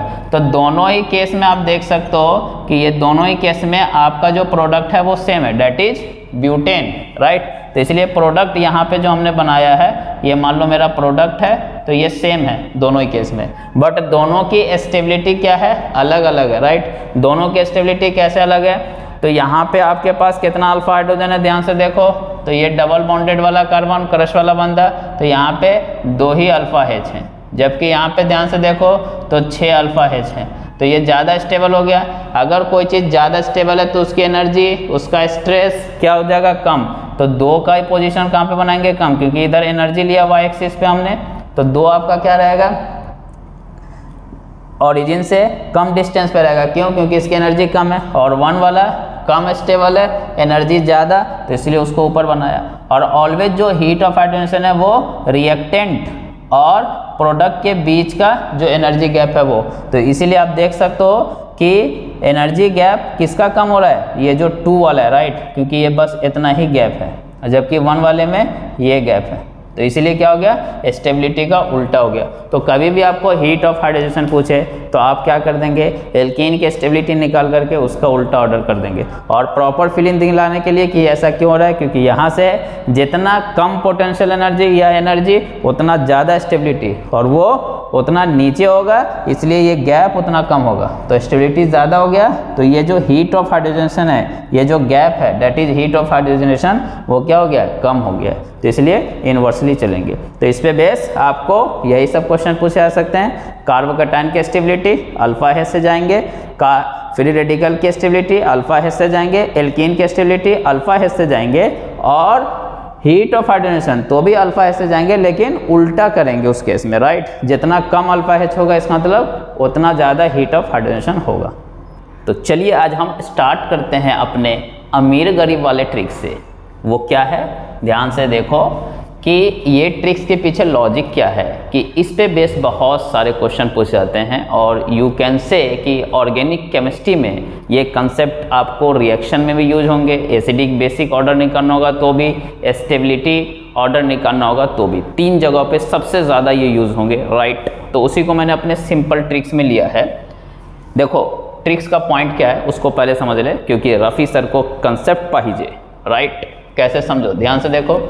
Carbocation free radical basic order या फिर इक्विलिब्रियम कांस्टेंट बेस का के बी बी फॉर बेस और के इक्विलिब्रियम कांस्टेंट राइट तो ये सब के सबको मैंने क्या माना है कि ये बेगर है। कैसे कनेक्ट किया? ध्यान से देखो B for basic B for beggar poor इसको क्यों बोला? कार्बोकटायन इलेक्ट्रॉन डेफिशिएंट है। इलेक्ट्रॉन की कमी है मतलब गरीब है। फ्री रेडिकल अभी भी ऑक्टेट पूरा नहीं हुआ साथ ही इलेक्ट्रॉन है टोटल तो ये पुअर हो गए। B for beggar B for beggar तो इन सबको हमने क्या माना है कि ये पुअर पर्सन है। अब तुम खुद ही सोचो, तुम्हारा माइंड एक कदम आगे चला गया होगा। कैसे? कि अगर ये पुअर पर्सन है तो ऑब्वियसली बात है, इसको कौन हेल्प करेगा? जो डोनर होंगे। डोनर कौन है?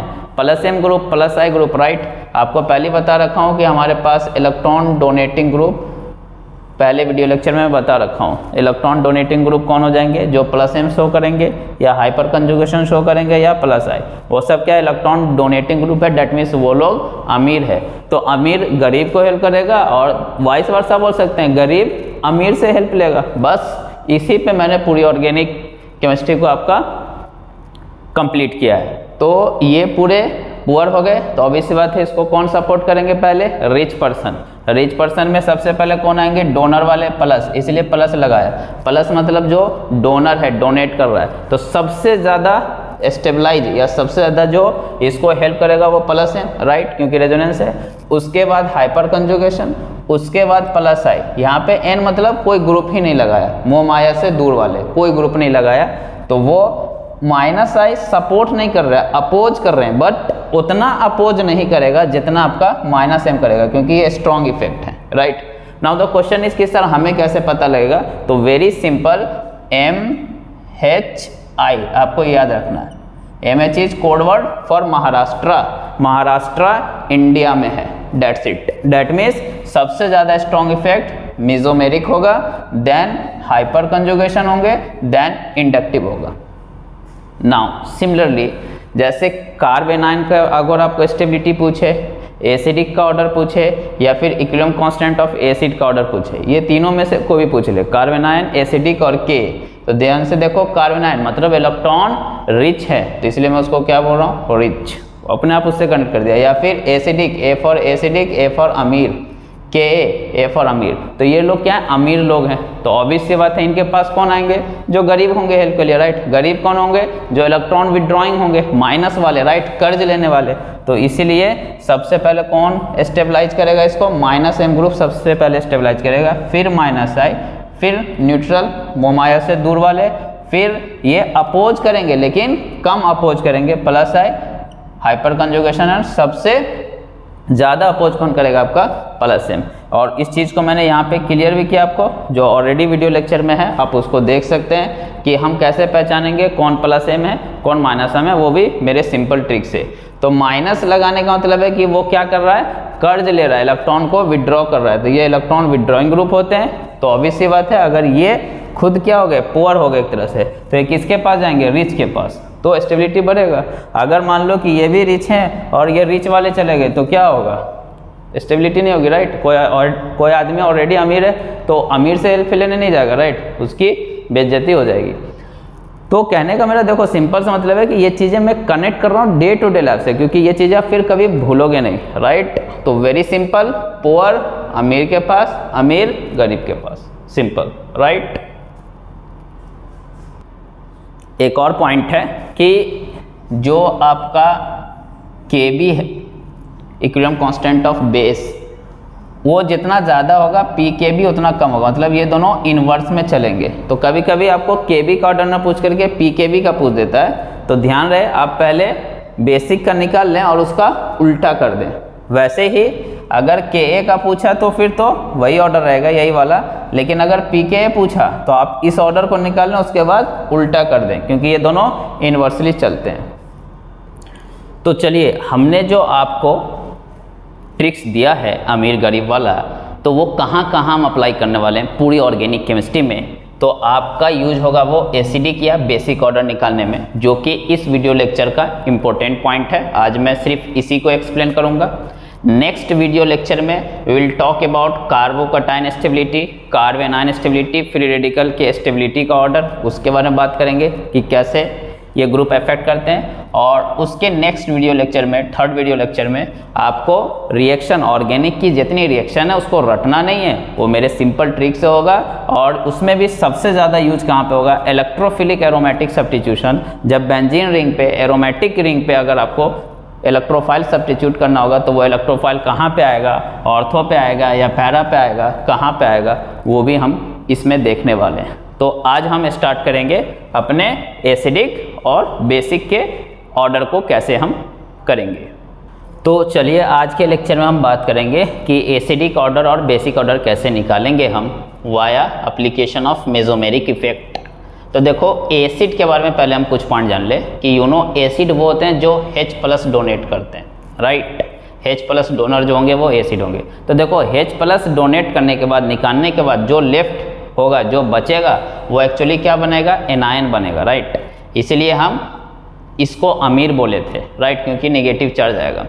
कौन से हाइड्रोजन को आपको हटाना है तो वो हाइड्रोजन जो डायरेक्टली फ्लोरीन से अटैच हो, या ऑक्सीजन से, या नाइट्रोजन से। वो हाइड्रोजन एसिडिक हाइड्रोजन कहलाते हैं, या फिर एसपी कार्बन से भी अगर अटैच हो टर्मिनल वाले तो वो एसिडिक हाइड्रोजन कहलाते हैं राइट ध्यान से देखो ऑलवेज जो रिएक्शन प्रोसीड होती हैं, वो स्ट्रॉन्ग से वीक की तरफ़ होती हैं। स्ट्रॉन्ग से वीक एसिड अगर बन रहा है तो ये रिएक्शन हो जाएगी स्पॉन्टेनियस होगा। लेकिन कहीं पर अगर आप ये देख पा रहे हो कि वीक एसिड से स्ट्रॉन्ग एसिड बन रहा है तो ऐसी रिएक्शन फिर नहीं होंगी। तो ये एक इंपॉर्टेंट पॉइंट है, इसको थोड़ा ध्यान में रखना यूज़ होता है। वैसे एप्लीकेशन में लूँगा भी। ऑलवेज स्ट्रॉन्ग से वीक बनेगा वीक से स्ट्रॉन्ग नहीं बनेगा।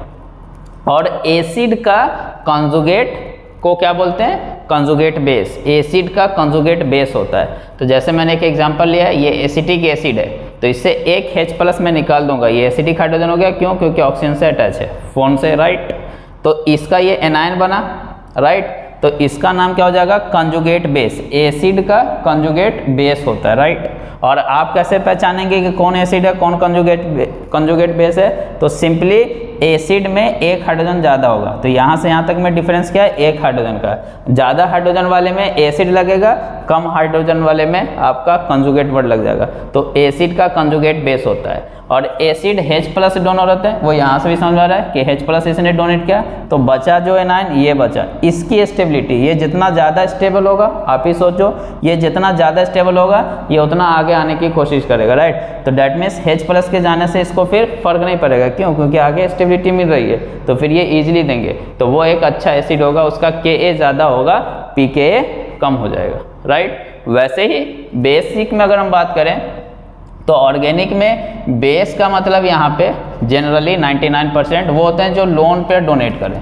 यहाँ पे ओ एच माइनस से हम नहीं लेते हैं राइट जो लोन पर डोनेट करे और लोन पर डोनेट करने के लिए ऑब्वियस बात है लोन पर उसके पास क्या होना चाहिए? अवेलेबल होना चाहिए। रेजोनेंस में वो नहीं जाना चाहिए राइट घूमना फिरना नहीं चाहिए। दूसरा जनरली वही पॉइंट लिखा है कि नाइट्रोजीनियस बेस के बारे में हम बात करेंगे इस ऑर्गेनिक पॉइंट में। और स्ट्रॉन्ग बेस से ऑलवेज वीक बेस की तरफ़ रिएक्शन प्रोसीड हो जाएँगी इजीली हो जाएँगी स्पॉन्टेनियस होंगी। बट वीक बेस से अगर स्ट्रॉन्ग बेस बन रहा है तो ऐसी रिएक्शन फिर नहीं होंगी नॉन स्पॉन्टेनियस होंगी। सिमिलरली बेस में अगर एक एच प्लस आप ऐड कर देते हो तो जो बनेगा उसका नाम हो जाएगा कंजुगेट एसिड क्यों? क्योंकि इसमें एक हाइड्रोजन ज़्यादा होगा, आप देख सकते हो। तो बेस का कंजुगेट एसिड होता है एसिड का कंजुगेट बेस होता है। दोनों को पहचानेंगे कैसे? तुमने पहले बोला एसिड वर्ड उसी में लगाना, जिसमें ज़्यादा हाइड्रोजन हो तो उससे कम वाले में बेस वर्ड लग जाएगा राइट तो चलिए, मैंने कुछ प्रॉब्लम लिया है उस ट्रिक्स को समझाने के लिए। जैसे पहले वाले में प्रॉब्लम में आपसे पूछा जाएगा कि एसिडिक ऑर्डर बताएँ इसमें। तो देखो एग्ज़ाम में आपको कैसे क्विकली करना अगर आप ध्यान से देखो तो इतनी चीज़ सब में कॉमन है राइट यहाँ तक सब में कॉमन है। वो आपको देख के पता लग जाएगा, सब फिनॉल है। तो इसलिए एसिडिटी की बात क्या है? क्योंकि ये सब हाइड्रोजन एसिडिक हाइड्रोजन है। इसके जाने से ऑक्सीजन पे माइनस आएगा और जो रेजोनेंस में जाएँगे स्टेबलाइज होंगे। तो अब हमें ग्रुप का इफ़ेक्ट देखने हैं। यहाँ कुछ ग्रुप नहीं है तो कौन है? बाई डिफ़ॉल्ट हाइड्रोजन है राइट तो आपको एसिडिक पूछा मतलब क्या? अमीर पूछ रहा है। तो हमने क्या ट्रिक दिया था? अमीर है तो सबसे पहले किसको सर्च करना है? गरीब को। गरीब मतलब माइनस एम को राइट तो ये वाले ग्रुप का माइनस एम इफ़ेक्ट हो जाएगा। एन क्या ट्रिक दिया था? कि पाई बॉन्ड होना चाहिए एन और ओ के बीच पाई बॉन्ड है। उसके बाद इसके पास लोन पेयर है राइट अगर जो बेंजीनिक से जो एलिमेंट अटैच है, उसके पास लोन पेयर है तो प्लस एम राइट ये सी एस थ्री का, यहाँ पे डबल बॉन्ड होगा तो हाइपर कंजुगेशन एच सी और इसका न्यूट्रल मोमाया से दूर कोई इफ़ेक्ट नहीं। तो अभी सी बात है, आपको मालूम है, सब एसिडिक में सबसे पहले कौन आएँगे? माइनस एम राइट फिर माइनस आई वाले, इसमें कोई नहीं है, फिर न्यूट्रल वाले। तो न्यूट्रल वाले ये फोर्थ वाले, फिर प्लस आई वाले तो वो थे नहीं तो हाइपर कंजुगेशन और लास्ट में प्लस एम वाले। तो इसलिए ऑर्डर क्या रहेगा? आप ही बता दो। ऑर्डर वेरी सिंपल है राइट सबसे ज़्यादा एसिडिक आपका कौन हो जाएगा? One due to minus M उसके बाद फोर्थ उसके बाद थ्री और लास्ट में टू तो इस टाइप से चार ऑप्शन गिवन होंगे। आपको सबसे ज़्यादा मालूम है, सबसे कम मालूम है या दो का मालूम है तो आप ऑप्शन तक पहुँच सकते हो एलिमिनेट करके राइट नेक्स्ट क्वेश्चन में आपको बेसिक ऑर्डर पूछा जा रहा है कि बेसिक का क्या होगा। ये जस्ट मैं एक आपको आइडिया दे रहा हूँ कि लगाना कैसे पॉइंट को राइट इस टाइप के आपको बहुत सारे पी वाई क्यूज मिल जाएँगे। तो बेसिक अगर ऑर्डर आपको पूछा जाए तो आप फिर से ध्यान से देखो तो इतनी चीज़ें सब में कॉमन है राइट और बेसिक ऑर्डर में बताया था कि नाइट्रोजन के पास जो लोन पेयर होता है, उसको देने की बात होती है। यहाँ पे सभी नाइट्रोजन के लोन पेयर रेजोनेंस में जा रहे हैं राइट बट ग्रुप के इफ़ेक्ट से अब हम डिसाइड करेंगे। यहाँ पे यू नो ऑक्सीजन के पास लोन पेयर है तो ये प्लस एम शो करेगा। यहाँ पे हाइपर कंजुगेशन शो होगा। यहाँ पे आपका माइनस एम क्योंकि सी ट्रिपल बॉन्ड है पाई बॉन्ड है, और यहाँ पे कोई ग्रुप नहीं है तो एच है तो no effect right B for base B for beggar poor तो पुअर किसको सर्च करेगा? डोनर को प्लस एम वाले को। प्लस एम वाले यहाँ तो ये सबसे ज़्यादा। फिर हाइपर कंजुगेशन फिर मोमाइल से दूर वाले लास्ट में माइनस एम तो अगर मैं इसको one two three four assume करूँ तो सबसे ज़्यादा आपका बेसिक कौन हो जाएगा? वन राइट उसके बाद टू उसके बाद फोर और लास्ट में हो जाएगा आपका three very simple next question is कि अगेन देखो, इतना पार्ट सब में कॉमन है राइट सब में ये फिनॉल है और ग्रुप लगे हुए हैं तो डेफिनेटली आपसे क्या पूछा जाएगा? एसिडिक का order one two three four इसके एसिडिटी का ऑर्डर तो वेरी सिंपल ये जो है, इसका कौन सा इफ़ेक्ट है? माइनस एम ध्यान दें मेटा पोजीशन पे, ये पॉइंट बताया था मेटा पोजीशन पे कभी भी मेजोमेरिक इफ़ेक्ट नहीं लगता। तो सिर्फ़ इसका कौन सा इफ़ेक्ट होगा? Minus I due to electronegativity difference of oxygen ये पैरा पोजिशन पे है तो इसका क्या होगा? माइनस एम और ये हाइपर कंजुगेशन आपका शो करेगा। तो देखो, ये अच्छे कंसेप्ट वाला प्रॉब्लम लिया है। तो एसिडिक ऑर्डर में तो सबसे पहले कौन आ जाएँगे? माइनस एम वाले अब ये भी माइनस एम है, ये भी माइनस एम है तो सर कैसे करें?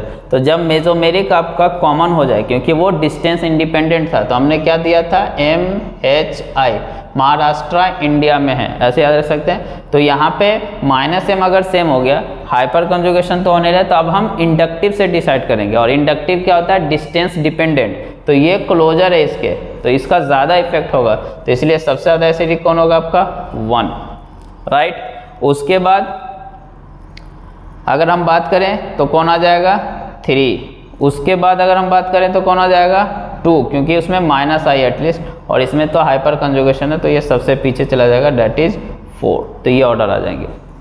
वैसे इसमें एक पॉइंट है कि ऑर्थो पोजिशन पे अगर हाइड्रोजन बॉन्डिंग हो जाएगी तो उसकी एसिडिटी कम होगी। तो वो हम बात करेंगे। ये सब हम गैस फ़ेज़ में बात कर रहे हैं। एक्वा सोल्यूशन में अगर बात करेंगे तो थोड़ा सा ऑर्डर चेंज हो सकता है। बट आपको एक आइडिया आया है कि हमें कैसे करना है ग्रुप का इफ़ेक्ट पहले आपको रेजोनेंस को प्रायोरिटी देना है। अगर रेजोनेंस कॉमन हो जा रहा है, जैसा कि थर्ड केस में हो रहा है यहाँ यहाँ पे तो फिर हमको इंडक्टिव से जाना पड़ेगा। चलिए, अब हम कुछ और प्रॉब्लम लिए हैं। राइट अगर आप ध्यान से देखो तो पहले वाले क्वेश्चन में आपको एसिडिक ऑर्डर पूछा जा रहा है। ये आपका मान लो कि वन है, ये आपका टू है, ये थ्री है, ये फोर है और ये फाइव है।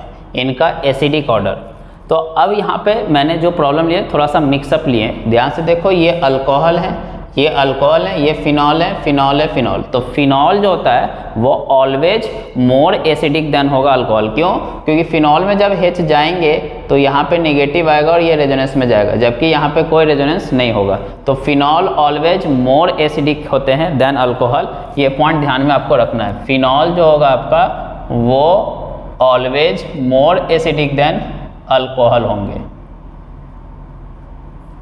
नाव अगर इसमें कंपेयर करना हो तो ध्यान से देखो तो ये आपका फिनॉल हो गया। इस, यहाँ तक तो इस तीनों में क्या है? सेम है राइट यहाँ पे ओ एम ई ये ग्रुप आ रहे हैं, यहाँ पे एन ओ टू तो इसका माइनस एम है, इसका आपको मालूम है प्लस एम है, इसमें कोई ग्रुप नहीं है मोमाया से दूर, और ये सब तो अल्कोहल है। तो एसिडिक ऑर्डर में सबसे ज़्यादा कौन हो जाएगा? माइनस एम वाला, आपको ट्रिक बता रखा हूँ तो सबसे ज़्यादा एसिडिक फाइव हो जाएँगे। फिर उसके बाद, जो मोमाया से दूर होंगे राइट तो मोमाया से दूर कौन है? थ्री वाले, फिर फोर वाले, क्योंकि आपका फिनॉल ऑलवेज मोर एसिडिक होगा अल्कोहल से। नाउ उन दोनों में तो आपको मालूम है कि इसमें तीन तीन क्या लग रहे हैं? प्लस आई और प्लस आई से एसिडिटी क्या होती है? कम होती है, क्योंकि ऑल एल्काइल ग्रुप सोच प्लस आई इफ़ेक्ट तो इसलिए कौन होगा फिर? वन और फिर हो जाएगा आपका टू तो इस तरीके से हम कर सकते हैं। नेक्स्ट क्वेश्चन में अगेन आपको एसिडिक ऑर्डर ही पूछा गया है। तो अगेन आप ध्यान से देखो तो सब में इतना पार्ट क्या है? कॉमन है राइट सब में क्या है? फिनॉल है। इतना पार्ट सब में कॉमन है। तो सिर्फ़ ग्रुप का इफ़ेक्ट देखना है। तो NO2 ध्यान दे यहाँ पे मेटा पोजीशन पे तो only minus I don't give minus M meta position पे मेसोमेरिक इफ़ेक्ट होता है। सी एल माइनस आई यहाँ पे कोई ग्रुप नहीं है राइट तो हाइड्रोजन मान सकता मोमाया से दूर वाले। सी एच थ्री तो यहाँ पे प्लस आई तो अगेन एसिडिक पूछा है तो सबसे ज़्यादा माइनस आई वाला होगा। आप दोनों माइनस आई है तो क्या करेंगे? तो आपको बता रखा हूँ कि जिसका ज़्यादा स्ट्रॉन्गर माइनस आई होगा, और NO2 का ज़्यादा होगा क्योंकि क्यों? नाइट्रोजन मोर इलेक्ट्रोनेगेटिव है, और फिर उससे ऑक्सीजन अटैच है, वो भी इलेक्ट्रोनेगेटिव है। तो दोनों मिल करके काफ़ी ज़्यादा खींचेंगे। तो इसलिए सबसे ज़्यादा एसिडिक हो जाएगा आपका वन फिर टू फिर थ्री फोर इसी ऑर्डर में आ जाएगा। नेक्स्ट क्वेश्चन में हमने एसिडिक ना पूछ करके पी के ऑर्डर पूछा है। तो हमने बताया था कि अगर पी के पूछा है तो पहले आप एसिडिक निकाल लो, फिर उसका उल्टा कर दो। अब ध्यान से देखो एसिडिक मैं निकालूँगा, फिर से इतना चीज़ क्या है सब में? कॉमन है। तो एसिडिक हाइड्रोजन यही सब है राइट फिनॉली है तो यहाँ पे कोई ग्रुप नहीं लगा तो मान लेते हैं यहाँ पे नाइट्रोजन के पास लोन पेयर है राइट तो ये प्लस एम वाले हो गए। यहाँ पे NO2 तो माइनस एम वाले हो गए, और यहाँ पे ये एल्काइल ग्रुप तो हाइपर कंजुगेशन हो गया। तो यहाँ पे सबसे पहले मैं क्या कर लूँगा? एसिडिक का ऑर्डर निकाल लूँगा। तो एसिडिक में आपका सबसे ज़्यादा कौन हो जाएगा? ये थर्ड वाला राइट फिर माइनस एम है तो फिर उसके बाद मोमाया से दूर वाले राइट डैट इज़ वन फिर उसके बाद हाइपर कंजुगेशन वाले that is fourth and last में कौन आ जाएगा? डैट इज़ प्लस एम वाले। टू। तो ये तो मैंने किसका निकाला है? एसिडिक का। डेट इज़ के ए का। मुझे किसका चाहिए? पी के ए का। तो क्या करूँगा? उल्टा कर दूँगा। तो क्या हो जाएगा? Two, four, one, three. ये आपका आंसर हो जाएगा। तो चलिए अब हम बात करते हैं ज्ञान की। राइट और that is very very important तीन पॉइंट है इसमें। तीनों इंपॉर्टेंट है कि हेलोजन के केस में। That means C L B R iodine या फ्लोरीन हेलोजन के केस में चाहे आप एसिडिक ऑर्डर कंपेयर कर रहे हो बेसिक ऑर्डर या स्टेबिलिटी ऑर्डर तो इन सब में हेलोजन के केस में आपका माइनस आई इफ़ेक्ट जो उसका वो डोमिनेट करता है ओवर प्लस एम इफ़ेक्ट क्योंकि अगर आप ध्यान से देखें तो प्लस एम क्यों शो करेगा? जैसे मान लो ये ओ OH है और ये सी एल है राइट तो इसके पास लोन पेयर है तो इसका प्लस एम भी इफ़ेक्ट हो सकता है और इलेक्ट्रोनिगेटिव डिफरेंस है माइनस आई इफ़ेक्ट भी हो सकता है। तो आपको कौन सा लेना, कौन सा डोमिनेट करेगा? ऑलवेज माइनस आई डोमिनेट करेगा ओवर प्लस एम कब कब? जब एसिडिक ऑर्डर बेसिक ऑर्डर और स्टेबिलिटी ले रहे हैं। बट जब हम रिएक्शन के केस में बात करेंगे इलेक्ट्रोफाइल को अटैक करना होगा तो फिर इसका प्लस एम डोमिनेट करेगा माइनस आई पे। तो इसलिए ये पॉइंट ध्यान रखना है। Point number two that is very very important कि बेंजोइक एसिड में, सिर्फ़ उसी में और किसी में नहीं बेंजोइक एसिड में डेट मीन्स बेंजीन पे जब C double bond O H group होगा बेंजोइक एसिड में जो ऑर्थो सब्सटीट्यूशन होता है, वो ज़्यादा एसिडिक हो जाता है नॉर्मल बेंजोइक एसिड से। तो उसका एक बेस्ट एग्ज़ाम्पल हमने यहाँ पे लिया है। ध्यान से देखो अगर हम अपना जो कंसेप्ट लगाएँ तो ये बेंजोइक एसिड है, ये भी। इसमें ये सी एस थ्री इसका हाइपर कंजुगेशन होगा राइट तो एसिडिक ऑर्डर में ये पीछे जाना चाहिए, लेकिन ये ज़्यादा है। तो वही ये एक्सेप्शन एक तरीके से कि ऑर्थो सब्सटीट्यूट अगर ऑर्थो पोजिशन पे कोई भी ग्रुप आ जाए राइट तो फिर वो ज़्यादा एसिडिक हो जाएगा आपका नॉर्मल बेंजोइक एसिड से। देखो माइनस एम या माइनस आई वाले होंगे तो वो तो वैसे भी कंसेप्ट से हो रहे हैं। प्लस एम या प्लस आई वाले अगर आ जाते हैं तो भी ये ज़्यादा होगा आपके नॉर्मल वन से।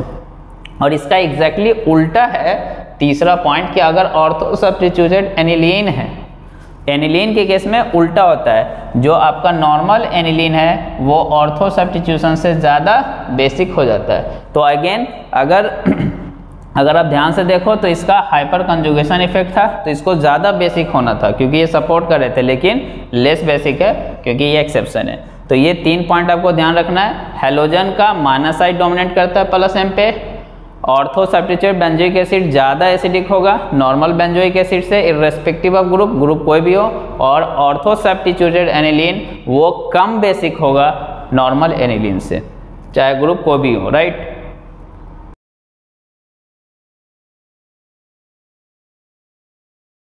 हेलो बच्चों, कैसे हो आज के इस वीडियो लेक्चर में हम लोग बात करेंगे stability of carbocation carbanion and free radical के बारे में राइट right. जो हमने permanent effect that is inductive effect, resonance या mesomeric effect and hyperconjugation जो आपको बताया है, उस तीनों को कंबाइन करके किस तरीके से क्वेश्चन पूछे जाएँगे, कैसे हम स्टेबिलिटी का ऑर्डर निकालेंगे उसके बारे में बात करने जा रहे हैं। तो अगेन सबसे पहले रफ़ी सर का ट्रिक्स और जो ट्रिक्स मैं देता हूँ, वो कंसेप्ट के साथ देता हूँ राइट हवा में बातें नहीं होती है। पहले कंसेप्ट कंसेप्ट के साथ उसको हम कैसे डे टू डे लाइफ से कनेक्ट करेंगे एंड कैसे उसका ट्रिक्स बनाएँगे, जिससे हमें केमिस्ट्री बिल्कुल ईजी लगे। तो let see stability of carbocation carbanion and free radical इसके बारे में बात करते हैं। तो ट्रिक्स का पॉइंट बहुत सिंपल है। और जो कंसेप्ट है या फंडा है, वो भी बहुत सिंपल है। यू नो ऑलरेडी कि देखो, अगर कोई रिच पर्सन है तो उसके पास कौन आएँगे? पुअर पर्सन आएँगे राइट रिच के पास तो रिच तो जाएगा नहीं राइट और सिमिलरली अगर कोई पुअर पर्सन है तो उसके पास कौन जाएगा? रिच पर्सन जाएगा। सिंपल मतलब आपको रिच पता चल गया तो पुअर उसको स्टेबलाइज करेंगे और पुअर पता चल गया तो रिच उसको स्टेबलाइज करेंगे। सिंपल अमीर गरीब का खेल है। पूरा आपका mesomeric inductive and hyperconjugation मेरे ट्रिक से, बस आपको ऐसे ही करना है। नाउ तो मेरे कहने का क्या मतलब है? वो भी समझ लें कि जहाँ पे भी आपको कार्बोकटाइन दिख जाए फ्री रेडिकल दिख जाए, या बेसिक का ऑर्डर पूछे या केबी का ऑर्डर ये सबको आपको मानना है कि ये सब क्या है? पुअर पर्सन है। क्यों? कार्बोकटाइन इलेक्ट्रॉन की कमी फ्री रेडिकल इलेक्ट्रॉन की कमी है। B for base B for beggar तो ये सब क्या है आपके पास? पुअर पर्सन है। तो ऑब्वियस से बात है, ये किसके पास जाएँगे? अमीर पर्सन के पास। अमीर कौन होते हैं? जो डोनर होते हैं। डोनर कौन है अपने पास? जो प्लस एम शो करते हैं। राइट प्लस एम कौन शो करेगा? बेंजीनिक से कोई भी ग्रुप अटैच है, उस पर लोन पेयर होना चाहिए फ़र्स्ट एलिमेंट पे, जो डायरेक्टली बेंजीनिक से अटैच है। Right plus I inductive effect जो शो करेंगे और हाइपर कंजुगेशन जो शो करेंगे। ये सब क्या है? डोनर है, या रिच है। तो ऑब्वियसली बात है, ये सब क्या करेंगे इसको? स्टेबलाइज करेंगे। इसलिए सबसे पहले प्लस एम आएगा, फिर हाइपर कंजुगेशन, फिर प्लस आई। याद कैसे रखेंगे? तो बताया था एम एच आई, इस ऑर्डर में। महाराष्ट्र, इंडिया में। पहले मीजोमेरिक चेक करेंगे। अगर मीजोमेरिक सेम हो जाता है या नहीं लग रहा है तो फिर हाइपर कंजुगेशन लगाएँगे। वो भी नहीं लग रहा है तो फिर इंडक्टिव लगाएँगे राइट अब ये जो है एन मतलब कोई ग्रुप नहीं लगा है मोह माया से दूर वाले। तो ये आ जाएँगे। और माइनस आई या माइनस एम ये खुद क्या हो गए? माइनस आई या माइनस एम खुद क्या है? ध्यान से देखो। तो ये खुद पोअर है या एक्सेप्टर है। तो ऑब्वियस सी बात है, ये खुद पोअर और ये पोअर पोअर पोअर के पास जाएगा तो कोई काम नहीं बनेगा राइट तो इसीलिए ये सब क्या करेंगे? डी स्टेबलाइज करेंगे। इसलिए हमने इसको पीछे लिखा है राइट और चूँकि ये स्ट्रॉन्ग इफ़ेक्ट है तो ये सबसे पीछे आएँगे और इंडक्टिव वीक इफ़ेक्ट है तो इसलिए ये पहले आ गया राइट सिमिलरली कहीं पे अगर आपको कार्बेनाइन की स्टेबिलिटी पूछे, एसिडिक का ऑर्डर पूछे के का ऑर्डर पूछे तो ये सबको मैं क्या मान रहा हूँ? ध्यान से देखो, यहाँ पे इलेक्ट्रॉन रिच है right carbanion acidic A for acid A for अमीर तो ये सबको मैं रिच पर्सन मान रहा हूँ। तो अभी से बात है, इसके पास कौन आएगा? पुअर पर्सन आएगा। पुअर पर्सन कौन थे हमारे पास? जो इलेक्ट्रॉन विदड्रॉइंग ग्रुप है, माइनस एम या माइनस आई वाले, जो पुअर एक्सेप्टर है। तो इसलिए हमने इसको पहले आगे किया। उनमें भी जो स्ट्रांग होंगे, वो पहले आएँगे राइट तो इसलिए इनको आगे क्या? फिर न्यूट्रल मतलब एन मतलब फिर से कोई ग्रुप नहीं है मोमाया से दूर वाले। फिर अब जो ये सब ग्रुप जो हैं, ये सब तो क्या करेंगे? एक तरह से डीस्टेबलाइज करेंगे राइट अपोज करेंगे। लेकिन अपोज करने में इसका वीक अपोज होगा, क्योंकि इफ़ेक्ट वीक है। फिर उससे ज़्यादा अपोज हाइपर कंजुगेशन करेगा और सबसे ज़्यादा अपोज कौन करेंगे? प्लस एम वाले राइट तो ये आपको ट्रिक का एक सिंपल सा पॉइंट हो गया कि अमीर गरीब और गरीब अमीर, बस जीओसी में यही करना है। ओके तो चलिए अब हम बात करते हैं अप्लीकेशन की। तो देखिए अप्लीकेशन में मैंने टोटल पाँच क्वेश्चन अभी लिया है राइट और इसको कैसे करना है? तो वेरी सिंपल है। पहला क्वेश्चन आपको पूछा जा रहा है कि इन चार में मॉस स्टेबल कार्बोकटाइन कौन है? तो ध्यान से देखो, यहाँ पे इस कार्बन पे प्लस है, यहाँ पे यहाँ पे प्लस है, यहाँ पे है और यहाँ पे। इन चारों कार्बोकटाइन में कौन सबसे ज़्यादा स्टेबल होगा? तो कैसे चेक करेंगे? ध्यान से देखो। प्लस सिंगल डबल रेजोनेंस हो रहा राइट यहाँ से लेकर करके यहाँ तक रेजोनेंस होगा, बस NH2 का जो लोन पेयर है, वो रेजोनेंस में नहीं आ पाएगा। क्यों? क्योंकि लोन पेयर सिंगल सिंगल हो चुका है। तो इसलिए हमने वो ट्रिक दिया था आपको। तो यहाँ पे NH2 का सिर्फ़ माइनस आई इफ़ेक्ट होगा, क्योंकि वो रेजोनेंस में पार्टिसिपेट नहीं कर रहा है। यहाँ पे ध्यान से देखो तो यहाँ से लेकर के यहाँ तक अगेन रेजोनेंस होगा डेड सीट उसके बाद नहीं हो पाएगा क्योंकि लोन पेयर सिंगल सिंगल हो गया है। तो यहाँ पे भी NH2 का माइनस आई इफ़ेक्ट है और रेजोनेंस इफ़ेक्ट यहाँ पे नहीं है या मीजोमेरिक इफ़ेक्ट नहीं है। यहाँ पे ध्यान से देखो तो ये यहाँ से लेकर करके यहाँ तक जाएगा। क्यों? पॉजिटिव सिंगल डबल से यहाँ पे आएगा पॉजिटिव फिर पॉजिटिव सिंगल डबल से यहाँ पे आएगा, फिर पॉजिटिव सिंगल लोन पेयर से यहाँ तक। डैट मीन्स एन का यहाँ पे प्लस एम इफ़ेक्ट है। राइट? और ध्यान दें, ये बेंजीन रिंग नहीं है। जस्ट रेजोनेंस के थ्रू आपको देखना है कि ये कर पा रहा है कि नहीं।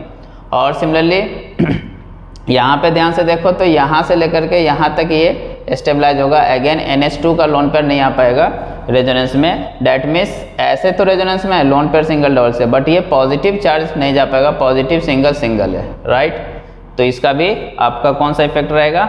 माइनस आई इफ़ेक्ट रहेगा। तो इसलिए सबसे ज़्यादा स्टेबल कौन हो गया? दिस वन ऑप्शन सी तो इस टाइप के क्वेश्चन आपको अप्लीकेशन में पूछे जाएँगे। क्वेश्चन नंबर टू में अगेन पूछा जा रहा है कि इनकी स्टेबिलिटी का ऑर्डर बताओ। ये कार्बोकटाइन के स्टेबिलिटी का। तो जब कार्बोकटाइन के स्टेबिलिटी का ऑर्डर पूछा जाए तो आपको चेक करना है। आपको शिफ्ट करा के नहीं देखना, ये ऑलरेडी इस कंडीशन में बना के दिया है। तो यहाँ पे ध्यान से देखो, यहाँ पे लोन पेयर होगा ऑक्सीजन का। लोन पेयर सिंगल पॉजिटिव तो यहाँ पे क्या हो जाएगा? रेजोनेंस हो जाएगा।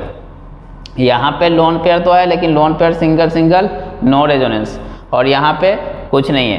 तो अगर मैं इसको स्ट्रक्चर ए मानूँ, इसको बी मानता हूँ, इसको सी तो एक बात तो क्लियर है कि सबसे ज़्यादा स्टेबल ए होगा क्यों? क्योंकि उसमें रेजोनेंस है। अब बी सी में कैसे करेंगे? तो ध्यान से देखो, जबकि ये रेजोनेंस में पार्टिसिपेट नहीं कर रहा है तो इसका कौन सा इफ़ेक्ट होगा? ऑक्सीजन का माइनस आई इफ़ेक्ट यहाँ पे कौन सा हो रहा है? प्लस एम इफ़ेक्ट राइट यहाँ पे माइनस आई इफ़ेक्ट शो करेगा वो। तो माइनस आई की वजह से क्या होगा? डी होंगे। यहाँ पे एटलीस्ट कोई ऐसा इफ़ेक्ट नहीं माइनस आई और क्या हो रहा है? तो ये दोनों साइड से दो दो अल्फ़ा हाइड्रोजन है। चार अल्फ़ा हेच होने की वजह से हाइपर कंजुगेशन हो जाएँगे राइट एच सी तो इसलिए स्टेबिलिटी में फिर सी आगे आएगा और बी पीछे चला जाएगा क्योंकि उसमें माइनस आई है। तो वही ऑर्डर हो गया प्लस एम फिर हाइपर कंजुगेशन फिर माइनस आई तो इसलिए मैंने वो ट्रिक दिया आपको कि आप सब ग्रुप का इफ़ेक्ट आपको पहचानना, वो भी ट्रिक दे रखा हूँ। आप करिए और डायरेक्ट आप आंसर पाइए। नेक्स्ट में ध्यान से देखो इन सब में कार्बोकटाइन के स्टेबिलिटी का ऑर्डर पूछा जा रहा है। अगेन इसको मैं मानता हूँ ए इसको मानता हूँ बी इसको सी एंड डी कार्बोकटाइन के स्टेबिलिटी का ऑर्डर तो यहाँ पे देखो, ये जो पॉजिटिव चार्ज है पॉजिटिव सिंगल डबल रेजोनेंस होगा। तो यहाँ पे ये रेजोनेंस में जा रहे हैं। यहाँ पे डबल बॉन्ड पे ही पॉजिटिव है पॉजिटिव डबल हो गया तो यहाँ कोई रेजोनेंस नहीं है। यहाँ पे क्या हो जाएगा? हाइपर कंजुगेशन हो जाएँगे। यहाँ पे ट्रिपल बॉन्ड पे पॉजिटिव है राइट यहाँ पे भी रेजोनेंस नहीं होगा। तो सबसे ज़्यादा स्टेबल कौन होगा? आपको क्लियर हो चुका है। सबसे ज़्यादा स्टेबल होगा ए क्यों? ड्यू टू रेजोनेंस उसके बाद होगा सी क्यों? ड्यू टू हाइपर कंजुगेशन यहाँ पे क्या हो रहा है? लिख दे रहा हूँ R for resonance H C for hyperconjugation अब यहाँ पे डबल बॉन्ड पे पॉजिटिव है, यहाँ पे triple you know more electronegative पे नेगेटिव स्टेबल होता है। यू नो ये sp कार्बन है। तो sp पे पॉजिटिव अनस्टेबल होगा और ये एस टू है तो थोड़ा स्टेबल होगा राइट तो इसलिए ऑर्डर में आपका कौन आ जाएगा? बी और लास्ट में कौन आ जाएगा आपका? डी तो ये जस्ट मैं एक आपको आइडिया दे रहा हूँ कि आपको क्वेश्चन को कैसे सॉल्व करना है राइट सिमिलरली यहाँ पे क्वेश्चन नंबर फोर में कार्ब एनाइन की स्टेबिलिटी आपसे पूछ लिया राइट तो कार्बेनाइन की स्टेबिलिटी तो ध्यान से देखो, इतना चीज़ सब में क्या है? कॉमन आपको देखते ही पता लग जाएगा। इतना चीज़ सब में कॉमन है, सब में रेजोनेंस हो रहा है। सिर्फ़ हमें क्या देखना पड़ेगा? ग्रुप का इफ़ेक्ट NO2 का कौन सा इफ़ेक्ट माइनस एम कैसे? इसको ओपन करके लिखोगे तो क्या आ जाएगा? एन डबल पॉन्ड ओ आ जाएगा राइट तो जब भी बेंजीन रिंग पे कोई ग्रुप अटैच हो और पाई बॉन्ड बना हो और y की इलेक्ट्रोनिगेटिविटी एक से ज़्यादा तो माइनस एम यहाँ पे इसके पास लोन पेयर है तो कौन सा गुड इफ़ेक्ट प्लस एम यहाँ पे कुछ नहीं हाइड्रोजन तो न्यूट्रल वाला। तो आपको क्या ऑर्डर बताया था? किसकी स्टेबिलिटी कार्बेनाइन कार्बेनाइन मतलब रिच तो सबसे पहले कौन सा? पोअर पोअर कौन है? माइनस एम तो इसलिए स्टेबिलिटी ऑर्डर में अगर इसको मैं वन मानता हूँ, इसको टू मानता हूँ, इसको थ्री मानता हूँ तो सबसे ज़्यादा कौन हो जाएगा आपका? वन क्योंकि माइनस एम है। फिर थ्री मोमाया से दूर वाले, और लास्ट में क्या आ जाएँगे? To next question fifth question again इस टाइप से पूछा सकता है इंपॉर्टेंट है, कि यहाँ पे ये चार कंपाउंड आपको गिवन है, किसमें कार्बन और क्लोरीन के बीच का बॉन्ड जो होगा length carbon chlorine bond length right shortest होगा शॉर्टेस्ट सीसीएल बॉन्ड तो यू नो बॉन्ड ऑर्डर जितना ज़्यादा होता है बॉन्ड लेंथ उतना कम होता है। तो अब यहाँ पे क्या हो रहा है, वो ध्यान से देखो। ये सब क्वेश्चन एग्ज़ाम में समझ में नहीं आते। Lone pair single double resonance हो रहा है राइट यहाँ पे भी रेजोनेंस होगा। ध्यान से देखो। लोन पेयर सिंगल डबल और रेजोनेंस होने के बाद फिर ये NO2 का माइनस एम ये रेजोनेंस और फर्दर आगे शिफ्ट हो जाएगा। कैसे? तो इसको ओपन करके देख लो, आपको समझ में आ जाएगा। तो ये आगे यहाँ तक शिफ्ट होकर के आएगा। तो डेट मीन्स NO2 क्लोरीन के लोन पेयर को खींचने का काम कर रहा है, इसलिए यहाँ पे ज़्यादा से ज़्यादा बॉन्ड बना रहेगा। बॉन्ड ऑर्डर इंक्रीज होगा तो बॉन्ड लेंथ क्या हो जाएगा? कम हो जाएगा। थर्ड ऑप्शन में भी रेजोनेंस होगा, लेकिन सी एस थ्री का कौन सा इफ़ेक्ट? Hyper conjugation. तो ये बैक करेगा, देने की कोशिश करेगा तो ज़्यादा लोन पेयर को आने नहीं देगा। सिमिलरली, ये तो प्लस एम इफ़ेक्ट वाले हो गए, ये और बैक करेंगे, आने नहीं देंगे। तो यहाँ पे तो हमसे पूछा गया कि सबसे ज़्यादा किसमें होगा? बॉन्ड ऑर्डर तो टू में होगा, इसलिए शॉर्टेस्ट बॉन्ड लेंथ होंगी राइट तो अगर शॉर्टेस्ट बॉन्ड लेंथ है तो वो टू है। अगर आपसे ये पूछा जाता कि ऑर्डर ही बताओ मेरे को तो ऑर्डर आप कैसे बताते? बॉन्ड लेंथ और शॉर्टेस्ट तो शॉर्टेस्ट सबसे किसमें आ गया? टू में राइट उससे ज़्यादा बॉन्ड लेंथ, ध्यान रहे, उससे ज़्यादा बॉन्ड लेंथ किसमें होता आपका? तो डेफिनेटली वन में, और उससे ज़्यादा फिर थ्री में और सबसे ज़्यादा किसमें हो जाता फोर में। क्यों?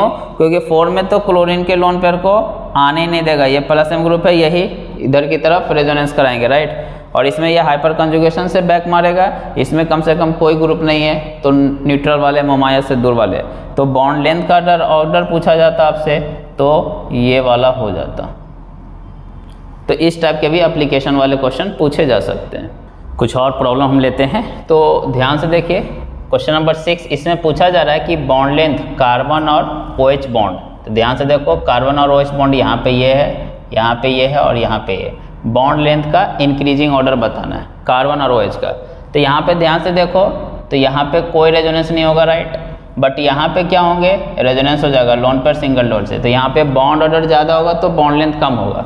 यहाँ पे भी रेजोनेंस तो होगा बट ये ऑक्सीजन का लोन पेयर भी रेजोनेंस करेगा, जिसकी वजह से इसको ये आने नहीं देगा बेंजीन रिंग में राइट तो सबसे ज़्यादा बॉन्ड ऑर्डर यहाँ पे होंगे राइट क्योंकि रेजोनेंस पूरा फुल्ली हो रहा है तो बॉन्ड लेंथ क्या हो जाएगा? कम। तो इंक्रीजिंग बॉन्ड लेंथ तो यू नो जितना कम बॉन्ड ऑर्डर होगा बॉन्ड लेंथ उतना ज़्यादा होगा तो सबसे कम बॉन्ड ऑर्डर वन में होगा राइट तो सबसे ज़्यादा बॉन्ड लेंथ आपका वन का हो जाएगा।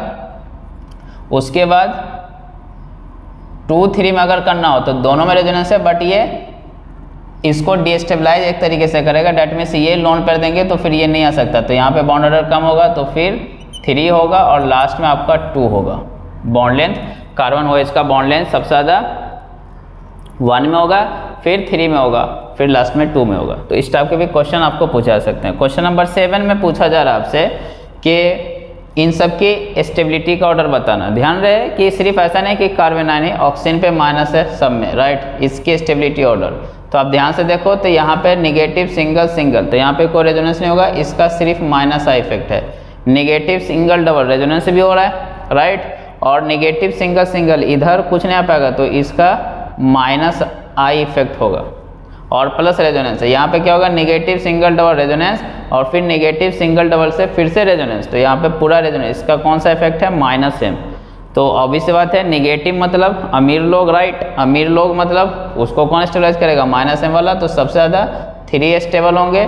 फिर two that is B and then फिर वन राइट तो ये स्टेबिलिटी का ऑर्डर हो जाएगा। क्वेश्चन नंबर एट इस टाइप के भी क्वेश्चन बहुत बार पूछ जाते हैं। मैं डिफरेंट कंसेप्ट वाले क्वेश्चन ले रहा हूँ कि which will give precipitate with A G N O three solution तो वही दे सकता है जिसका कार्बोकाटाइन स्टेबल हो जाए राइट क्योंकि एजी क्या करेगा?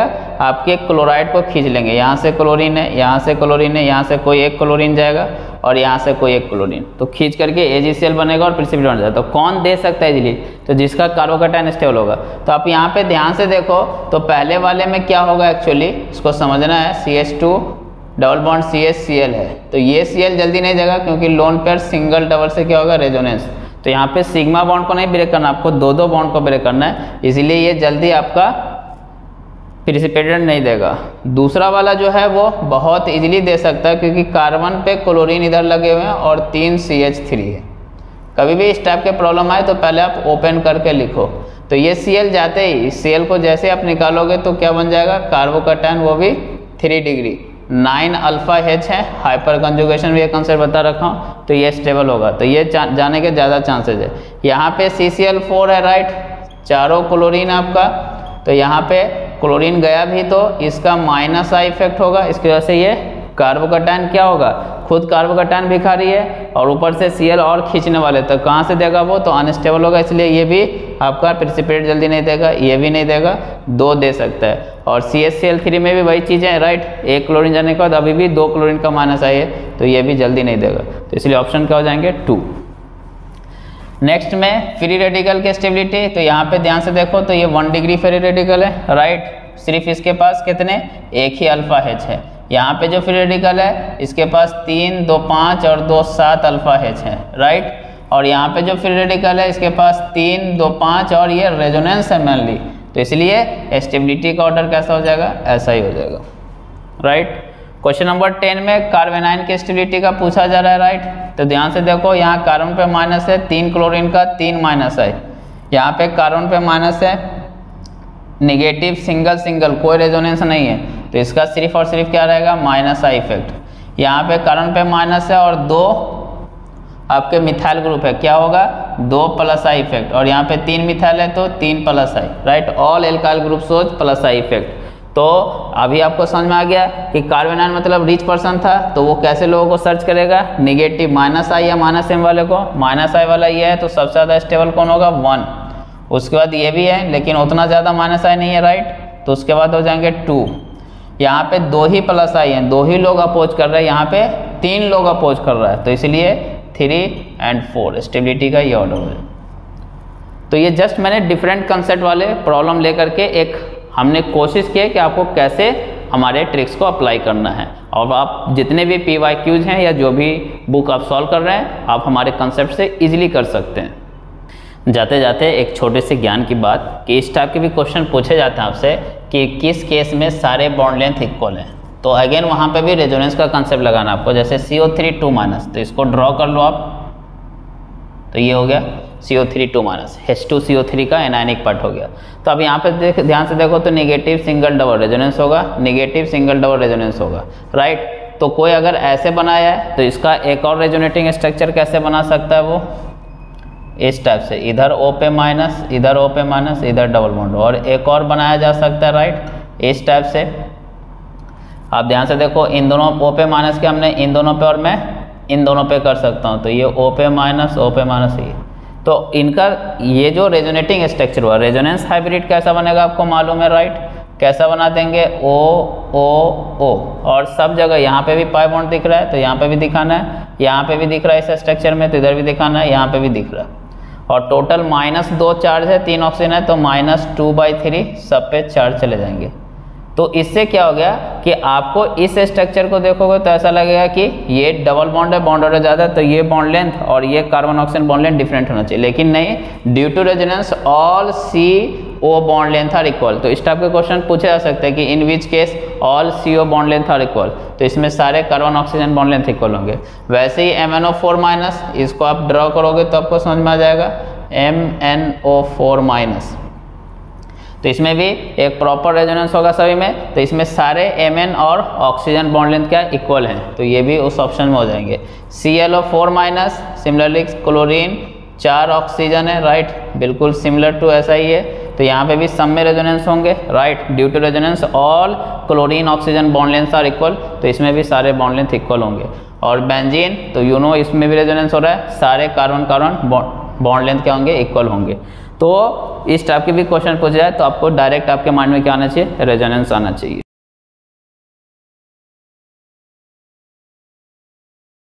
हेलो बच्चों, कैसे हो? आज मैं आपको जो कंसेप्ट या ट्रिक्स देने जा रहा हूँ, वो बहुत ही इम्पोर्टेंट है। क्योंकि इस ट्रिक से या इस कंसेप्ट से मेंस या नीट के एग्ज़ाम में मिनिमम एक क्वेश्चन रहता ही है। इसलिए हम इस ट्रिक्स या कंसेप्ट को बहुत अच्छे से समझेंगे और आसानी से भी। तो चलिए हम स्टार्ट करते हैं कि कोई गिवन कंपाउंड होगा या स्ट्रक्चर होगा तो आप कैसे पहचानोगे कि वो एरोमेटिक है या एंटी एरोमेटिक है या नॉन एरोमेटिक है?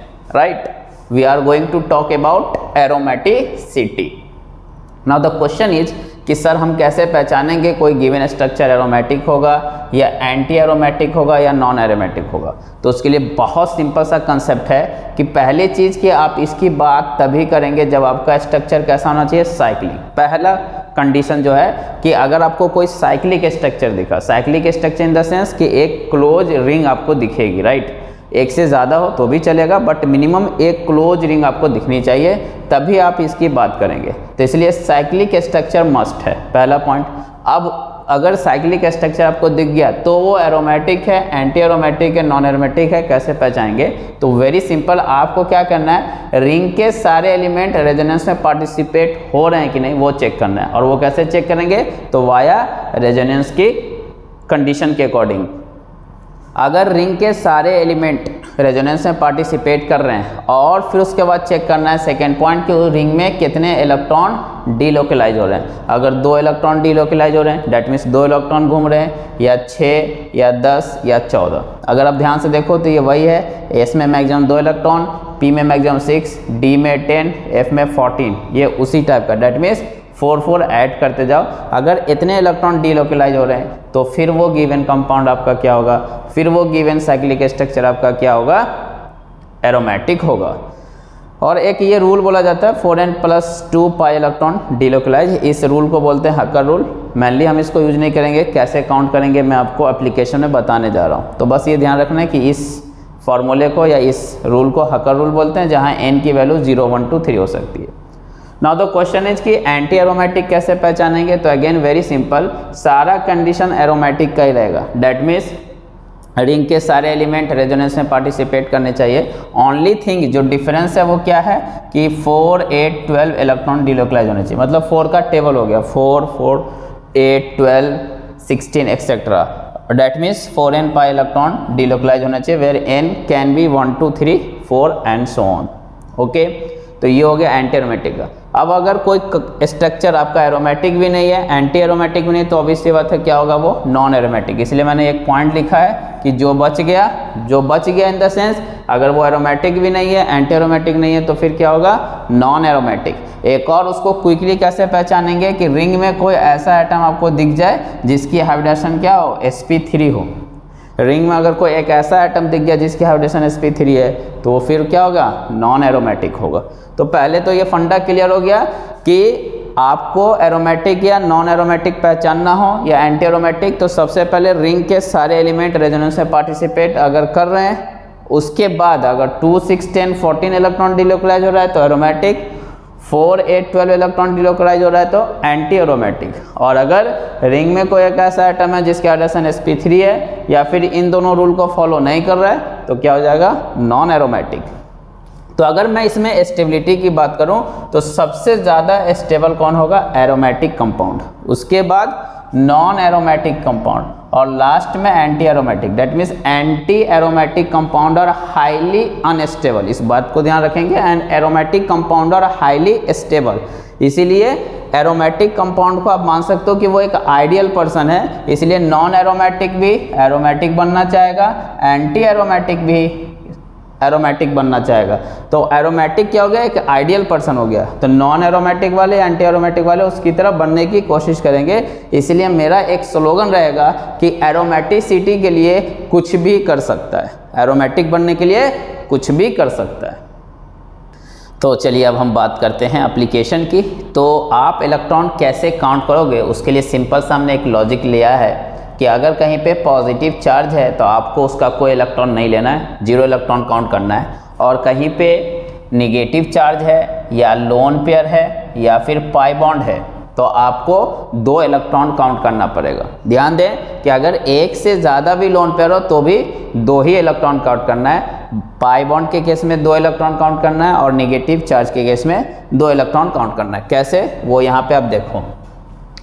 अगर सपोज़ करो कि मुझे पता करना हो कि ये एरोमेटिक है या नहीं है तो पहले तो साइक्लिक स्ट्रक्चर है राइट तो वो वो कंडीशन पास हो गया। अब इलेक्ट्रॉन काउंट करना है तो ध्यान से देखो पॉजिटिव सिंगल डबल रेजोनेंस हो रहा है positive single double that means ring का जो सारा एलिमेंट है वो रेजोनेंस में पार्टिसिपेट कर रहा है। और इलेक्ट्रॉन कितने डिलोकलाइज हो रहे हैं तो इसका तो कुछ नहीं लेंगे ज़ीरो और पाई का आप लेंगे दो ये वाले दो इलेक्ट्रॉन तो दो इलेक्ट्रॉन डिलोकलाइज हो रहे हैं रिंग का सारा एलिमेंट पार्टिसिपेट कर रहा है इसलिए ये क्या हो जाएगा आपका एरोमेटिक चलिए ने, नेक्स्ट नीचे वाले में आते हैं सेकंड पे.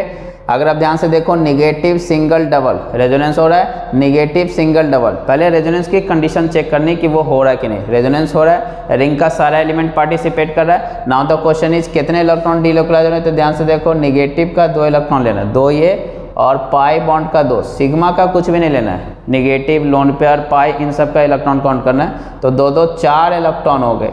चार इलेक्ट्रॉन हो गए तो क्या हो जाएगा?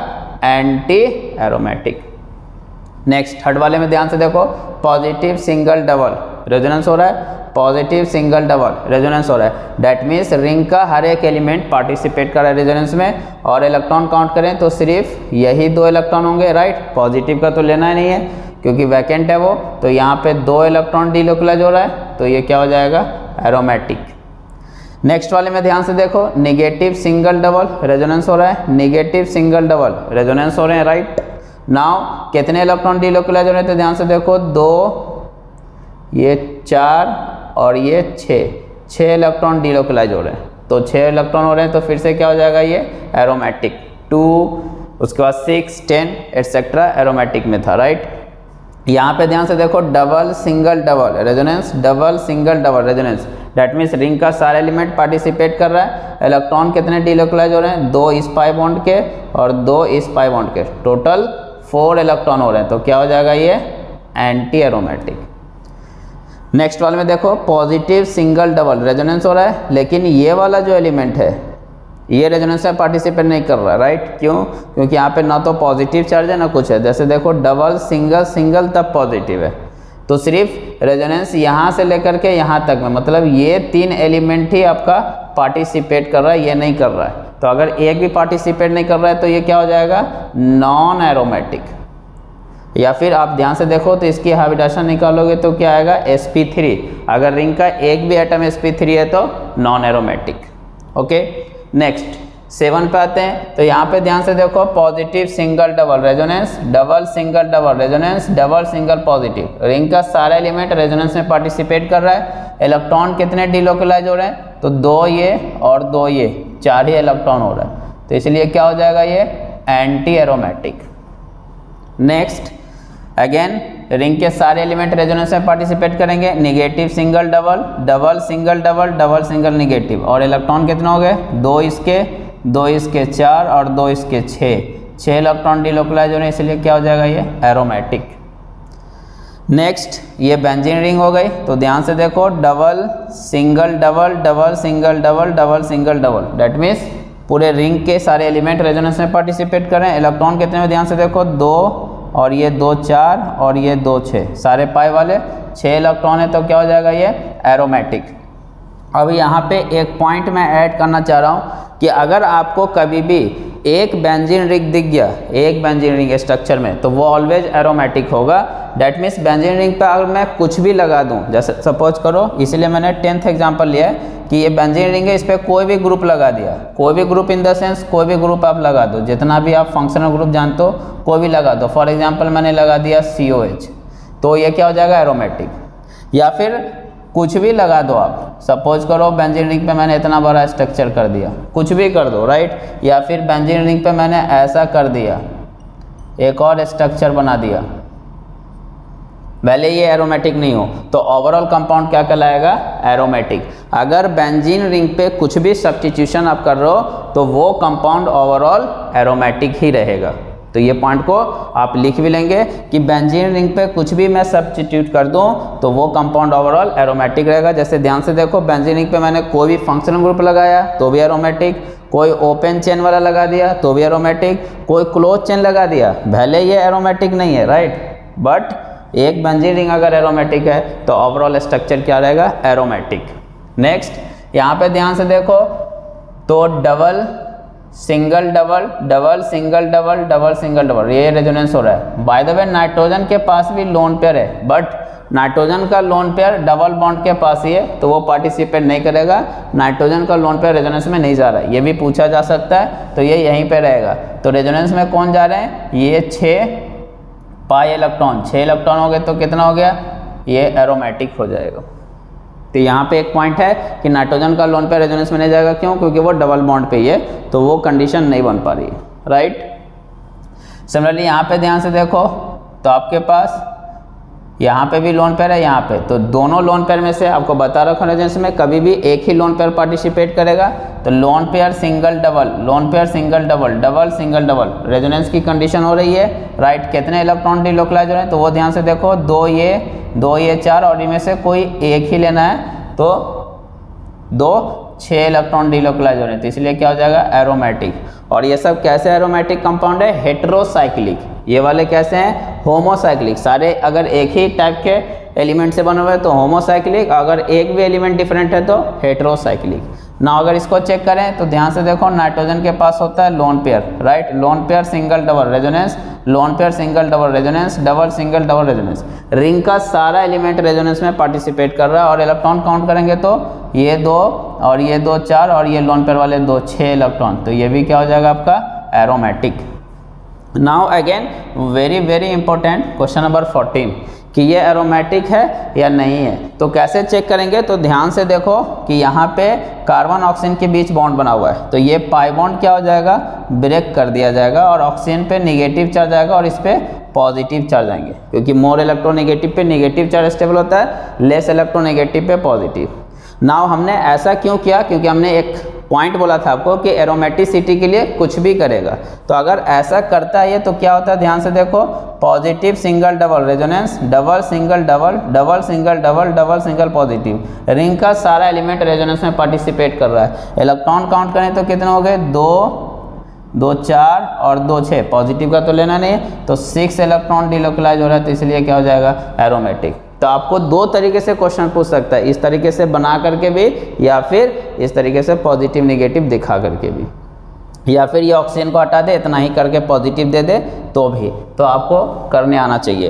एंड लास्ट 15 तो यहाँ पे ध्यान से देखो डबल सिंगल सिंगल रेजोनेंस ही नहीं हो रहा। ये एलिमेंट या ये एलिमेंट जो कि कार्बन है, ये रेजोनेंस में पार्टिसिपेट नहीं कर रहे हैं। एस पी थ्री है, इसलिए क्या हो जाएगा? नॉन एरोमेटिक तो आई होप ये सारे एग्ज़ाम्पल आपको समझ में आए होंगे कि किस तरीके से मैं पहचान रहा हूँ कि ये गिवन कंपाउंड एरोमेटिक है या फिर नॉन एरोमेटिक है या एंटी एरोमेटिक है।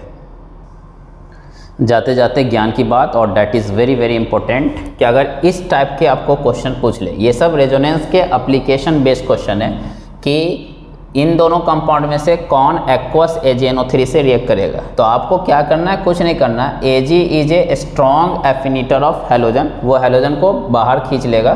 तो यहाँ पे आप बना करके देख लो। अगर हेलोजन चला गया तो यहाँ पे आ जाएगा पॉजिटिव और यहाँ से हेलोजन गया तो आपका यहाँ पे आ जाएगा पॉजिटिव राइट तो अगर आप ध्यान से देखो तो ये एरोमेटिक हो रहा है और ये नॉ एंटी एरोमेटिक हो रहा है राइट तो you know anti aromatic structure highly unstable है, इसलिए ये रिएक्शन आपकी नहीं होगी और ये रिएक्शन हो जाएगी। तो इस टाइप का आपसे पूछा जा सकता है कि which will give precipitate with A G N O three solution तो आपको ये चेक करना पड़ेगा कि वो बी आर जाने से जो पॉजिटिव चार्ज क्रिएट हो रहा है, वो रेजोनेंस में जा रहा है कि नहीं और एरोमेटिक कंडीशन बन रही है कि नहीं। सिमिलरली क्वेश्चन नंबर टू इस टाइप से पूछे जा सकते हैं कि which will react with N A और which will react with N A to give H two तो अगर ध्यान से देखो, ये मेटल है तो यहाँ से हाइड्रोजन जब H प्लस के फॉर्म में निकलेगा, जिसको सोडियम इलेक्ट्रॉन देगा तो H2 गैस बनेगी तो यहाँ पे आएगा निगेटिव चार्ज और इस केस में यहाँ पे निगेटिव तो अगर पहले वाले में मैं देखूँ तो आपका कैसे हो जाएगा? इस टाइप से.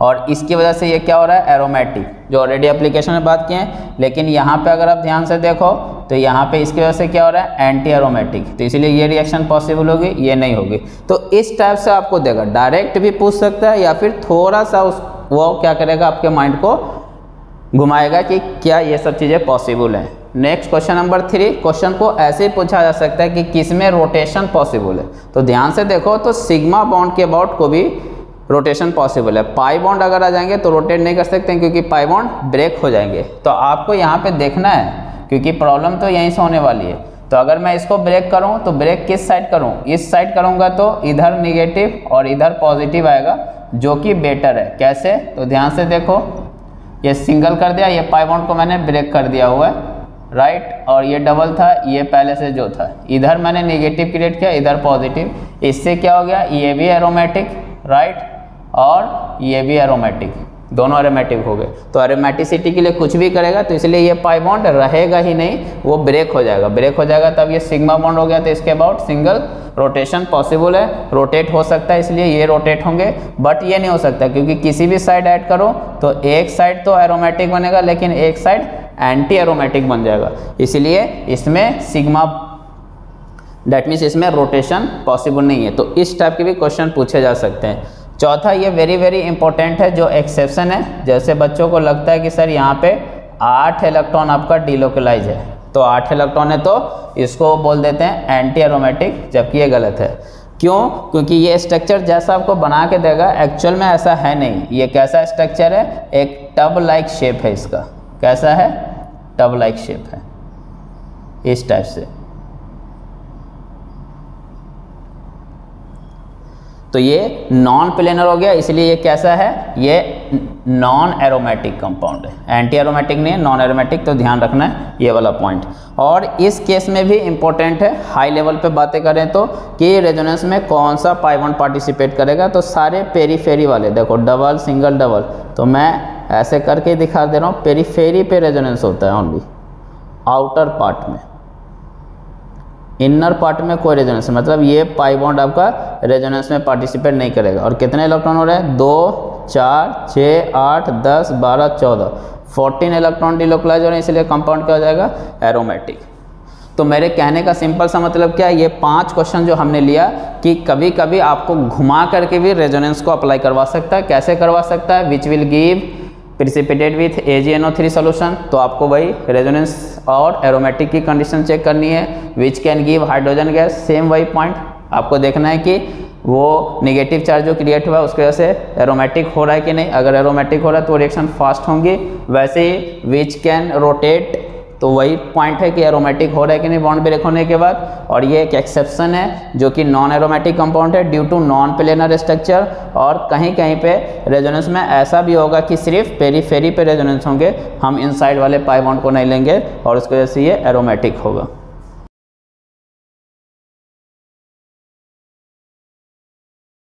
हेलो फ्रेंड्स कैसे हो? आज हम लोग बात करेंगे कार्बोकटायन रीअरेंजमेंट के बारे में। और कार्बोकटायन को मैं प्यार से बोलूँगा धोखेबाज। क्यों?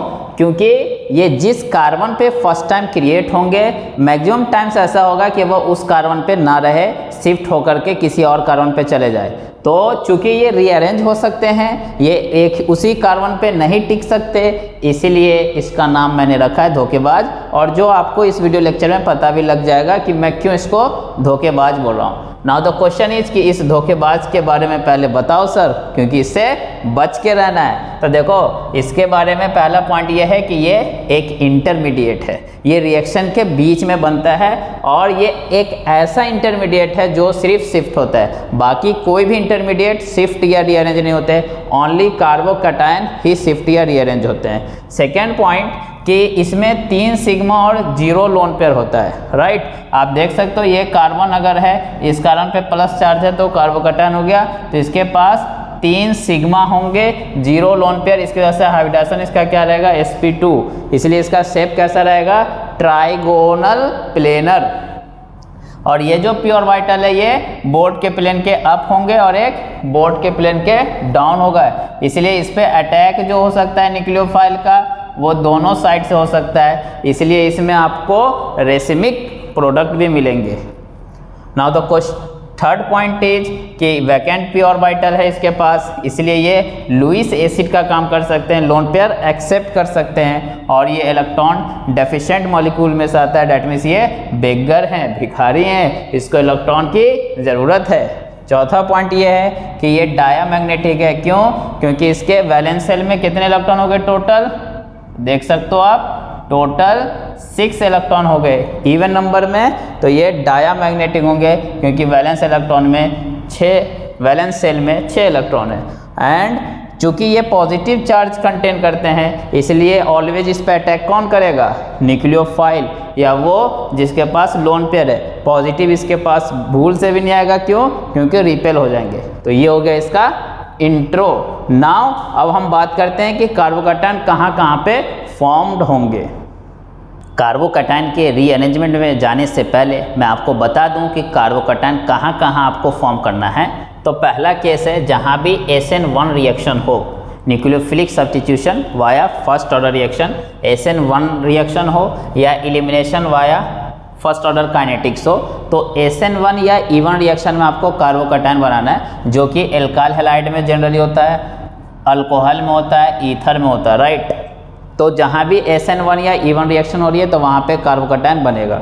दूसरा, जहाँ भी alcohol in presence of acidic medium हो राइट स्ट्रॉन्ग एसिडिक मीडियम हो तो ये ओ OH और H प्लस वाटर के फॉर्म में बाहर निकल जाता है और कार्बोकटाइन आपका बन जाएगा राइट तीसरा, जब भी एल्कीन डबल बॉन्ड पे एडिशन हो एच का लाइक एच का या एच का, अगर एच का एडिशन डबल बॉन्ड पे हो रहा है तो वहाँ भी कार्बोकटायन आपका फॉर्म्ड होगा। या फिर H प्लस एच का एडिशन हाइड्रेशन ऑफ़ एल्कीन कर रहे हो तो भी वहाँ पे कार्बोकटायन आपको फॉर्म होंगे। कार्बोकटायन और कहाँ पे फॉर्म होगा? जब वन डिग्री अमाइन की रिएक्शन एलिफेटिक अमाइन की रिएक्शन अगर आप Na और HCl से करा दोगे तो R N two positive Cl negative diazonium बनेंगे, जो क्विकली ब्रेक होकर के आपको कार्बोकटायन देंगे। और कार्बोकटायन कहाँ पे बनेगा? जब एल्काइल हेलाइट की reaction A L C L three से कर दोगे एनहाइड्रस वाले से। तो ये A L C L three X को खींच लेगा और क्या बना देगा? आर प्लस तो कहने का सिंपल सा मतलब है कि पहले आपके माइंड में ये भी क्लियर होना चाहिए कि कार्बोकटायन बनाना कहाँ है। तो वेरी सिंपल पाँच जगह पे आपको कार्बोकटायन बनाना है। एस एन वन या ई वन रिएक्शन में बनाना है। Alcohol in presence of acidic medium अगर दिख जाए तो बनाना है। Alkene in presence of H X या alkene in presence of H plus H two तो वहाँ पर भी कार्बोकटायन बनाना है। One degree aliphatic amine in presence of N N two और एल तो और डाइजोनियम सॉल्ट जो होते हैं, उस केस में भी बनाना है, और alkyl halide in presence of A L C L three या फिर डी ब्लॉक का कोई कंपाउंड हो तो वहाँ पे आपको कार्बोकटाइन बनाना है। तो आई होप क्लियर होगा कि आपको कार्बोकटाइन कहाँ कहाँ पे बनाना है। नाउ अब हम बात करेंगे इसके रीअरेंजमेंट के बारे में। तो चलिए अब हम बात करते हैं रीअरेंजमेंट के बारे में। तो ध्यान से देखो रीअरेंजमेंट बस इतनी ही जगह पे पॉसिबल है। पहला case via H minus shift hydride shift बोलते हैं। तो हाइड्राइड शिफ्ट होकर के रीअरेंजमेंट हो सकता है, या फिर एल्काइल शिफ्ट होकर के हो सकता है, या फिर रिंग एक्सपेंड हो सकती है तो उससे रीअरेंजमेंट हो सकता है, या फिर रिंग कॉन्ट्रैक्ट हो सकती है तो उससे आपका रीअरेंजमेंट हो सकता है। तो टोटल चार प्रोसेस है और चारों को अच्छे से समझ लो। कि ताकि कन्फ्यूज़न ना रहे। हाइड्राइड शिफ्ट मैंने पहले लिखा है क्योंकि ऑलवेज पहले इसको कराना है। और जैसे यहाँ पे देखो, ये जो कार्बन पे प्लस है और यहाँ पे हाइड्रोजन है राइट तो यहाँ पे हाइड्रोजन है तो हाइड्राइड शिफ्ट पहले होगा। तो ऐसे केस में आपको हाइड्राइड शिफ्ट कराना है। यहाँ पे कार्बन प्लस है बट इधर में कोई हाइड्रोजन नहीं है, क्योंकि कार्बन ने अपना चारों बॉन्ड बना लिया। तो जब हाइड्रोजन नहीं होगा, तब यहाँ पे आपको कराना अल्काइल शिफ्ट तो पहले तो कन्फ्यूज़न बिल्कुल ख़त्म कर लेना हाइड्राइड शिफ्ट को प्रेफर करना। अगर हाइड्रोजन नहीं होगा, तब आपको एल्काइल शिफ्ट कराना। ये तभी पॉसिबल है जब H नहीं है। ये मैं लिख देता हूँ। जब हाइड्रोजन नहीं है, तब एल्काइल शिफ्ट अगर हाइड्रोजन है तो फिर हाइड्राइड शिफ्ट होगा। रिंग एक्सपेंड कब होगी? तो दो ही केस में। जब four member ring four member ring के जस्ट बगल वाले कार्बन पे फोर मेंबर रिंग से जो कार्बन अटैच होंगे, उस पर प्लस होना चाहिए। तो फोर मेंबर रिंग होगी तो या फिर वैसे ही फाइव मेंबर रिंग होगी तो। फोर मेंबर रिंग या फाइव मेंबर रिंग से जो कार्बन अटैच हैं, उसके पास अगर प्लस है तो ही रिंग एक्सपेंड होगी और फोर मेंबर फाइव में चली जाएगी और फाइव मेंबर सिक्स में।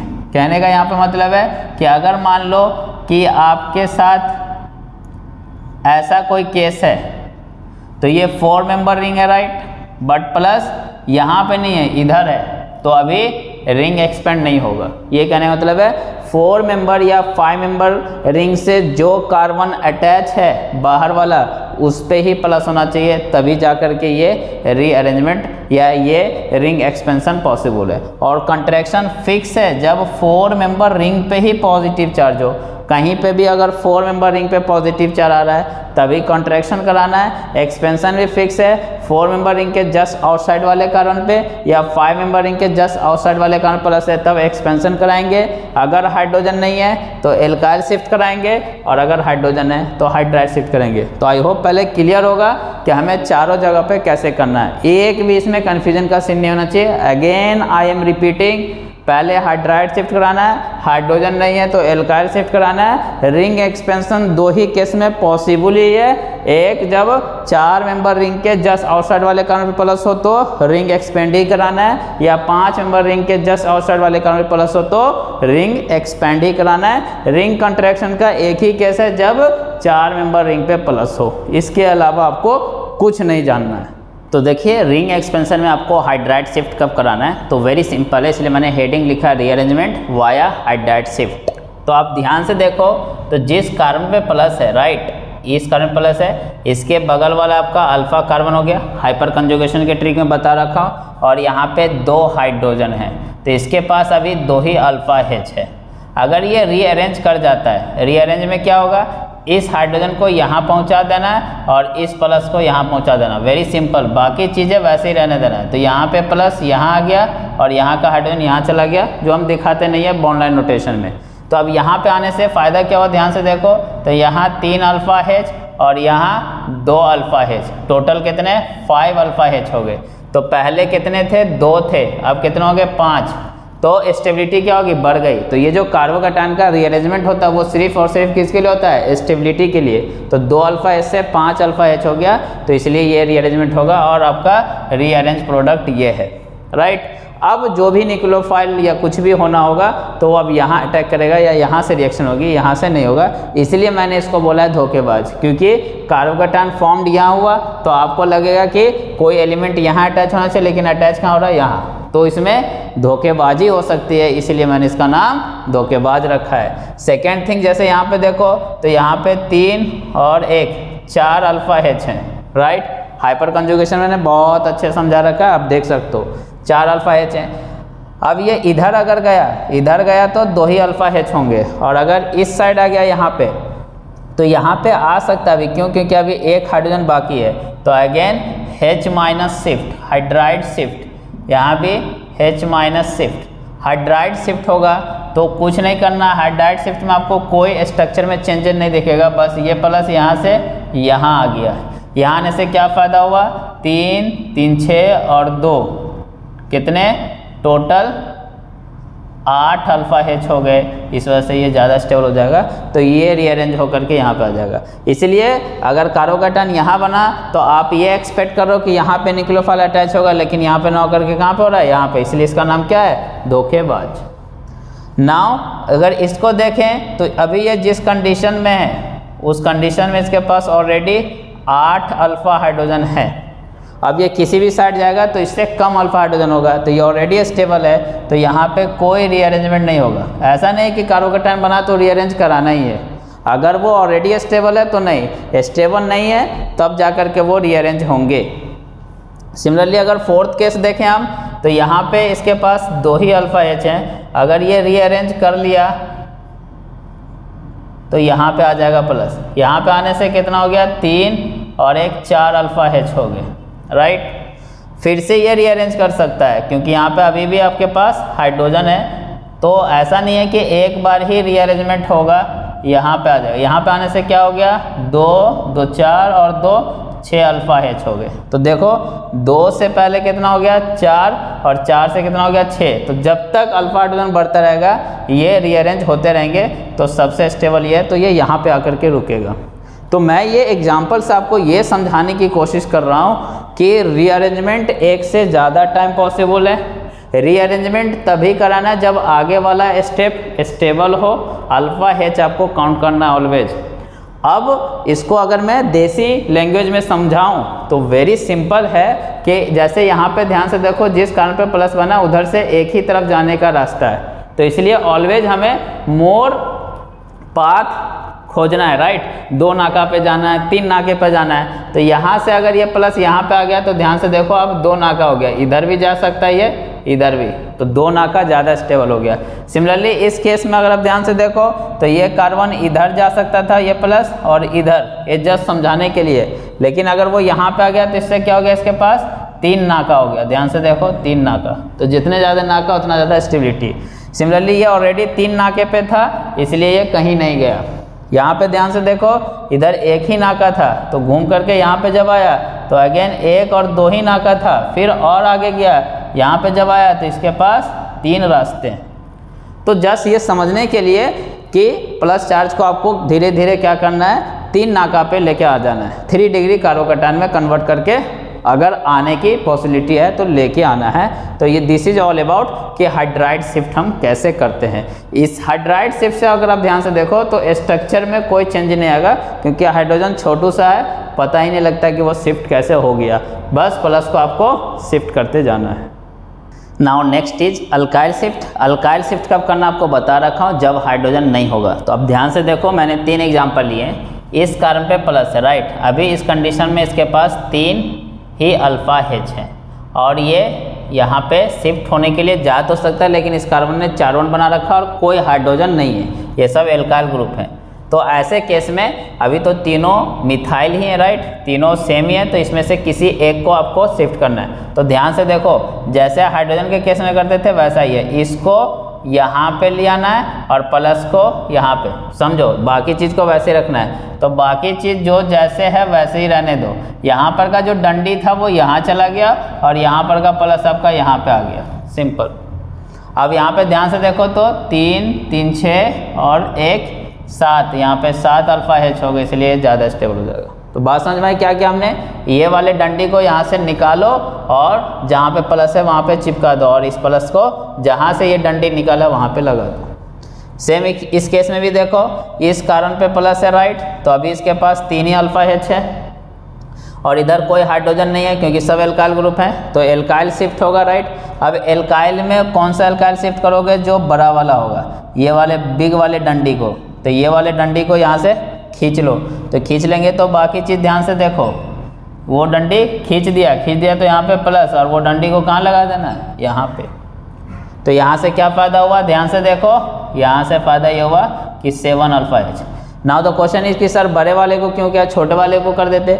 छोटे वाले को करते तो क्या प्रॉब्लम होता? है यहाँ से देखो, अगर सपोज़ करो आपने इस वाली डंडी को खींचा तो बाकी चीज़ों को वैसे ही रहने दो। ध्यान से देखो, ये डंडी हटा दिया है तो ये इधर था और ये था, और यहाँ पे प्लस और ये। इससे प्रॉब्लम क्या हुआ? ध्यान से देखो प्रॉब्लम ये हुआ कि तीन, दो, पाँच, एक, छः छः ही अल्फ़ा हैच हो गए। जबकि यहाँ सात थे। तो इसलिए जब डंडी हटाना हो तो कौन सा हटाना है? बड़ा वाला, ताकि अल्फ़ा हैच इनक्रीज हो जाए। सिमिलरली यहाँ पे ध्यान से देखो, ये प्लस है राइट अब यहाँ पे कोई अल्फ़ा हाइड्रोजन नहीं है, क्योंकि चार वन बना लिया है। तो यहाँ से कौन सा डंडी हटाओगे आप? बड़ा वाला। तो अब ध्यान से देखो, बाकी चीज़ को वैसे रहने दो। यहाँ से बड़ा वाला डंडी हट गया मतलब खींच लिया तो प्लस क्रिएट हो गया और वो डंडी कहाँ पे लगा देना? यहाँ पे। इससे क्या फ़ायदा हुआ? तो देखो, पहले सिर्फ़ क्या था? दो नाका। अब कितने नाका हो गए? तीन नाका। या फिर अल्फ़ा हाइड्रोजन तो तीन, दो, पाँच, एक छः अल्फ़ा एच हो गए। जबकि पहले कितने थे? सिर्फ़ दो अल्फ़ा एच थे। तो आई होप आपको एकदम क्लियर होगा कैसे हाइड्राइड शिफ्ट करते हैं और कैसे एल्काइल हाइड्राइड में आपने देखा स्ट्रक्चर में कोई चेंजेस नहीं दिख रहा था, लेकिन एल्काइल में ऑलवेज स्ट्रक्चर में आपको चेंजेस दिखेगा। और करना क्या है? वहाँ से वो डंडी या वो बॉन्ड को हटा लेना है प्लस की जगह चिपका देना और प्लस वाले को आपको जहाँ से डंडी हटाए हो, वहाँ पे प्लस क्रिएट कर देना है। नाउ अब हम बात करते हैं रिंग एक्सपेंशन के बारे में, जो कि सबसे इम्पोर्टेंट है और बहुत सारे बच्चे इसमें कन्फ्यूज़ रहते हैं तो उसके लिए मैंने बहुत सिंपल ट्रिक लाया। आप ध्यान से देखो। तो यहाँ पे ध्यान से देखो तो फोर मेंबर रिंग है और उसके बाहर वाले कारण पे प्लस है। तो रिंग एक्सपेंशन की कंडीशन बन गई राइट तो आपको क्या करना है? पहला पॉइंट हमने लिखा है, जिस कारण पे प्लस हो, उसको वन नंबर देना हुआ, देना है और फिर रिंग के अंदर वाले कार्बन को नंबरिंग करना है। जैसे ध्यान से देखो अप्लाई करके बताता हूँ। इस कार्बन प्लस है तो इसको वन उसके बाद रिंग के अंदर जाना तो टू अभी किधर भी ग्रुप नहीं लगा है तो जिधर मन करे तो थ्री फोर और फाइव राइट तो ये पहले पॉइंट का मतलब है कि जिस कार्बन पे डेट मीन्स रिंग के जस्ट आउटसाइड वाले कार्बन को वन देना है नंबरिंग में। ये आईपीएससी नेमिंग का नंबरिंग नहीं है, ये मैं आपको ट्रिक का पॉइंट बता रहा हूँ। तो आपको उसको वन देना है, उसके बाद रिंग वाले पे आ जाना है और रिंग में नंबरिंग कर देना one two three four five अब ये करने के बाद आप भूल जाओगे क्या हुआ? पाँच टोटल कितना हो गया? One two three four five मतलब आपको क्या करना है? पाँच मेंबर की एक रिंग बना देनी है। क्या किया हमने? पाँच टोटल आया तो पाँच। तो और उसके बाद क्या पॉइंट है देखो? कार्बन नंबर टू पे पॉजिटिव देना और बाकी ग्रुप जिस कार्बन पे था लगा देना है। तो ध्यान से देखो तो रिंग के किसी भी कार्बन पे कोई ग्रुप नहीं लगा है। और कार्बन नंबर टू तो कार्बन नंबर टू का क्या मतलब है? ध्यान से देखो।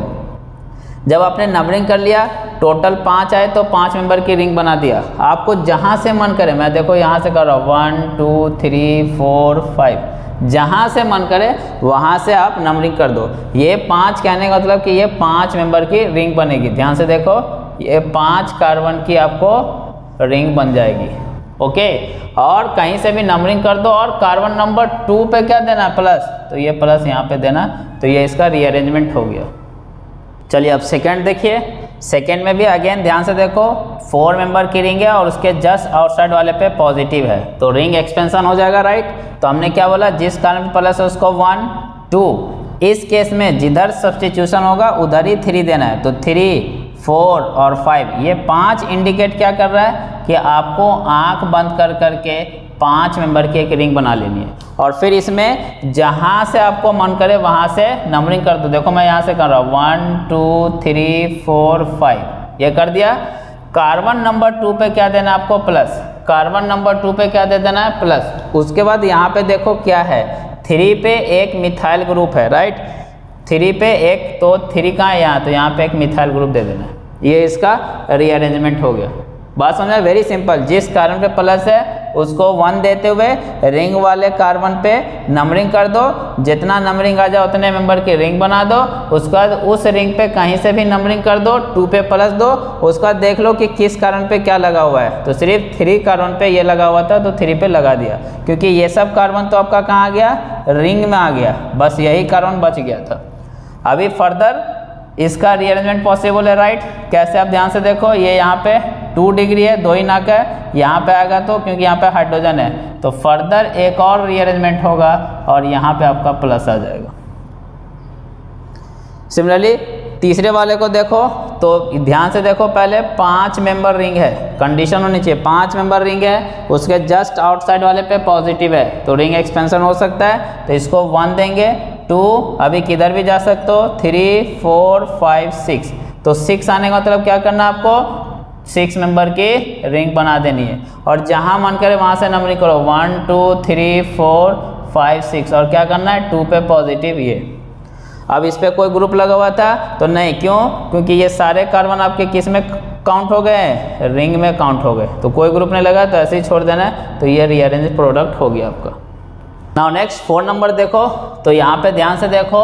तो ये पाँच मेंबर की रिंग और इसके बाहर कोई पॉजिटिव नहीं है। राइट तो अभी रिंग एक्सपेंड तो नहीं कराना है। लेकिन ये जो है वो वन डिग्री कर्व का कार्बोकटाइन है, ये यहाँ पे शिफ्ट होके आ सकता है। तो पहले आपकी शिफ्टिंग होगी राइट तो पहले शिफ्ट कराओ। तो यहाँ पे आपका आ जाएगा प्लस वाया हाइड्राइड शिफ्ट क्योंकि हाइड्रोजन था। अब जब हाइड्राइड शिफ्ट होकर के आया तो अब एक परफेक्ट कंडीशन बन गया रिंग एक्सपेंशन की, क्योंकि ये पाँच मेंबर रिंग और उसके बार वाले कारण पे प्लस है। तो आपको फिर से मैं पॉइंट बता रखा हूँ। जिस कारण पे प्लस है, उसको वन देना है और रिंग वाले कारण पे आ जाना है। तो ये टू इधर ही थ्री करना है क्योंकि सब्सटीट्यूशन है फोर फाइव और सिक्स तो ये सिक्स क्या रिप्रेजेंट कर रहा है कि आपको आँख बंद कर करके सिक्स मेंबर की एक रिंग बना देनी है। और इस पर जहाँ से मन करे, वहाँ से नंबरिंग कर दो। One two three four five six ध्यान से देखो, ये हो गया सिक्स कर दिया। उसके बाद कार्बन नंबर टू पे प्लस डाल दो। डाल दिया। अब ध्यान से देखो। तो देखो यहाँ से ध्यान से देखो, ये और ये सारे कार्बन तो आपके किसमें चले गए हैं? रिंग में चले गए। तो क्या हुआ? कार्बन नंबर वन पे ये बचा हुआ है और कार्बन नंबर थ्री पे ये बचा हुआ है। तो वन पे लगाओ और थ्री पे लगाओ। सिंपल। समझ गए बात? अब आपको मालूम है कि ये दो नाके पे ये कार्बोकटाइन फंसा हुआ है। तो तीन नाके पे जा सकता है। तो किसी भी साइड इसको आप शिफ्ट कर दो। और यहाँ पे अगेन हाइड्राइड शिफ्ट होगा अगर इधर करोगे। तो ये आपको रीअरेंज प्रोडक्ट मिलेंगे। तो बहुत ईजी है ये, इस पॉइंट को ध्यान से समझो। एक और मैं लेता हूँ कभी कभी बच्चे यहाँ पे कन्फ्यूज़ हो जाते हैं। देखो तो यहाँ पे कार्बोकटाइन रीअरेंजमेंट हो जाएगा राइट क्यों? क्योंकि ये अभी वन डिग्री है तो यहाँ पे आ सकता है तो यहाँ पे ले आएँगे। उसके बाद बच्चे क्या करते हैं? रिंग एक्सपेंशन सोचने लगते हैं। यहाँ पे रिंग एक्सपेंड नहीं कराना है। क्यों? क्योंकि आपकी रिंग ऑलरेडी सिक्स मेंबर की है। ओनली फोर मेंबर रिंग के जस्ट आउटसाइड वाले पे होगा तो या फाइव के आउटसाइड वाले पे होगा। यहाँ पे सिक्स के आउटसाइड है तो रिंग एक्सपेंशन नहीं करना है। राइट तो यहाँ पे ये प्लस अभी दो नाके पे है तो यहाँ आ सकता है तीन नाके पे। तो इसको रीअरेंज करके आपको तीन नाके पे लेके आना है। तो यहाँ हर केस में हाइड्राइड शिफ्ट हुआ है। यही यही वो केस जहाँ पे बच्चे कन्फ्यूज़ होते हैं। यहाँ पे प्लस था तो वो प्लस को कहाँ ले आते हैं? अंदर में। और पाँच मेंबर रिंग ही रहने देते हैं। नहीं, पाँच छः में जाएगा। यहाँ पे आपको रिंग एक्सपेंड कराना है। जबकि यहाँ पे रिंग ऑलरेडी एक्सपेंडेड है सिक्स मेंबर स्टेबल है तो यहाँ पे आपको हाइड्राइड शिफ्ट कराना है। तो आई होप क्लियर होगा। बहुत अच्छे से वेरी सिंपल है। जिस कार्बन पे प्लस है, उसको वन देते हुए नंबरिंग कर लो। वो सारे नंबरिंग वाले कार्बन से रिंग बना लो। टू नंबर पे पॉजिटिव दो, उसके बाद देख लो कि कौन कौन से कारण पे क्या लगा हुआ है, लगा दो। फिर फर्दर रीअरेंजमेंट की पॉसिबल है तो आप रीअरेंज करा दो। Now last ring contraction ring contraction very rare है और बहुत ही कम इसके एग्ज़ाम्पल है और फिक्स है। अगर फोर मेंबर रिंग पे प्लस चार्ज होगा तो रिंग कॉन्ट्रैक्शन होगा। आपको करना क्या है? जिस कारण पे प्लस हो, उसके बगल वाले कार्बन के इधर वाले बॉन्ड को, ध्यान से देखो, उसको भी मैं नंबरिंग करता हूँ वन टू थ्री तो जिस कारण पे प्लस है वो वाले कार्बन के बॉन्ड को नहीं टू थ्री के बीच के बॉन्ड को ब्रेक कर देना, इसको हटा दो और यहाँ से इसको अटैच कर दो। तो ध्यान से देखो क्या हो गया। ध्यान से देखो, ये मैंने अटैच कर दिया। और ये आपका, ये बचाव डंडा था और यहाँ पे प्लस टू पे अगेन प्लस ले आना। है तो इसको अगर मैं अच्छे से लिखूँ तो कैसा हो जाएगा? ध्यान से देखो, ऐसा हो जाएगा। राइट? और ये डांसिंग रेजोनेंस है। कुछ बच्चे इसको क्या करते हैं? यहाँ पे ले आते हैं। बोल देते हैं, सर, तीन नाका बन गया। नहीं, ये डांसिंग रेजोनेंस होने की वजह से ये यहीं पे स्टेबल है और हाईली स्टेबल है। इवन दो ये आपका इस कार्बोकटाइन से भी ज़्यादा स्टेबल है। सी एच टू प्लस से भी। ओके तो इसको, इसलिए ये पॉइंट को ध्यान में रखना है। फोर मेंबर रिंग के पोर पॉजिटिव होगा तो वो थ्री मेंबर रिंग में जाएँगे। करना क्या भाई? जिस कारण पे प्लस है, उसको one two three two three के बीच का बाउंड को ब्रेक कर देना है। डैट मीन्स वन को थ्री से कनेक्ट कर देना है टू पे प्लस ले आना है। और यहीं पे स्टेबल है, उसको अंदर रीअरेंज नहीं कराना है। इवन तो ये कार्बोकटायन आपका ये रेजोनेंस वाले कार्बोकटायन से भी ज़्यादा स्टेबल है। नाउ जाते जाते ज्ञान की बात, और that is very very important तो यहाँ पे ध्यान से देखो, इसका रीअरेंजमेंट मेरे को कराना है। तो आप ध्यान से देखो फोर मेंबर रिंग है, उसके बाहर वाले कर्न में प्लस है। तो सबसे पहले रिंग एक्सपेंशन की कंडीशन बन गई। तो रिंग एक्सपेंड कराना आपको क्या बताया था? जिस कारण पे प्लस है, उसको वन टू इधर सब्सटीट्यूशन है तो इसको थ्री फोर और फाइव रिंग वाले सारे कार्बन को नंबरिंग कर देना। पाँच आने का मतलब क्या हो गया? कि आपको पाँच मेंबर की रिंग बना लेनी है, और जहाँ से मन करे, वहाँ से नंबरिंग कर दो। One two three four five. उसके बाद हमने क्या बोला था? टू पे प्लस देना है। टू पे प्लस दे दिया। अब ध्यान से देखो, ये सारे कार्बन तो आपके रिंग में आ गए राइट अब थ्री वाले पे ये ग्रुप लगा हुआ है। तो थ्री वाला कार्बन यहाँ है, इस पे ये ग्रुप लगा दो। अब क्या फर्दर शिफ्टिंग पॉसिबल है? तो यस ये अभी टू डिग्री आपका राइट दो रास्ते यहाँ पे आ सकता है, तीन नाका है तो ये फर्दर शिफ्ट होगा। तो पहला क्या हुआ है? ध्यान से देखो तो रिंग एक्सपेंड हुई है आपकी। दूसरे केस में क्या हो जाएगा? हाइड्राइड शिफ्ट तो ध्यान से देखो हेच शिफ्ट होगा तो क्या होगा? आपका यहाँ पे प्लस आ जाएगा हाइड्राइड शिफ्ट से। क्या फर्दर शिफ्टिंग पॉसिबल है? तो यस यहाँ पे ध्यान से देखो तो यहाँ पे इसके पास दो दो और वन, पाँच अल्फ़ा हाइड्रोजन थे। अगर ये यहाँ से यहाँ जाए, ये भी तीन नाका है, ये भी तीन नाका है। लेकिन आगे वाले नाके पे जाएगा तो क्या होगा? ध्यान से देखो, आगे वाले नाके पे जाने की वजह से अगेन यहाँ पे क्या हुआ? है हेच शिफ्ट अगर हाइड्राइड शिफ्ट होता है तो ध्यान से देखो, क्या हो गया? तीन तीन और यहाँ पे वन, सात अल्फ़ा हाइड्रोजन हो गए। तो पाँच से सात तो वो स्टेबल हो जाएगा। फिर अगर आप ध्यान से देखो तो फिर से रिंग एक्सपेंशन की कंडीशन बन गई। कैसे? पाँच मेंबर रिंग है और उसके जस्ट आउटसाइड वाले पे पॉजिटिव है। तो हमने क्या बोला था आपको? इसको वन करो, इसको two three four five six तो क्या करना है? सिक्स मेंबर रिंग बना देना आपको आँख बंद करके। जहाँ से मन करे नंबरिंग कर दो नंबरिंग कर दिया हमने। टू पे क्या कर दो? पॉजिटिव अब ध्यान से देखो one, two, three, four, five, six. ये सब तो आपके किसमें चले गए? रिंग बनाने में। तो आपका बचा कौन? ये वाला और ये वाला। दोनों किस पे लगा है? वन पे ही लगा हुआ है तो वन पे आप लगा दें। अब फिर ध्यान से देखो, अब यहाँ पे कोई हाइड्रोजन नहीं है तो अब यहाँ पे क्या होगा? Alkyl shift. यहाँ पे क्या होगा?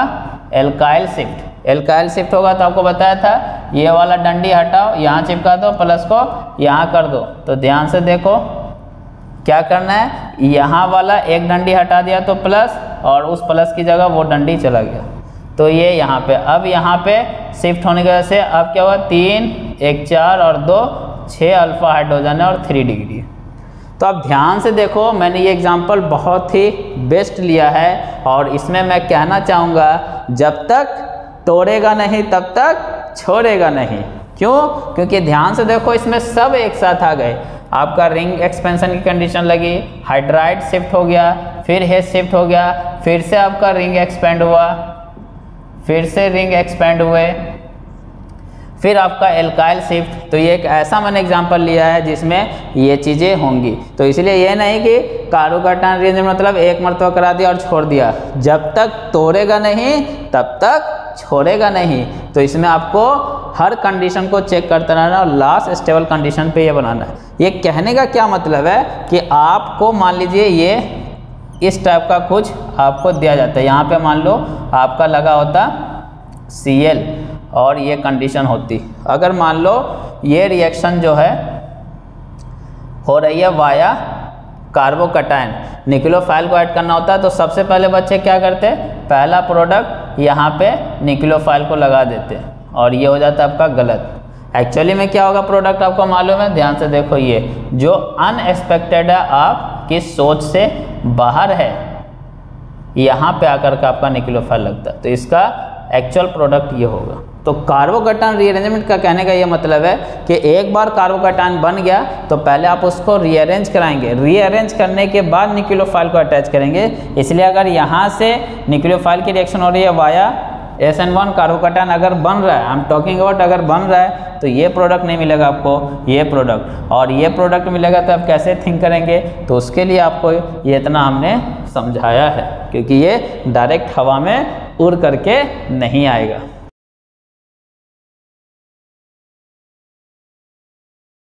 हेलो एवरीवन कैसा का है आज के इस वीडियो लेक्चर में हम लोग बात करेंगे एनालिसिस ऑफ़ कंपाउंड्स के बारे में। तो दो तरीके से एनालिसिस करेंगे। एक होता है क्वांटिटेटिव तो ये क्वांटिटी वर्ड से बना है। डैट मीन्स अमाउंट कैलकुलेट करेंगे। तो इसलिए इसमें कैलकुलेशन आएगा। तो ये फ़िज़िकल केमिस्ट्री से रिलेटेड बात हो गई। सेकेंड जो है वो क्वालिटेटिव डैट मीन्स क्वालिटी के बारे में बात करेंगे। डैट मीन्स ये थेरेटिकल क्वेश्चन इस पर बेस्ड आएँगे। और कितने एलिमेंट का एनालिसिस करना है, वो भी फिक्स है। कार्बन का करना हमें हाइड्रोजन का नाइट्रोजन का हेलोजन का सल्फ़र का और फास्फोरस का। ये तीन इनऑर्गेनिक कंपाउंड हो गए एक तरीके से, और ये ऑर्गेनिक वाले। तो टोटल सिक्स एलिमेंट का हमें एनालिसिस करना है क्वांटिटेटिव में और क्वालिटेटिव में राइट तो सबसे पहले हम बात करते हैं क्वांटिटेटिव के बारे में। Now quantitative analysis right right. तो इट्स वेरी सिंपल कंसेप्ट क्या है? We know total six element है हमारे पास राइट right? तो आपको क्या करना है? जो भी अननोन सैंपल होगा राइट जैसे मान लो ये अननोन सैंपल है तो इसमें क्या क्या हो सकते हैं? कार्बन हो सकता है हाइड्रोजन हो सकता है नाइट्रोजन फॉस्फोरस सल्फ़र और हेलोजन मिनिमम दो एलिमेंट होंगे, मैक्सिमम ये छः हो सकते हैं राइट तो ये अननोन सैंपल है। तो इसके मास को मैं बोल रहा हूँ एम को, इसका मास आपको क्वेश्चन में क्लियरली गिवन होगा। तो मास ऑफ़ सैंपल जो आपको गिवन होगा। जब क्वेश्चन में पढ़ के कैसे पता लगेगा? तो जब बोला कि मास ऑफ़ द सैंपल ऐसे, या मास इज़ दिस, बताया नहीं कि वो किसका है राइट मेंशन नहीं किया तो वो मास क्या है? सैंपल का मास है। तो वो क्वेश्चन में गिवन होगा। दूसरा एमआर मतलब mass of reference that means जब इन सबको बर्न करेंगे या किसी पर्टिकुलर रिएजेंट से रिएक्ट कराएँगे तो जो कंपाउंड बनेगा, वो रिफरेंस होगा हमारा और उसका मास भी आपको गिवन होगा। वो पर्टिकुलरली मेंशन होगा कि मास ऑफ़ दिस रिफरेंस क्या है। वेरी सिंपल है, ध्यान से समझो। सीरियल नंबर से लिखा, अगर कार्बन होगा तो उसके लिए रिफरेंस CO2 तो CO2 का मास दे देगा आपको।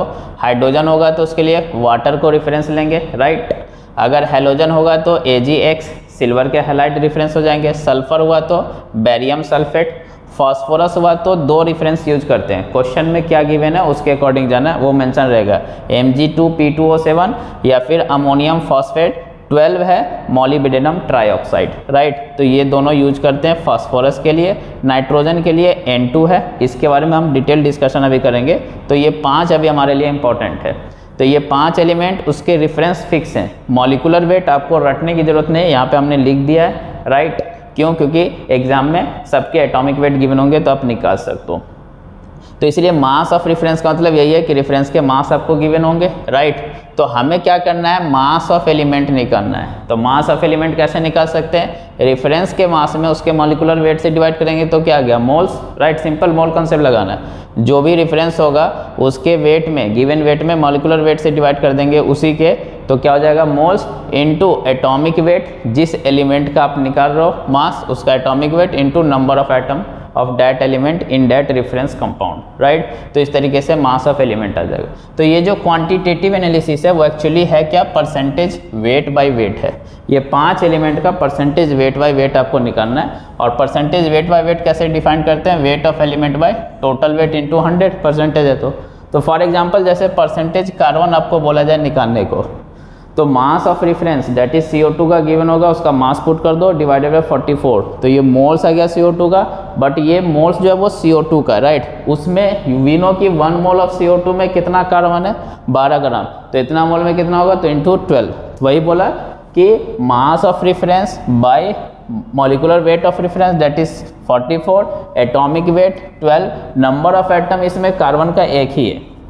राइट right, इसीलिए आपको सिर्फ़ 12 क्या। अगर मान लो ऑक्सीजन का निकालना होता तो कितना करते? 16 होता है एटॉमिक वेट इंटू टू करना पड़ता है। यहाँ पे नंबर ऑफ़ एटम का वही मतलब है कि रेफरेंस में उसके कितने हैं एटम राइट right? तो ये मास ऑफ़ एक्चुअली क्या हो गया? C divided by mass of sample that is total mass into hundred वैसे ही हाइड्रोजन का निकालना है तो कैसे निकालेंगे? वेरी सिंपल रेफरेंस का मास दैट मीन्स वाटर का गिवन होगा आपको डिवाइडेड बाई एटीन तो मोल्स हो गए इंटू टू क्यों किया? क्योंकि दो आइटम है उसके राइट एटॉमिक वेट वन है into two divided by sample का मास इंटू हंड्रेड वैसे ही सल्फ़र हो, या हेलोजन हो, या फॉस्फोरस हो, जो भी हो तो क्या हो जाएगा? उसका जो रेफरेंस है, जो यहाँ लिख दिया, उसके गिवन वेट में डिवाइड कर देना है, उसके करस्पॉन्डिंग रेफरेंस के मॉलिकुलर वेट से इंटू वही atomic weight into number of atom sulphur में एटॉमिक वेट आपका कितना है? 32 राइट और एटम कितने हैं? एक ही हैं डिवाइडेड बाय सैंपल का मास इंटू 100 तो ये है और इसको देख करके बच्चे डर जाते हैं। ये सिंपल मोल कॉन्सेप्ट के क्वेश्चन है बेटा। इससे एक क्वेश्चन फिक्स है। अच्छे से समझ लो। अभी मैं कुछ प्रॉब्लम लेकर के भी समझाऊँगा। तो नाइट्रोजन के लिए, जैसा आपको बताया कि इसके लिए हम लोग डिफरेंट वे में करेंगे? बाकी पाँच एलिमेंट के लिए आपको बताया था सिंपल है। बाय द वे ये भी परसेंटेज वेट बाय वेट ही है, लेकिन निकालने का तरीका थोड़ा सा दूसरा है।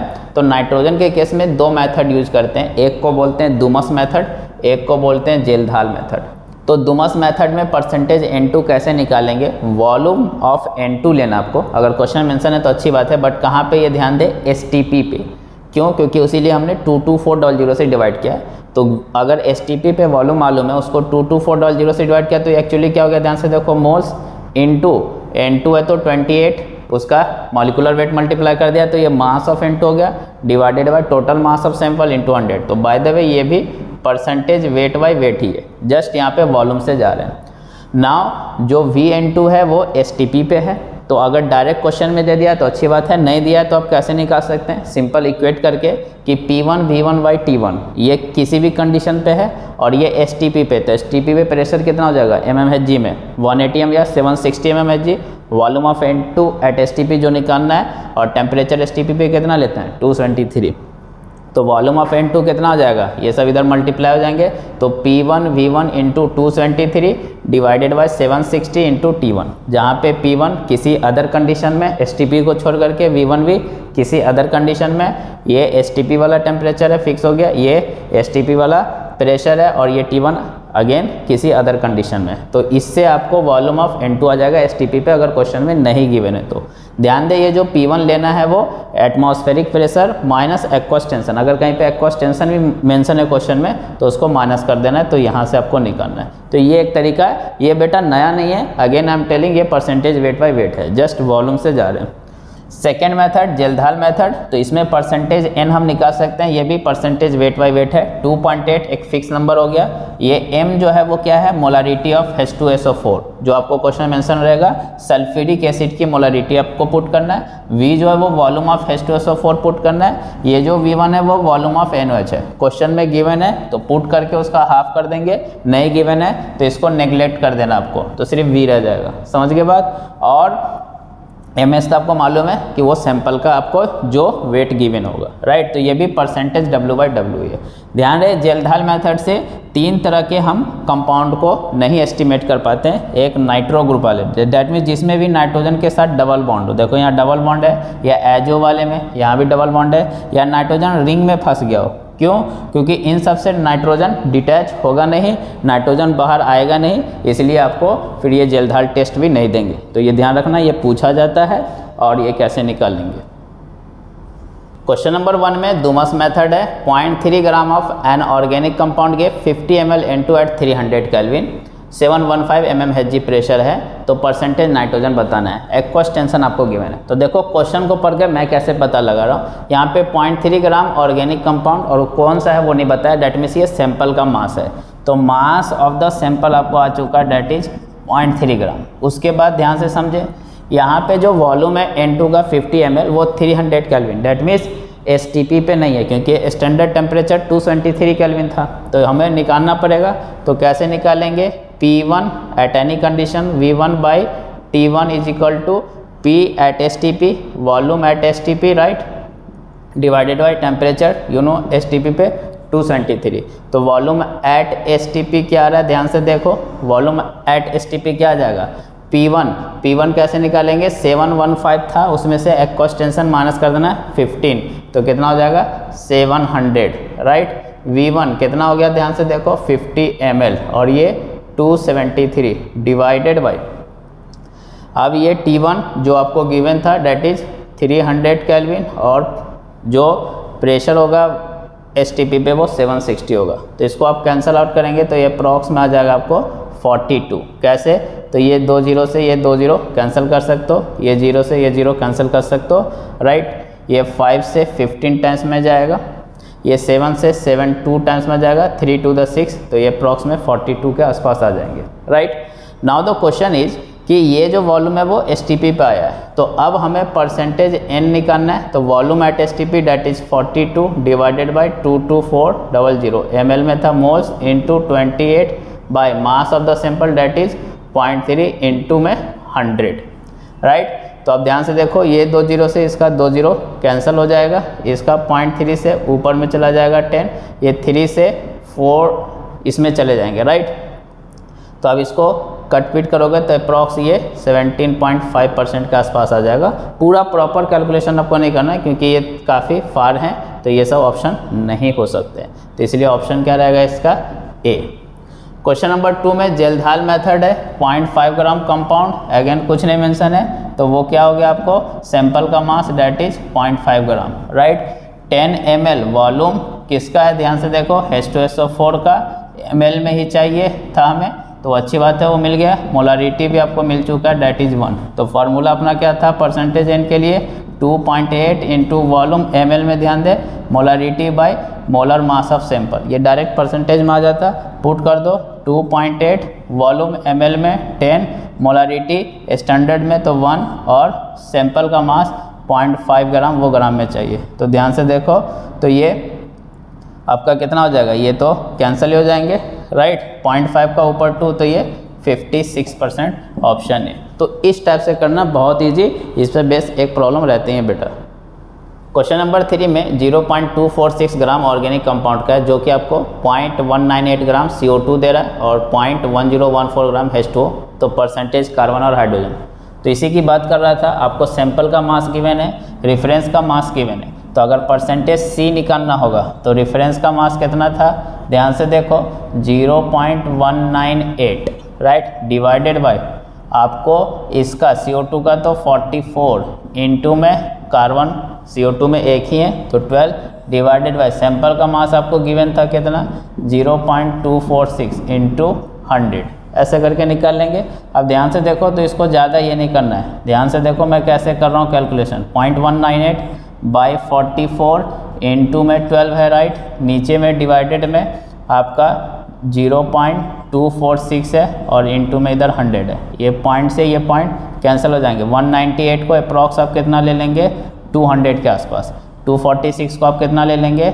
250 के आसपास। उससे फ़र्क नहीं पड़ेगा राइट तो 250 से ये कैंसिल हो जाएँगे। 12 से ये 12 टू द टू से ये टू फाइव द राइट तो यहाँ पे आप ध्यान से देखो और ये 44 को अगर आप 45 लेते हो तो ये 9 टाइम्स में तो ये अप्रॉक्स में 21 परसेंट के आसपास आ जाएगा। तो इस टाइप से करना है। सिमिलरली परसेंटेज हाइड्रोजन निकालना हो तो कैसे निकलेगा आपका? इसका गिवन है 0.101 divided by 18 into two divided by total sample का मास 0.246 इंटू हंड्रेड तो ये अप्रॉक्स में आपको आ जाएगा 4.5 परसेंट के आसपास। तो इस तरीके से इजीली कर सकते हैं। जैसे कैरियस मेथड में 0.15 ग्राम सैंपल तो डेट मीन्स सैंपल का मास दे दिया आपको डायरेक्ट इतना gram A G B R तो बी आर का परसेंटेज तो परसेंटेज बी आर क्या हो जाएगा? रेफरेंस का मास आपको गिवन है point one two divided by इसका टोटल तो वन एटी एट क्योंकि ए जी का वन ज़ीरो एट और बी आर का एटी राइट टू में बी आर उसमें कितना है? एक ही है राइट तो कितना होता है उसका? 80 डिवाइडेड बाय सैंपल का कितना है? पॉइंट वन फाइव इंटू में हंड्रेड। अगेन कैलकुलेशन ईजी है कैसे? देखो, point one two into eighty into hundred divided by one eighty eight into point one five. Point से point cancel three four the three five the right तो one eighty eight को आप approx 200 के आसपास ले सकते हो। तो आप यहाँ पे अगर निकालोगे तो कितना आ जाएगा? ध्यान से देखो तो 34 35 के आसपास। तो ये आ जाएगा परसेंटेज में। तो इस तरीके से आपको करना है। नाउ क्वालिटेटिव एनालिसिस तो बहुत सिंपल है और बहुत इंपॉर्टेंट है। यहाँ से भी क्वेश्चन रहते हैं। तो ध्यान से देखो, अगर कार्बन या हाइड्रोजन को अगर आपको आइडेंटिफाई करना हो तो पहले क्या करना है? कार्बन या हाइड्रोजन वाले सैंपल जो अननोन सैंपल है, उसकी रिएक्शन कॉपर के ऑक्साइड कॉपर प्लस टू में होना चाहिए। ये सब पॉइंट ध्यान में रखना है कॉपर के ऑक्साइड इससे रिएक्ट कराते हैं। तो क्या होता है? कार्बन सी में कन्वर्ट हो जाएगा हाइड्रोजन हेस्टो में और कॉपर ज़ीरो में आ जाएगा। अब अगर कार्बन डाइऑक्साइड गैस निकली है तो उसकी रिएक्शन लाइम वाटर से करा देंगे तो प्रिसिपिटेट आ जाएगा राइट तो इसका मतलब CO2 था डेट मीन्स कार्बन था। तो कार्बन का डिटेक्शन ऐसे होता है। वैसे ही अगर वाटर होगा तो कॉपर सल्फेट में ऐड कर देते हैं एनहाइड्रस वाले में, जो वाइट कलर का होता है वाटर ऐड होते ही ब्लू कलर में आ जाएगा, इसका मतलब वाटर था वाटर था मतलब हाइड्रोजन था। तो कार्बन और हाइड्रोजन को इस तरीके से हम लोग पहचानते हैं। वैसे ही नाइट्रोजन, सल्फ़र, हेलोजन, फास्फोरस, इन सब के लिए एक कॉमन टेस्ट है डैट इज़ लसाइन टेस्ट और वेरी इंपॉर्टेंट है ये, पहले आप क्या करेंगे, इन सब में नाइट सोडियम ऐड कर देंगे। क्या करेंगे पहले, इन सब में सोडियम ऐड कर देंगे तो सोडियम फ्यूजन एक्सट्रैक्ट उसको बोलते हैं। तो कार्बन नाइट्रोजन होगा तो एन सल्फ़र होगा तो Na2S हेलोजन होगा तो Na ये बन जाएगा। तो इसको बोलते हैं सोडियम फ्यूजन एक्सट्रैक्ट बात समझ में आ गई? जो अननोन सैंपल होगा, उसमें सोडियम डाल करके उसको रिएक्शन करा देना है। तो जो प्रेजेंट होगा, उसके अकॉर्डिंग ये कंपाउंड बन जाएँगे। फिर फर्दर इसका कन्फर्मेटरी टेस्ट करेंगे। आप कैसे? अगर नाइट्रोजन का करना हो तो हम क्या करेंगे पहले? साइनाइड आयन बना होगा। सी और एन से एन एस एन से तो इसकी रिएक्शन आयरन प्लस टू वाले कंपाउंड से करेंगे। तो ये कॉम्प्लेक्स बन जाएगा। फिर आयरन प्लस थ्री वाला कंपाउंड उसमें ऐड करना है। तो इसका थ्री है वैलेंसी इसका फोर क्रॉस मल्टीप्लाई कर देंगे। तो ये फॉर्मूला भी ध्यान में रखना है। पूछा जाता है आयरन यहाँ पे फोर कैसे? ये थ्री इधर जाएगा फोर इधर जाएगा राइट और इसका टोटल एफिशियंसी इसका टोटल थ्री रहेगा। तो ये पर्शियन ब्लू कलर आते हैं, इसका मतलब नाइट्रोजन प्रेजेंट है। वैसे ही सल्फ़र का करना हो तो दो टेस्ट हैं। लैड के कंपाउंड प्लस टू वाले से कराओ। अगर ब्लैक कलर का प्रिसिपिटेट आ रहा है तो कन्फर्मेशन हो गया। या फिर F E C N five N O वाले कंपाउंड से कराओ। कॉम्प्लेक्स कंपाउंड से। तो सल्फ़र इसके अंदर घुस जाएगा। नॉस मतलब सल्फ़र भी आ जाएँगे। और वायलेट कलर अगर मिल रहा है तो सल्फ़र का डिटेक्शन हो चुका है। वैसे ही नाइट्रोजन और सल्फ़र दोनों अगर प्रेजेंट हो तो उसके लिए सिंपल थायोसाइनाइड बनेगा यहाँ पे राइट एस वाला सोडियम फ्यूजन एक्सटेट में। उसकी रिएक्शन आयरन प्लस थ्री वाले किसी भी कंपाउंड से करा दो। ब्लड रेड कलर आ रहा है तो मतलब नाइट्रोजन, सल्फ़र दोनों प्रेजेंट है। वैसे ही हेलोजन के लिए आप सिल्वर के किसी कंपाउंड प्लस वन वाले से रिएक्शन करा दो तो आपको एजीएक्स का प्रिसिपिटेट मिल जाएगा, जिससे कन्फर्म हो जाएगा कि हेलोजन है। और फॉस्फोरस के लिए पहले उसको सोडियम पर में डैट मीन्स फास्फोरस को ऑक्सीडाइज कर देते हैं, उसके हाईएस्ट प्लस फाइव तक डैट इज़ एन बना लेते हैं। फिर उसमें ये कंपाउंड डालते हैं, इसको ध्यान में रखना है अमोनियम टेट्रामोलिबिडेट है, जिससे N H four whole three P O four क्योंकि पी ओ फोर पर माइनस थ्री होगा तो उसको बैलेंस करने के लिए एन एच फोर पे एक प्लस है तो तीन। ये तो अमोनियम फॉस्फोमोलिबिडेट बोलते हैं, और ये ट्वेल्व एमओ ओ थ्री ये एमओ मॉलिबिडेनम है। तो ये कंपाउंड इंपॉर्टेंट है, इसको ध्यान में रखना है। हेलोजन का कैसे करते हैं? नाइट्रोजन सल्फ़र दोनों हो तो एंड सो ऑन तो ये बहुत इंपॉर्टेंट है जस्ट इतना ध्यान में रखना बेटा आपको। नाउ जाते जाते ज्ञान की बात डेट इज़ वेरी इंपॉर्टेंट कि आपका जो अननोन सैंपल होगा, उसमें कार्बन होंगे हाइड्रोजन होंगे नाइट्रोजन होंगे। तो इसलिए एक्स वाई जेड उसके हमने नंबर ले लिए। उसकी रिएक्शन कॉपर प्लस टू वाले ऑक्साइड से कराना है। तो कार्बन होगा तो क्या मिलेगा? सी हाइड्रोजन होगा तो क्या मिलेगा? H2O नाइट्रोजन होगा तो N2 राइट अब इसको बैलेंस कैसे करेंगे? तो यहाँ जितना कार्बन में X है तो X CO2 कर देना है। हाइड्रोजन में Y है ऑलरेडी टू है तो इसलिए Y बाई टू किया। नाइट्रोजन में Z है ऑलरेडी यहाँ पे टू है तो इसलिए Z बाई टू किया राइट अब अगर आप ध्यान से देखो तो ऑक्सीजन कितना हो गया? टू एक्स और इधर से वाई बाई टू तो इसलिए ऑक्सीजन को बैलेंस किया तो two X plus Y by two तो कॉपर भी इतना हो गया तो इसलिए इधर two X plus Y by two गया. तो इसको ऐसा नहीं कि रटना है, बस समझते हुए इसका भी यूज़ हो सकता है कि इसके इतने मोल्स से कितने मोल्स मिलेंगे. मोल कंसेप्ट के क्वेश्चन पूछे जा सकते हैं, या क्या क्या मिलता है. दूसरा, जो भी आपको बताया कि दूमस या जेलधाल मेथड से नाइट्रोजन का परसेंटेज निकालते हैं कैरियस मेथड से, हेलोजन सल्फ़र या फास्फोरस का और लेबिक्स मेथड से कार्बन या हाइड्रोजन का। तो ये सब जो है वो क्वांटिटेटिव वाले क्वांटिटी जो अमाउंट निकालते थे परसेंटेज वाले तो ये वो मेथड है और लसाइन टेस्ट से हम नाइट्रोजन सल्फ़र या हेलोजन का पहचान करते हैं राइट तो आई होप मेरा ये प्रयास आपको पसंद आया होगा। बेटा, सारे ये वाले कंसेप्ट इम्पोर्टेंट और इजी है और यहाँ से क्वेश्चन फिक्स है रहेगा, इसलिए इसको अच्छे से करके जाना, क्योंकि एक या दो क्वेश्चन आपका फिक्स है एवरी ईयर मेंस के एग्ज़ाम में। Thank you